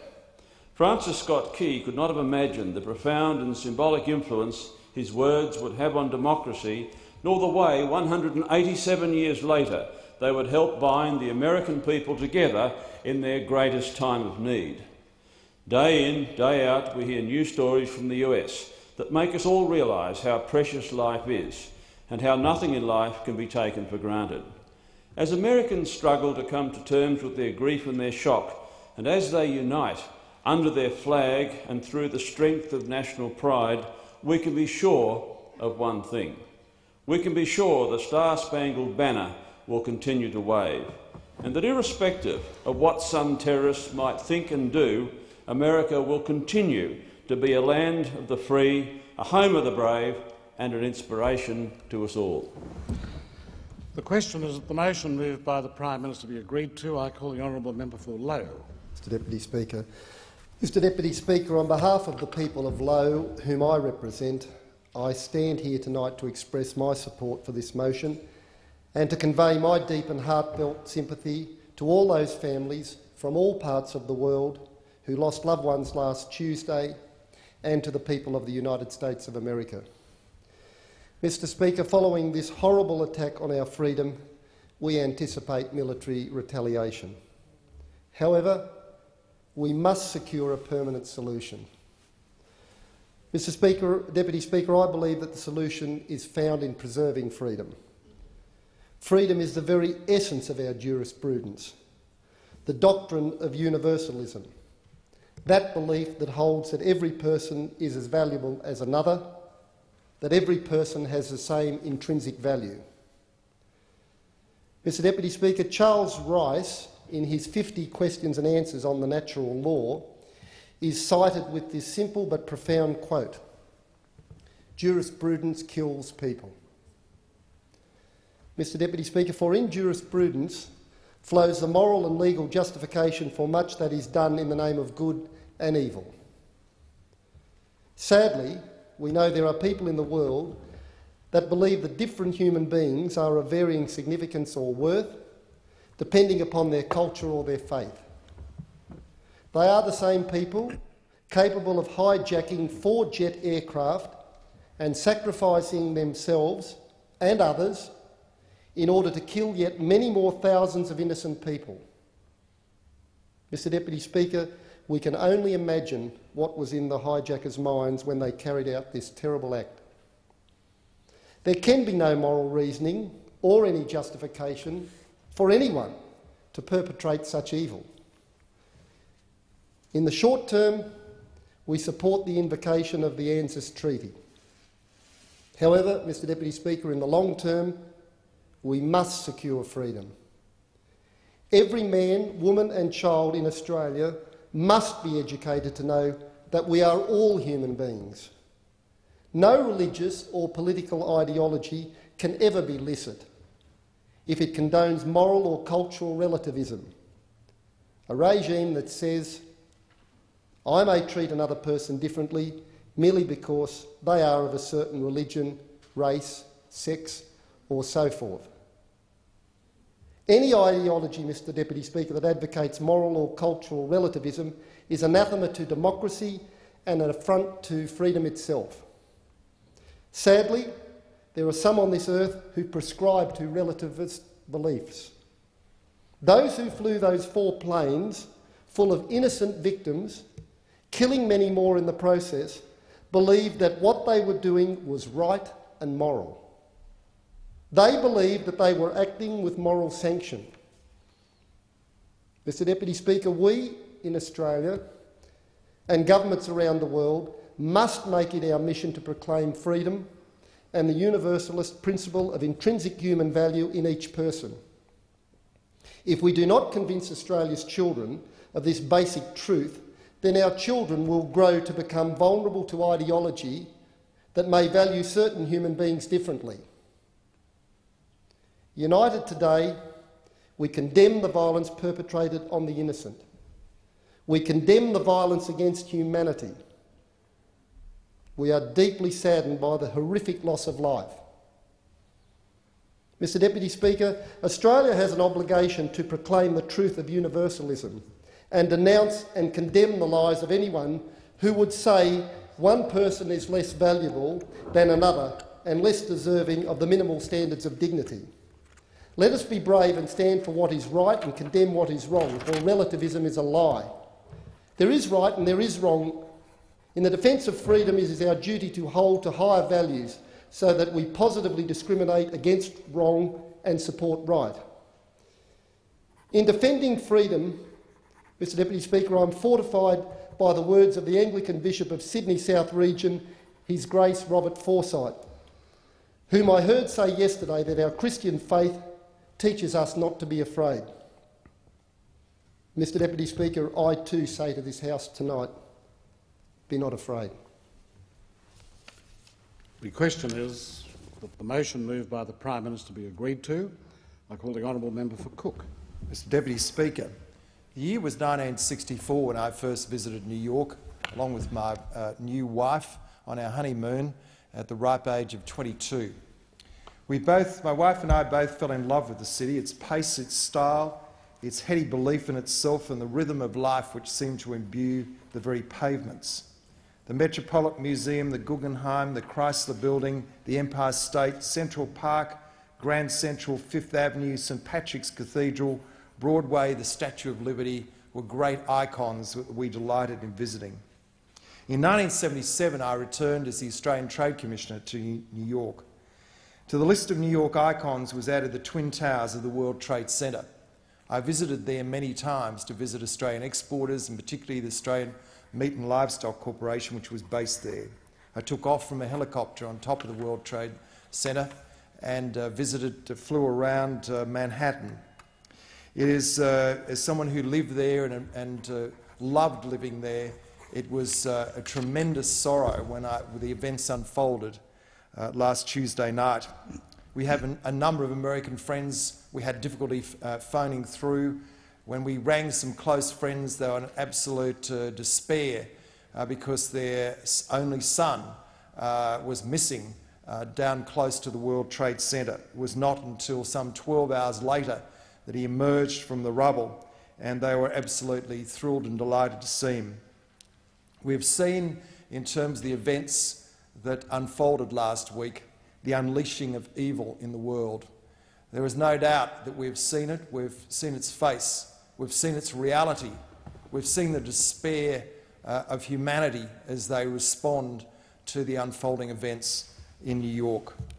Our sympathies go out to the people of the USA and particularly those who live in New York, the bright uh, and dynamic people who inhabit uh, Manhattan, who make much of the world's uh, economic cycle go round and we condemn terrorism in all its forms that occurred at this time to produce such a loss of humanity such as we have never seen in our lifetime before outside of the world wars.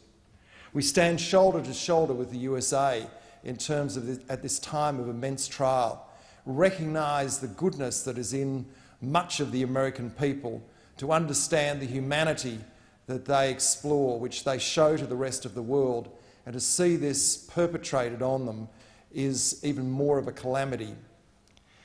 And in, in terms of our debt to the American people and uh, their traditions uh, and their values, we think particularly uh, of, the, of the Battle of the Coral Sea War. As somebody who was born uh, during the war years, that I remember my parents talking of the, the debt, the great debt that we owed to the American people, and people of my generation understand that. We share similar values, we share a sense of vision, and we also share a sense of faith. And it is this sense of faith that draws us together, that gives us hope in, this very, in these very dark hours. I noticed a common theme in terms of with the National Prayer Breakfast being held here, and as people this very day. And as people reflected on the events of the last week, that they talked about the light that was shining in terms of the darkness, and in terms of those who have faith can turn to this light. And at the same time, that we look in terms of, uh, with sympathy to the Muslim community in terms of uh, the very prejudice that's been enacted towards them. And we also recognise that this is a result of absolute fanatics. And I think at the same time, it gives us some recognition as to why so many people have escaped from Afghanistan, why we've seen them launch themselves in boats, and why they want to es escape the Taliban in all its uh, unseemly, horrific nature. And so that uh, in terms of, in my electorate, which is basically an Anglo-Celtic one, uh, that there is enormous shock at what has happened. But at the same time, we need to reach out to those who are subject to the prejudice and say that you and I together are Australians and we will, we will move forward together. But it's appropriate that we recognise our great indebtedness to the United States to remind them that we stand shoulder to shoulder with them. We extend our sympathies in this horrific disaster that we all watch unfold and uh, extend uh, for the future that great hope will come from this uh, uh amazing disaster. The question is that the motion moved by the Prime Minister be agreed to. I call the honourable member for Perth. Thank you, Mr Deputy Speaker. I rise to support the motion and associate myself unreservedly with the remarks of the Leader of the Opposition and the Prime Minister. The human tragedy that we have witnessed over the last week has touched the hearts of many Australians. Whether we watched these terrorist attacks unfold on television late on Tuesday night, as I did, or saw the consequences of them over the course of the last few days, Australians are struggling to come to terms with what many perceive as a new world, a world in which terrorism can strike no matter who you are or where you live. While this was unquestionably an attack aimed at the United States, it was also an attack on all citizens of the world. While citizens of the United States will rank first in the final casualty list, people from around the world have died or are missing, many Australians among them, the most Australians, casualties in fact, from a single event outside of war. These people were attacked regardless of their nationality, their colour, their creed or religion. These people were singled out for no good reason other than that they were in the wrong buildings or on the wrong plane at the wrong time. This was not just an attack on the United States in peacetime, it was an indiscriminate attack on fundamental human decency. As a result, the perpetrators of these crimes should not be punished because of where they come from or the religion, if any, they believe in. Nor should we punish others simply because they live where they live or whom they worship. To do that would be to repeat the crime against humanity these terrorists have already committed. Rather, these people should be punished because they have committed these crimes against humanity. Australians want no part in a world that values human life in this way and repudiate these crimes absolutely. But we also know that we have to deal with the consequences that flow from these tragic events. Many Australians are now deeply worried about what will come next. While I'm sure that we all support and understand the right and need of the United States to respond to these unprovoked attacks, many of us are also concerned about what that response will mean for the future. We are concerned that other innocent people, no matter where they live, may intentionally or unintentionally become victims of a maelstrom soon to be unleashed. Conflict is never something to be sought. Regrettably, justice dictates that it cannot always be avoided. The decision to invoke Articles 4 and 5 of the ANZUS Treaty is the only res appropriate response in this time of crisis. It reinforces the awesome and sombre responsibilities that must be faced by governments and parliaments at these times. It also reminds us how Australians across the generations have been prepared to secure what is fair and what is right, not just for Australian for Australians, but in defence of the values we hold dear. Australians, whether at home or abroad, know that this is a conflict that will not be contained to traditional fields of battle. The perpetrators who committed these acts of terrorism clearly are not concerned that innocent people, whether they be Australians or people living in their own communities, may become the victims of their crimes. But despite the great weight of responsibility and inevitable sense of unease that I believe we all have in considering our response to this tragedy, this is the time for us all to say enough is enough. If there is such a thing as a just conflict, then the proportionate and targeted response currently being planned by, by the United States is surely that. In that context, Mr Deputy Speaker, I'd like to recommend to all Australians the remarks of Ambassador Schieffer in the Great Hall Parliament House today, and I'd like to read into the record some of those uh, remarks. Ambassador Schieffer said this Yesterday, as so many others did, I sought the comfort of a higher being. I'm a Presbyterian by faith, but I felt as the American ambassador it was important to remember that God is worshipped in many places and ways. I attended a Catholic Mass, an Anglican service, and visited a Jewish study centre. At the end of the day, I visited with the Imam of the Canberra Mosque. In each place, I felt the presence of God. In each place, I looked into the faces of men and women who shared our pain, shared our horror, shared our disgust at the monstrous act that had been committed. It is important for all of us to remember that just as Hitler was no Christian, those who have committed these acts were not men and women of faith. No Christian, no Jew, no Muslim would have done such a thing. The common thread that runs through these three great faiths is that love must conquer hate, good must defeat evil. Ambassador Schieffer then wanted to say, Americans are not a vengeful people. Our nation is founded on the principles of liberty and justice.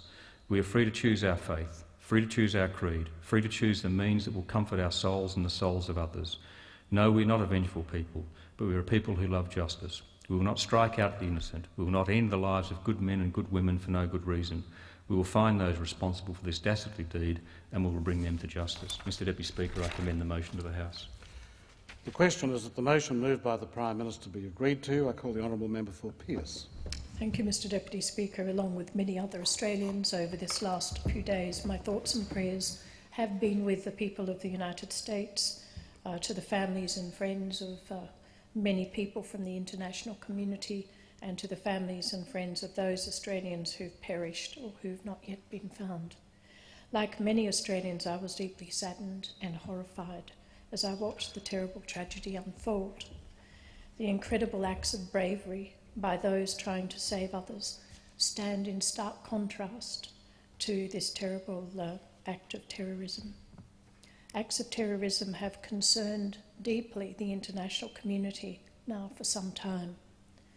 Many countries, including some of those that embrace Islam, whose citizens have felt the effects of terrorism, have vowed to do everything possible to stop these premeditated acts of barbarity. So I suppose in the midst of uh, this terrible act and the tragedy that it brings upon so many, it's a time for all nations to renew their commitment to preventing terrorism, and it's a time to reflect on the conditions that give rise to but never excuse such extreme acts. It's a time to commit to putting an end to poverty and prejudice in all its forms that gives rise to hatred and bitterness that so divides many countries of the world and many people of the world. And it's time to commit to doing everything possible to, pre- to prevent such an act from ever occurring again. As a representative of the people of the electorate of Pearce in Western Australia, I express our deepest sympathy to all those affected by this terrible event and in particular to Ambassador Schieffer and to the people of the United States of America, and to those who continue to search for people who've perished and who search in hope for those who may have survived. Our thoughts and prayers are with you. The question is that the motion moved by the Prime Minister be agreed to. I call the honourable member for Fowler. Mr Deputy Speaker, I join with other members of this House in extending my deepest sympathy to those who have lost family and friends in the tragic acts of terrorism in the United States. Shortly before midnight Sydney time last Tuesday, I was awoken by my son calling me to come and see the news pictures from the United States. Like the millions of others who watched that night or saw the replays the next day, my reaction was disbelief. Nearly a week later, the shock of this atrocity is still sinking in. What it means for the world and for Australia is still hard to say for certain. As we go about our daily tasks, we can't help thinking of those thousands of innocent people in the World Trade Centre going about their daily tasks when suddenly their lives were cruelly ended. Our certainty and confidence has been shattered. We no longer feel safe in our own homes and workplaces. We are targets of an enemy without morals or feelings, an enemy who does not wear a uniform but hides among us, an enemy whose numbers are small but whose effect is widespread. While Australia has thankfully been spared all but a few major acts of terrorism, the events in New York and Washington have shown us how vulnerable we are. If New York and indeed the Pentagon can be attacked, how open are we to attack? The world now awaits the wrath of the mightiest military machine ever assembled. We may identify and deal with those behind the attacks, but will that mean the end of terrorism? I think not. How can we deal with it in the long term? What kind of people what mother's sons can carry out such an attack? We can point the finger at an individual as the one responsible, but does that answer the question of what drives an individual with no regard for human life, least of all their own? Someone said to me the other day, Mr Deputy Speaker, we should introduce the death penalty for suicide bombers. That's about the level of understanding of what we know about terrorism. Anyone who has visited a refugee camp in the Middle East, as I and other members of this House have, anyone who has felt the despair of people living in the same camps where their grandparents were born would know that it's not hard to recruit people willing to die for a cause. If you think that one evil individual is behind all acts of terrorism, then you've been reading too many Superman comics. When you ask the question, what makes a leader, terrorist or otherwise, the answer is followers. But what makes followers? What drives people to give their own lives? What leads them to destroy human life, including their own? It can't be money, it can only be hate. So, along with those who recruit, train and direct terrorists, we must also accuse those who incite hatred of being responsible for acts of terror. And those who incite hatred are not limited to one religion. In the past few days, Mr Deputy Speaker, I have been alarmed by reported incidents of terror against Muslims in Australia.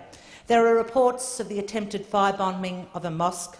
In my own electorate of Fowler, I have heard reports of Muslim women being spat upon and having scarves torn from their heads. Now, if you think that's trivial, can you imagine a Catholic nun, a Catholic nun having her scarf torn from her head?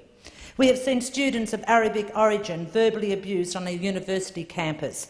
These are acts of hatred. They are acts of terror. They are minor by comparison with the events of New York and Washington, but they must also be condemned. Until we realise that terrorism breeds on hatred and bigotry, until we realise that these faults are not limited to one religion, will not be free from the threat of terrorism.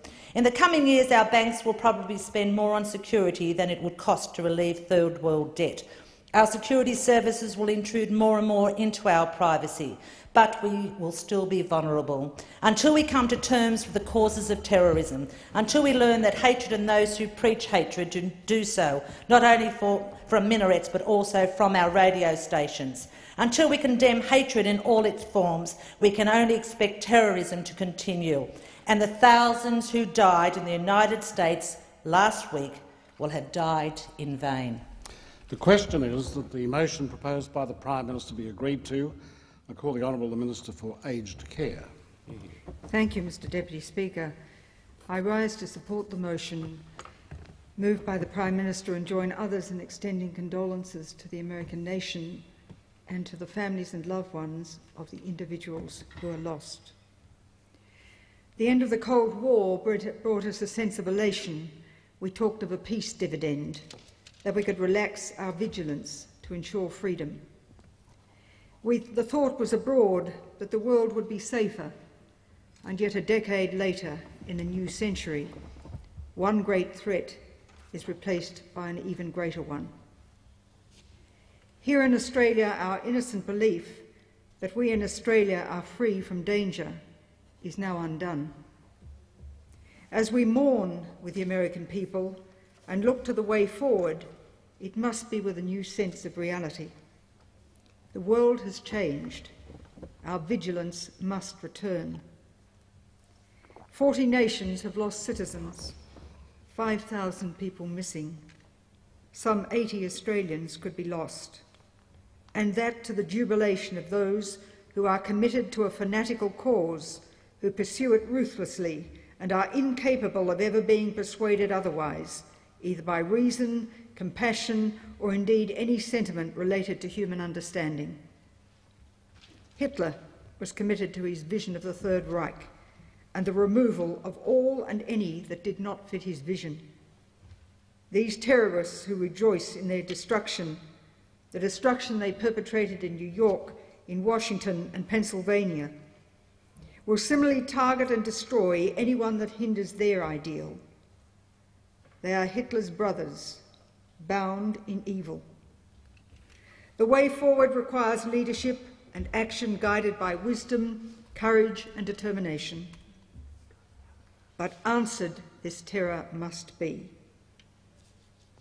By invoking Articles 4 and 5 of the ANZUS Treaty, Australia shows once again that we answer the call every time to fight for freedom. We will join with our allies, the United States of America, to combat those who wantonly kill to serve their fanatical purpose. Ours is a friendship, Australia and the United States, forged through adversity and joy. Adversity when the freedom of men and women is threatened, and joy when peace is attained. May President Bush have wisdom in his deliberations and strength in his leadership. The question is that the motion moved by the Prime Minister be agreed to. I call the honourable member for Oxley. Thank you, Mr Deputy Speaker. Mr Deputy Speaker, I rise to support the words of the Prime Minister and the Leader of the Opposition in the condolence motion put forward today. I first begin by offering the people of America my deepest sympathy and sorrow for the victims of the tragedy that took place on September 11, 2001. To the families, the friends, the children, members of the firefighting family, the police and the emergency service workers, and to all those ordinary people that went to help others, I want to express on behalf of the electorate of Oxley uh, condolence for the terrible loss of life. The reach of pain from this terrible crime will be felt all over the world, and not less will it be felt here in Australia. There are still some 80 Australians that remain unaccounted for, presumed now dead. Many Australian families will be directly touched, and many will be indirectly touched by the loss of so many innocent lives. One life that I knew personally was that of Andrew Knox. While I have not seen Andrew for quite some years, uh, his memory is still with me, and the loss of his life is a great tragedy, great tragedy not only for, uh, for all of us, and it must be a great time of pain and suffering for his family. Uh, Mr Deputy Speaker, the world will never be the same again.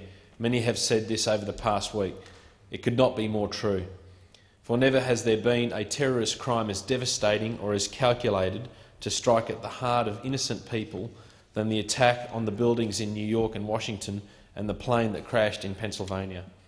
While these attacks were committed on the American people, these attacks were also committed on all the people of the world. The victims of this cowardly attack were of all colours, of all races, of creed, of all walks of life. They were young, they were old, they were Christian, they were Jewish, and they were Muslim. But most disturbing, they were all innocent of any crime and merely going about their normal lives. The, the pictures and images that we saw beamed to us live from the United States will live with us forever. And before our very eyes, we saw the brutality and the evil that is terrorism.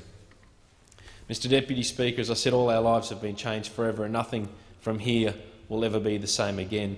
But from here, there is a great task ahead for the American people and for the Australian people. The perpetrators of this horrendous crime must be found and they must be punished and they must be brought to justice. The United States and the American President George Bush, Bush have reacted with incredible strength and with incredible courage. The people of America will not be deterred or damaged by this evil act, nor will the people of the world. I offer my support, my sympathy, my sorrow, and my prayers for all those that lost their lives.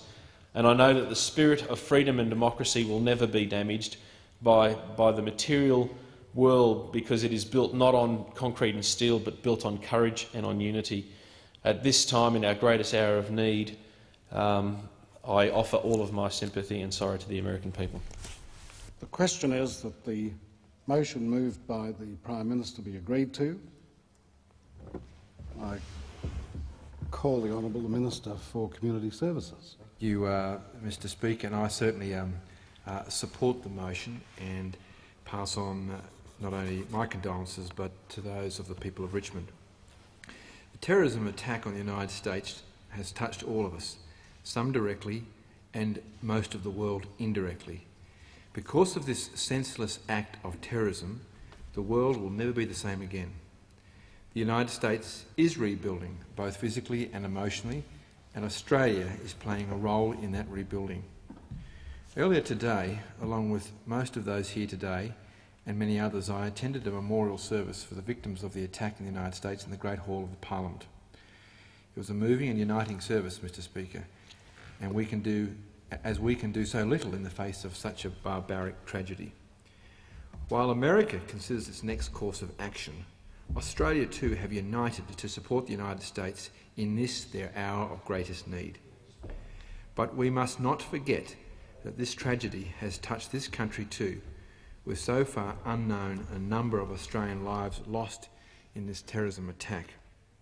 Even in my own electorate of Richmond, there are several cases of miraculous escapes from death from people who were quite literally in the wrong place at the wrong time. The brothers of a Bangalow resident, Bird Jensen, was in the World Trade Center when the first plane hit the building. Fortunately, he survived. A young man from Byron Bay, Michael Anglesey, witnessed the attack from a Manhattan apartment block he was staying in. And a member of my own staff spent a frantic Tuesday trying to find his father missing after the attacks in Manhattan. Again, fortunately, he was safe. Australia has already pledged its support to the United States in whatever shape that help is needed. Australia has always stood firmly behind its allies. It's their time of need, and this certainly is no exception.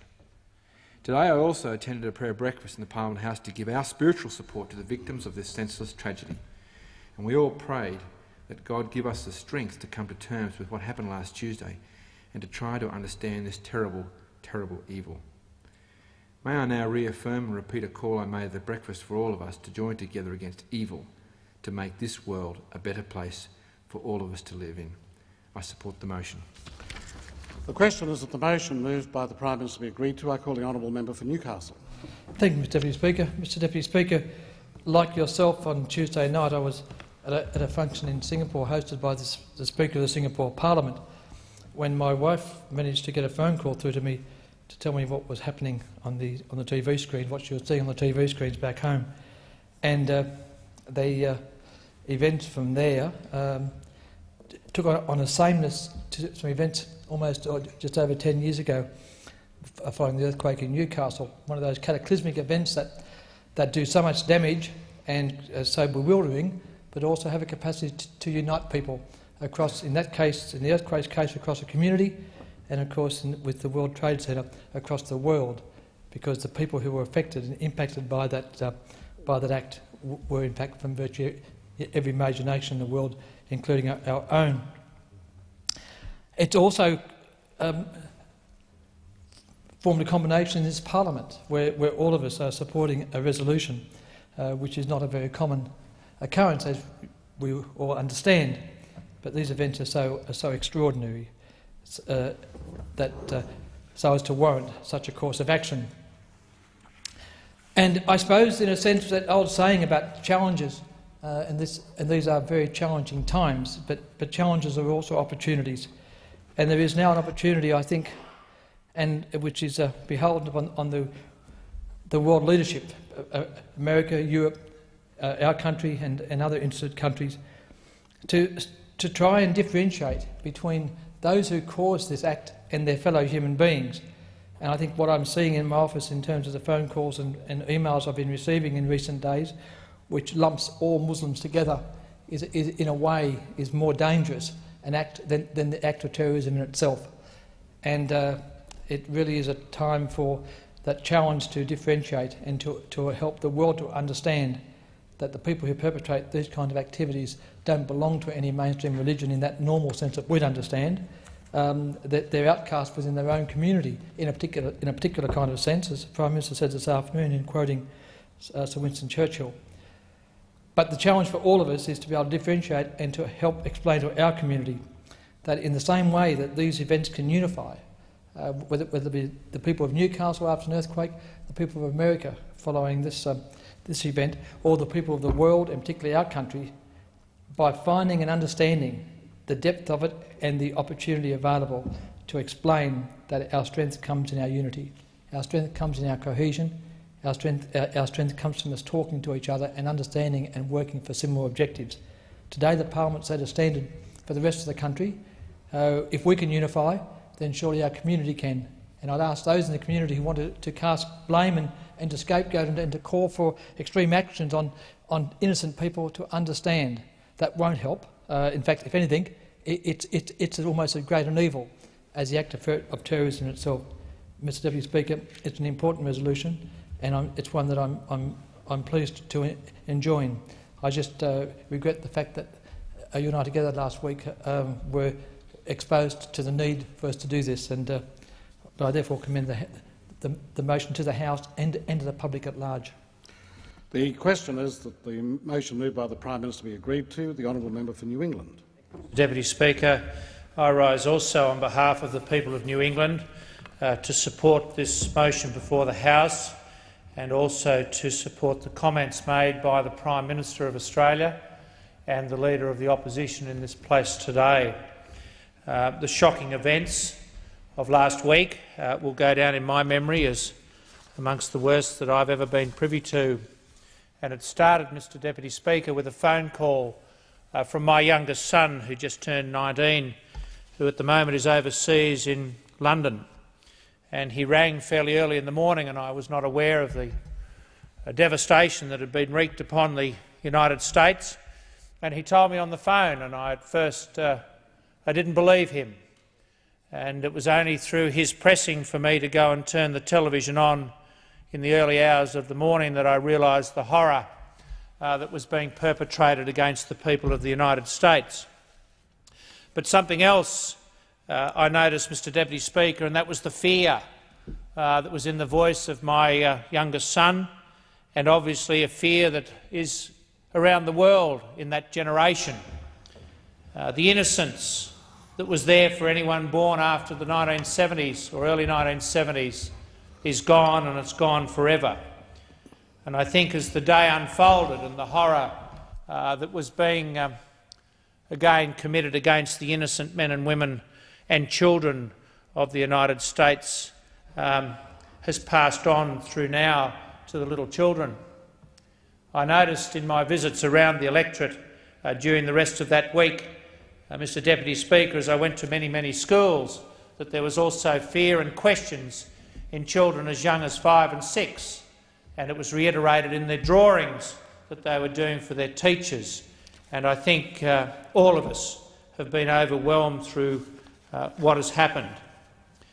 On Saturday night, I was listening to a, a guest speaker in Tenterfield who, uh, by chance, had spent a large amount of his time on behalf of the World Bank and many others uh, working uh, in Afghanistan and he hoped that the act of war would also be complemented with an act of development and also used the terms which I think describes it quite well of these terrorists without principle that they were mad dogs with insane minds.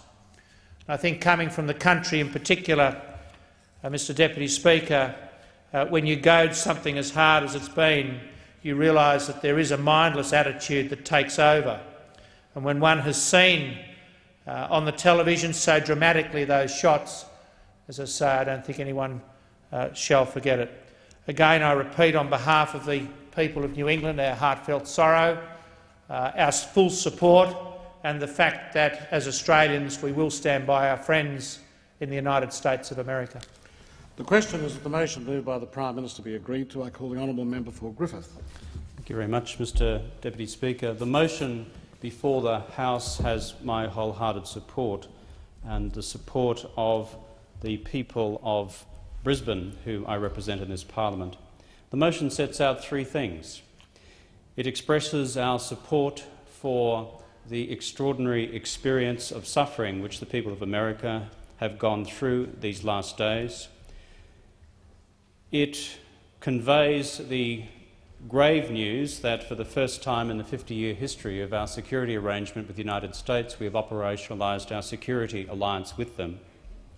And thirdly, Mr Deputy Speaker, it contains within it the complete expression of the will and the resolve of this parliament to act with the United States to meet the common danger. When we speak of America, Mr Deputy Speaker, we speak of a democracy, we speak of a vibrant economy, we speak of the world's last remaining superpower. America is proud of its tradition as the arsenal of democracy, to paraphrase Roosevelt's great speech of the war. We know of its economy, the generator of world economic growth, that which has kept much of this region afloat in the period since the Asian financial crisis hit. But when we think of the United States as a superpower, it is worth reflecting on the history of superpowers in the history of this planet. We had Pax Romana, we had Pax Britannica. We have had a range of powers in the history of humankind which have dominated this planet, But rarely have we had a power such as we've had with the United States, which exercised its supreme power so benignly, when it had copious opportunities to do the reverse. Had any other power been the United States in 1945, what would it have done? The opportunity for world domination available to the United States at that time was immense. Had it the political predisposition to do so, it did not. It did not because of its cherished democratic traditions. The United States faced a similar opportunity in 1991 with the collapse of the world's other remaining superpower, the Soviet Union. Yet once again, the United States did not seek world domination, though it possessed the power to do so. And if we reflect on the exercise of power, both political and military, in the history of humankind, it is almost unique. In fact, it is unique that a power which possesses such unsurpassed military predominance chooses not to use it and instead chooses to extend benefit to the rest of humanity. The motion expresses our feelings of solidarity with the American people at this time, our feelings of common humanity as we have seen firsthand through our television screens the extraordinary, car extraordinary carnage in both Washington and in New York. That sight of carnage has touched deeply people across the entire civilised world. People in Brisbane have been on the telephone to me as their local member of parliament asking how could anyone do this to another human being. I had this, uh, this afternoon a, an email message from a Mr Joe McLeod of Carindale in my electorate of Brisbane expressing thanks that simply I, on behalf of the community in that part of Brisbane, had proposed sending an open letter of support to the people of America at this time of their profound national need and crisis. Expressing our common humanity with our American friends at this time is important. It is important, I believe, in terms of the execution of the process of grieving. The second thing which the motion before the House does is to operationalise the relevant clauses of the ANZUS alliance. This, as I noted before, Mr Deputy Speaker, is unique in the history of our security relationship with the United States. Despite the range of crises we have met together in the period since 1951, the clauses, the operational clauses of this alliance have never been put to effect. It is of enormous import that the Parliament so resolves to put them into effect and support the action of the Executive Government of Australia in so doing. The third and final thing which this motion does, Mr Deputy Speaker, is it commits through this Parliament our resources, those of the Commonwealth of Australia, to meet the common danger with the United States that we now confront, and that danger is global terrorism. The actions we saw on September 11 mark a turning point in human history, they a, mark a turning point in the history of international relations. They a, mark a turning point in terms of how one nation deals with another. We have not just turned a page, we have closed one chapter and we've begun, we have begun a new chapter. What that chapter contains has not been written. But we must reflect as we embark upon that chapter Order. a simple proposition. If good men are silent, then evil will prevail. Has expired. The question is that the motion moved by the Prime Minister be agreed to. I call the honourable member for Boothby. Um, thank you, Mr Deputy Speaker. It is hard to add something new after all the millions of words that have been written um, on this uh, terrorist act and um, all the excellent speeches that have already been made on this motion. I fully endorse this motion. Um, what I want to speak about um, is uh, what this motion means to me in terms of uh, what it means for the United States, um, what the action means and uh, what it means for ANZUS. During the voyages of the uh, Puritans the, who first settled America, the first great American, John Winthrop, in a shipboard sermon described their task. He said, We must consider that we shall be as a city upon a hill. The eyes of all people are upon us. It was a far reaching statement. Over four centuries, this has remained America's mission. It runs deep in their culture and underpins American leadership. It is why they were targeted. It is why we should stand with them. I believe, given a goal, America will not fail. We will never forget September the 11th, 2001. In the future, we may see the last 12 years as a golden summer when we came out of the shadow of the Cold War and when we were before the bombing of the World Trade Center and the Pentagon. There is no event in my life which comes close to this evil, indiscriminate act. Um, events of my parents' generation uh, the bombings of, of Dresden and Hiroshima, they were different. They occurred during war. They were not televised live. The United States has long recognised the challenge they face from the asymmetric warfare terrorists wage. But who would have believed that the instruments of commerce, commercial airlines and skyscrapers could be turned into a weapon of mass destruction against New York and Washington? Last week's attack was not an attack on only Washington and New York. It was an attack on citizens of the world. It was an, an, an attack on our way of life. The terrorist network, which subscribes to a hateful interpretation of the Quran, should be, as has been said this week, smoked out and ripped up. This will not be like the Gulf War. It will be a sophisticated, unconventional response that will be required. It will require patience and determination. America is a familiar society to Australians. Children can recognise uh, fire hydrants, New York police. Um, we know about New York's finest. We know about New York's bravest. American values are similar to Australian values. We're a New World country with strong, unbroken democratic traditions. In December 1941, Britain, Australia and the US were hit by a common enemy. At that time, United, we looked to the United States. They came to our aid. Um, in America's hour of need, we must help them to the best of our abilities. The honourable member for Greenway. Mr Speaker, I rise on this occasion to also offer my condolence and the condolence of the electors of Greenway to the families of the victims and to the uh, people of the United States of America. The tragic events of September the 11th will never be forgotten by anybody who believes in freedom and tolerance. These events have touched us all. On Tuesday and Wednesday last week, I had the privilege of presenting a number of certificates to local volunteers for their work in the community. On Wednesday, a number of these volunteers were Red Cross workers from Western Sydney. We learned that on that day that one of their Red Cross colleagues was aboard one of the hijacked planes. I believe that the events of September the 11th will be a defining moment in the history of our world. How we respond to this tragedy will mark the direction of our society for decades, maybe even centuries. Will we spiral into barbarism and war with attacks and retaliation, or will we as a society rise above that endless violence and vicious circle? George Bush has said that this is the first war of the new millennium. Do we then fight it the same old way as we did last century, or do we find a new path? That is the dilemma that we face today.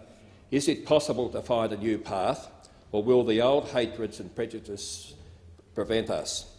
Certainly those responsible must be brought to book, must be held accountable and they must be punished, but we cannot allow the response to be indiscriminate.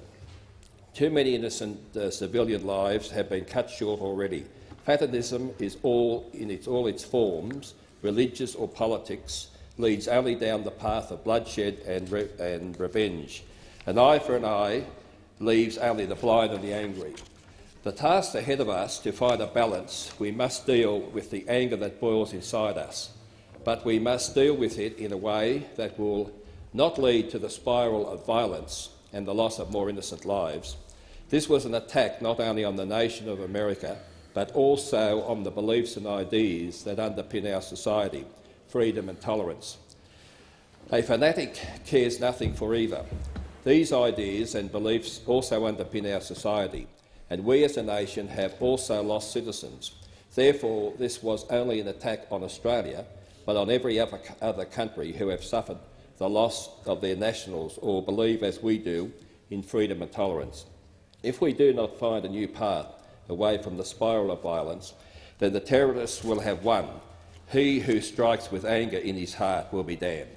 Robert Kennedy, in a speech to the University of Cape Town in South Africa in 1966, said, Each time a man stands up for an ideal or acts to improve the lot of others or strikes out against injustices, he sends forth a tiny ripple of hope and crossing each other from a million different centres of energy and daring, these ripples build a current that can sweep down the, the mightiest walls of oppression and resistance. Mr Deputy Speaker, I commend the motion to the House. The honourable member for Cowper. Thank you, Mr Deputy Speaker.